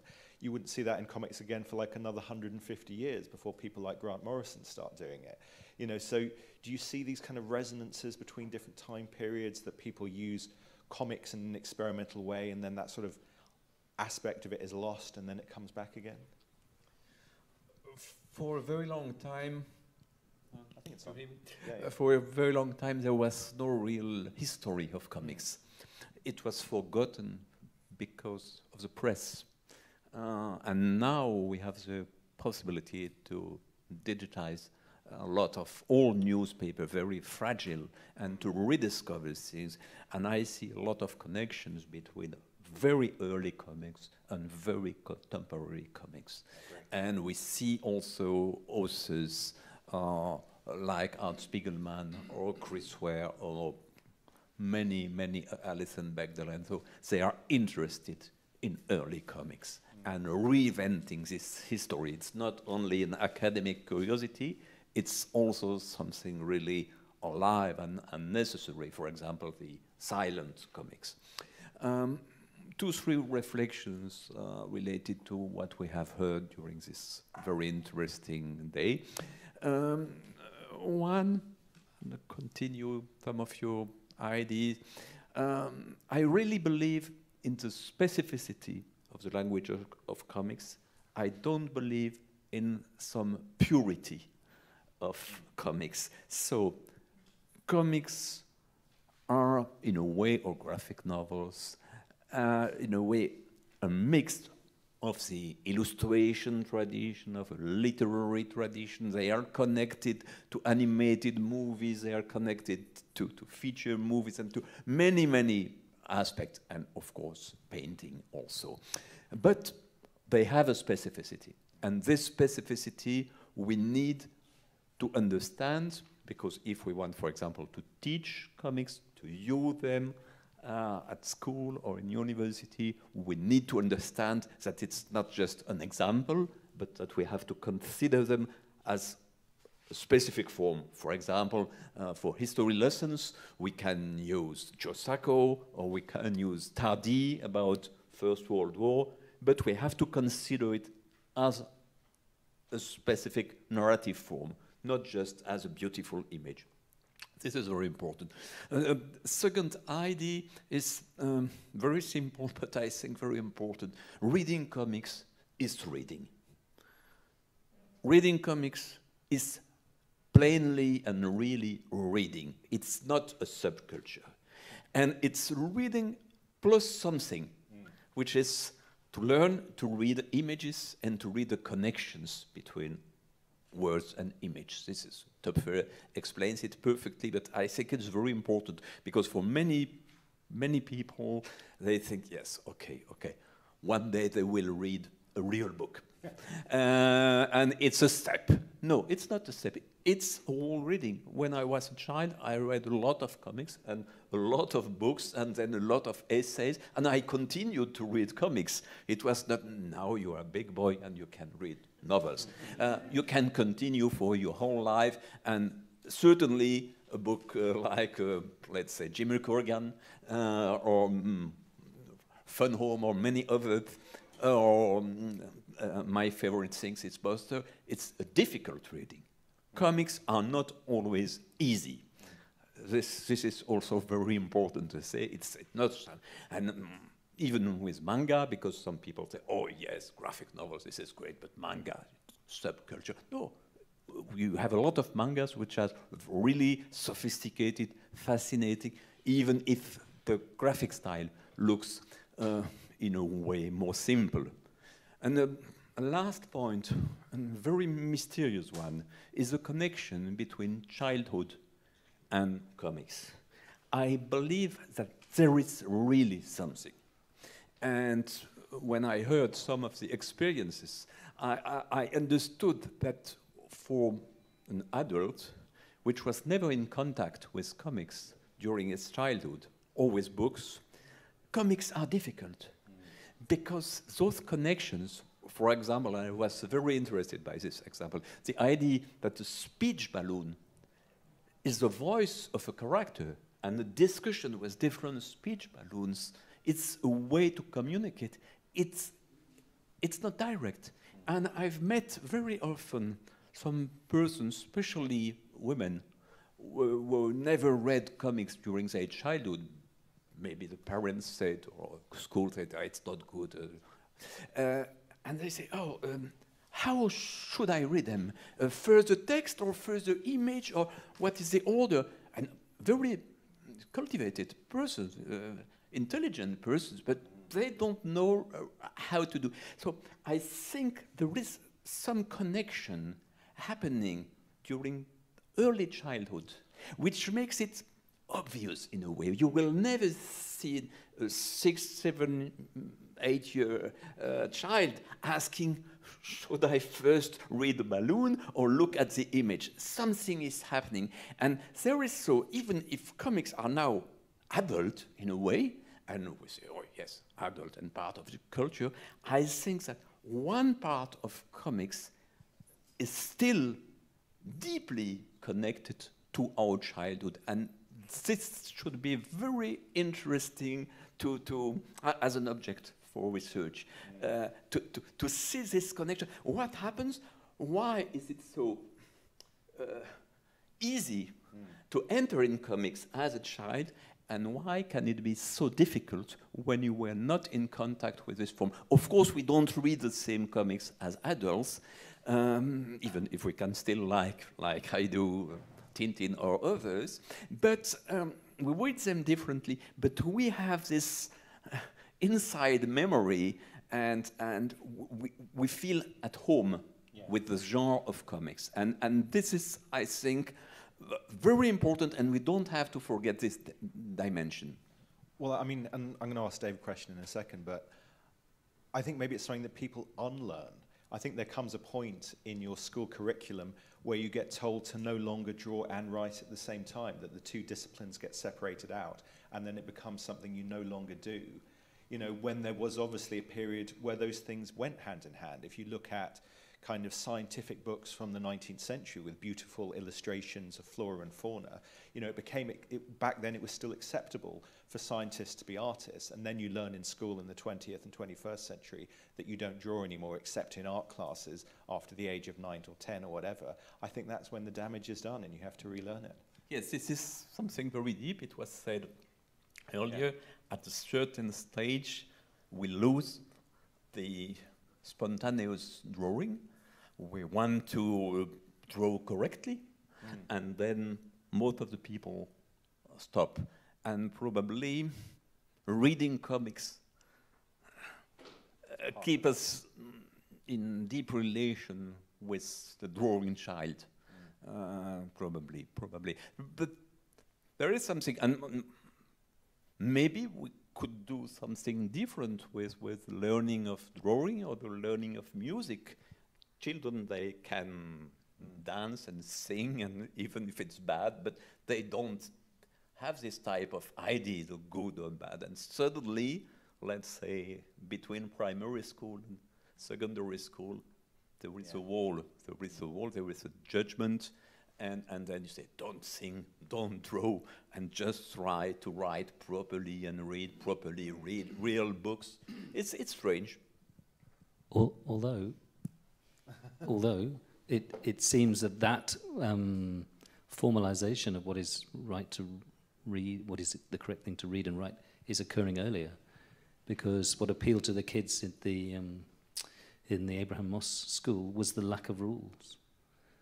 In, you know, one of, the, one of the things that was appealing was that they didn't have to follow the norm, that they could be essentially doing what you're saying, which is just drawing from wherever it comes from. So maybe, maybe this is not between primary school and secondary school, but much earlier now, that the, the distinction is, is drawing. Well, I mean, in a way, that kind of leads me uh, onto your work, Dave, that it felt that when you were making comics, throughout your career in comics, in fact, you know, you have brought in types of rendering on the page that were atypical for the medium, whether it was collage, whether it was uh, a mixture of kind of uh, photography and drawing, whether it's um, moving between different media on the same page, between drawing and painting, um, as if, I don't know if consciously or unconsciously, you felt there are two comics a little bit too staid, and I want to do other things, you know, in terms of personal expression, in terms of just enjoying the tools that I'm using. Yeah, Big question. A lot to think about today. Yeah. um, I, really sure where to go, really. Um, it's such a huge subject. Uh, You've got five minutes. Uh, five minutes. um, I'm, I'm also sort of uncomfortable with the, idea that's been touched on a little bit that comics are special in some way. I think they're an extraordinary medium. Clearly, they're my first love. Uh, they got me reading. Um, but they have their own qualities, no better but crucially no worse um, than any other medium. And they work for some people really well and not for others. And uh, for some people, going outside and doing things outside would be much better than being in a classroom reading comics. Um, so that's one. Um, I'm not interested in the mystery of art at all. Uh, I think that's mostly bunkum. Uh, and I think there's been lots of great uh, research about uh, what's happening in the brain when, you, when an idea comes and what inspiration is and what the creative act is. Uh, and I think that's all fascinating. I'm really not happy with the decompartmentalization of our education, uh, basically. Um, I don't like, uh, I actually don't like comics being taught. I think I'm just going to make me make people angry with me. Um, but I don't like this sort of little box that uh, they become part of. I think um, everything is connected.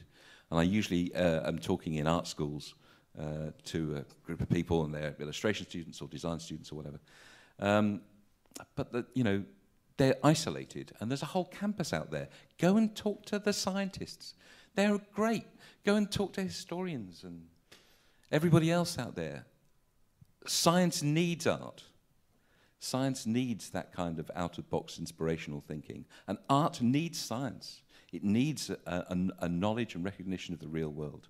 And it's a great conversation to have. They should not be separated.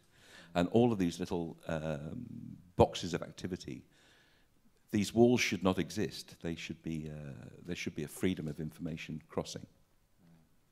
Unfortunately, from my own experience, I think it's getting worse rather than better. That universities used to be more collegiate, that different departments would talk to each other, but now actually walls come down between different departments because they protect their own budget and never talk to each other. I realise. I mean, I mean that's why I'm saying it. Really, I just yeah. think it's a really, in, you know, embedded problem uh, that needs unpicking. Yeah. In terms of um, the question that you asked. Uh, that's been that was at the center of my uh, thinking really i loved it all i went to art school as a very blinkered uh, i like my comics. Uh, just leave me alone. I just want to draw that. Uh, just let me get on with that. And i had a year fighting my tutors who just wanted me to look up you know? They just wanted me to open my eyes. And finally they won thank god. Um, and I looked up, and there's a world of creativity out there, and I just became a sponge. And so I put the comics to one side for a while. I did, still uh, drew the odd thing, but I tried everything else. Because at the end of four years, I came back to making comics, and they were that, I hope, they were that much richer for it. Um, the definition of comics is not that they're drawn or that they've got word balloons, as, as has been said. They are, it's as open as it's a, it's a narrative of some kind. Um, and that's a, you know told in imagery, and that's about it. That can include photography and anything else. So I'm in favour of as broad a definition as, as possible of this powerful medium, um, and breaking down those walls really. Nice. Um, well, Andrew, I know you've got to run, but if anyone in the audience uh, has any questions uh, for either Benoit or Dave, perhaps addressing the overall themes of the day, um, now's your chance. Anybody? Be brave.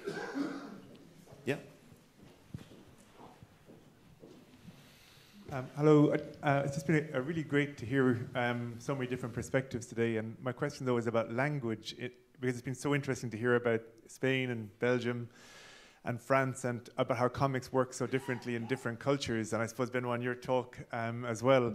And Dave, I know I've looked at some of the different covers of your work in Italy as opposed to the UK and things like that. And I wondered if you could just talk about comics in different visual cultures and about about your sense of that um, from from both of your, your, your experience as a practitioner and Benoit, your sense of um, about about different styles and different cultures because it isn't a universal form. It was very interesting to hear about the African um, kind of comics uh, being worked with in, in, the group in Abraham Moss as well. So that's my, my question. It's about language and visual language as well as actual language. Again, small question to answer in five yeah. minutes. the whole world. There are certainly a question of language and the question of different cultural areas. Uh, we can say that there is the uh, North American uh, with with part of the British artist included in it because it's it's a general market. It's very very important, and it has large audience. It's an industry since more than one century, and many creators can work for it and it became more and more sophisticated and more and more popular in a way.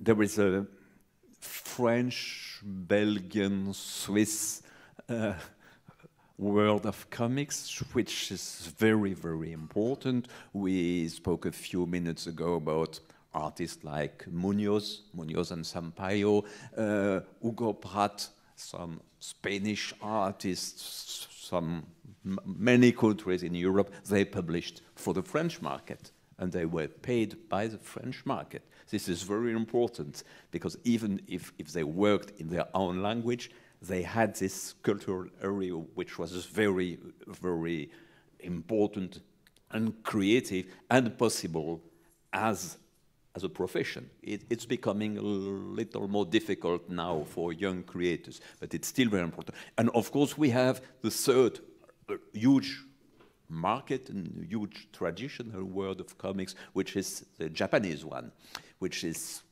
incredible, which is maybe the first, first one the country where everybody is in connection with mangas, everybody, and you have all types of manga. We, we, we don't have all this variety in the translations. We think that it's more for teenagers, but in Japan you see that it's for everybody.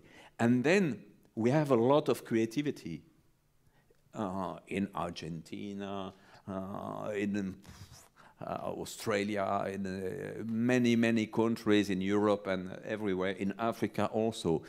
But there, it's very difficult to make a living with it. And then uh, there you have to find a way to publish and to be read, maybe through internet, I don't know. Uh, but for the moment, uh, when you are an artist in Brazil, you want to work for America, for, for, for, for the US uh, when you are a Russian artist, if you or an Ukrainian artist, you want to, to work maybe for the American market or the French market, because uh, it's, it's very difficult. And so the tradition is not the same. And when you don't have a real local production in a country, then you cannot have a strong interest in comics. Uh, I, I think the creators of today were the readers in their childhood and with a connection with their country and their preoccupations. This is, this is the problem. Uh, we, we see the example of Marjane Satrapi. She's very famous all over the world, but not in Iran. And she couldn't have created, of course, in, in, in Iran. So, so it's, it's strange. We reread it from the exile. We, we read it from another point of view, and this is the case of many artists in the world. There's a great documentary called The Story of Film uh, by Mark Cousins. I'm sure lots of you have seen it. And it's an entirely personal view and history of cinema, which is very, very different from the traditional one that you read of in books.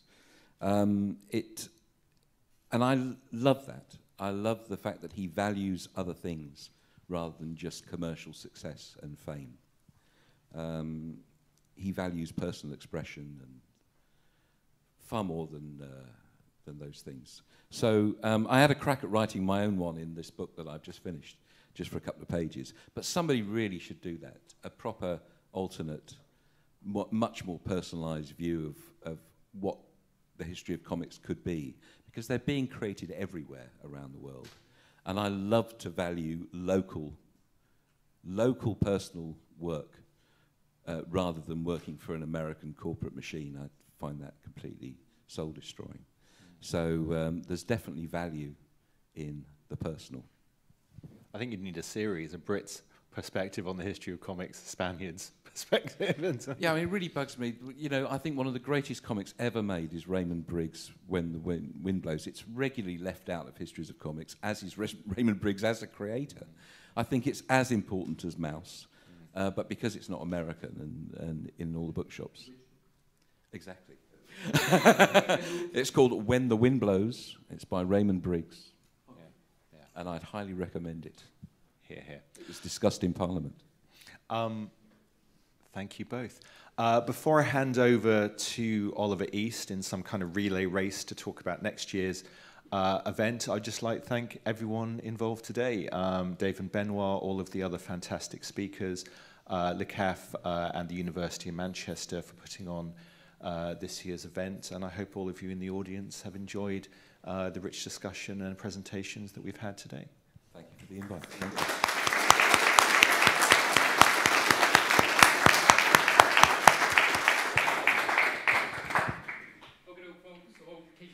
Because everyone's got trains to catch and we're all knackered after what has been a really inspiring, um, life-affirming day f- for me, just be, being in a space with everybody who loves um, comics as much as I do. So thanks for everybody for your presentations today. Um, save the same date next year, 21st of Feb 2024.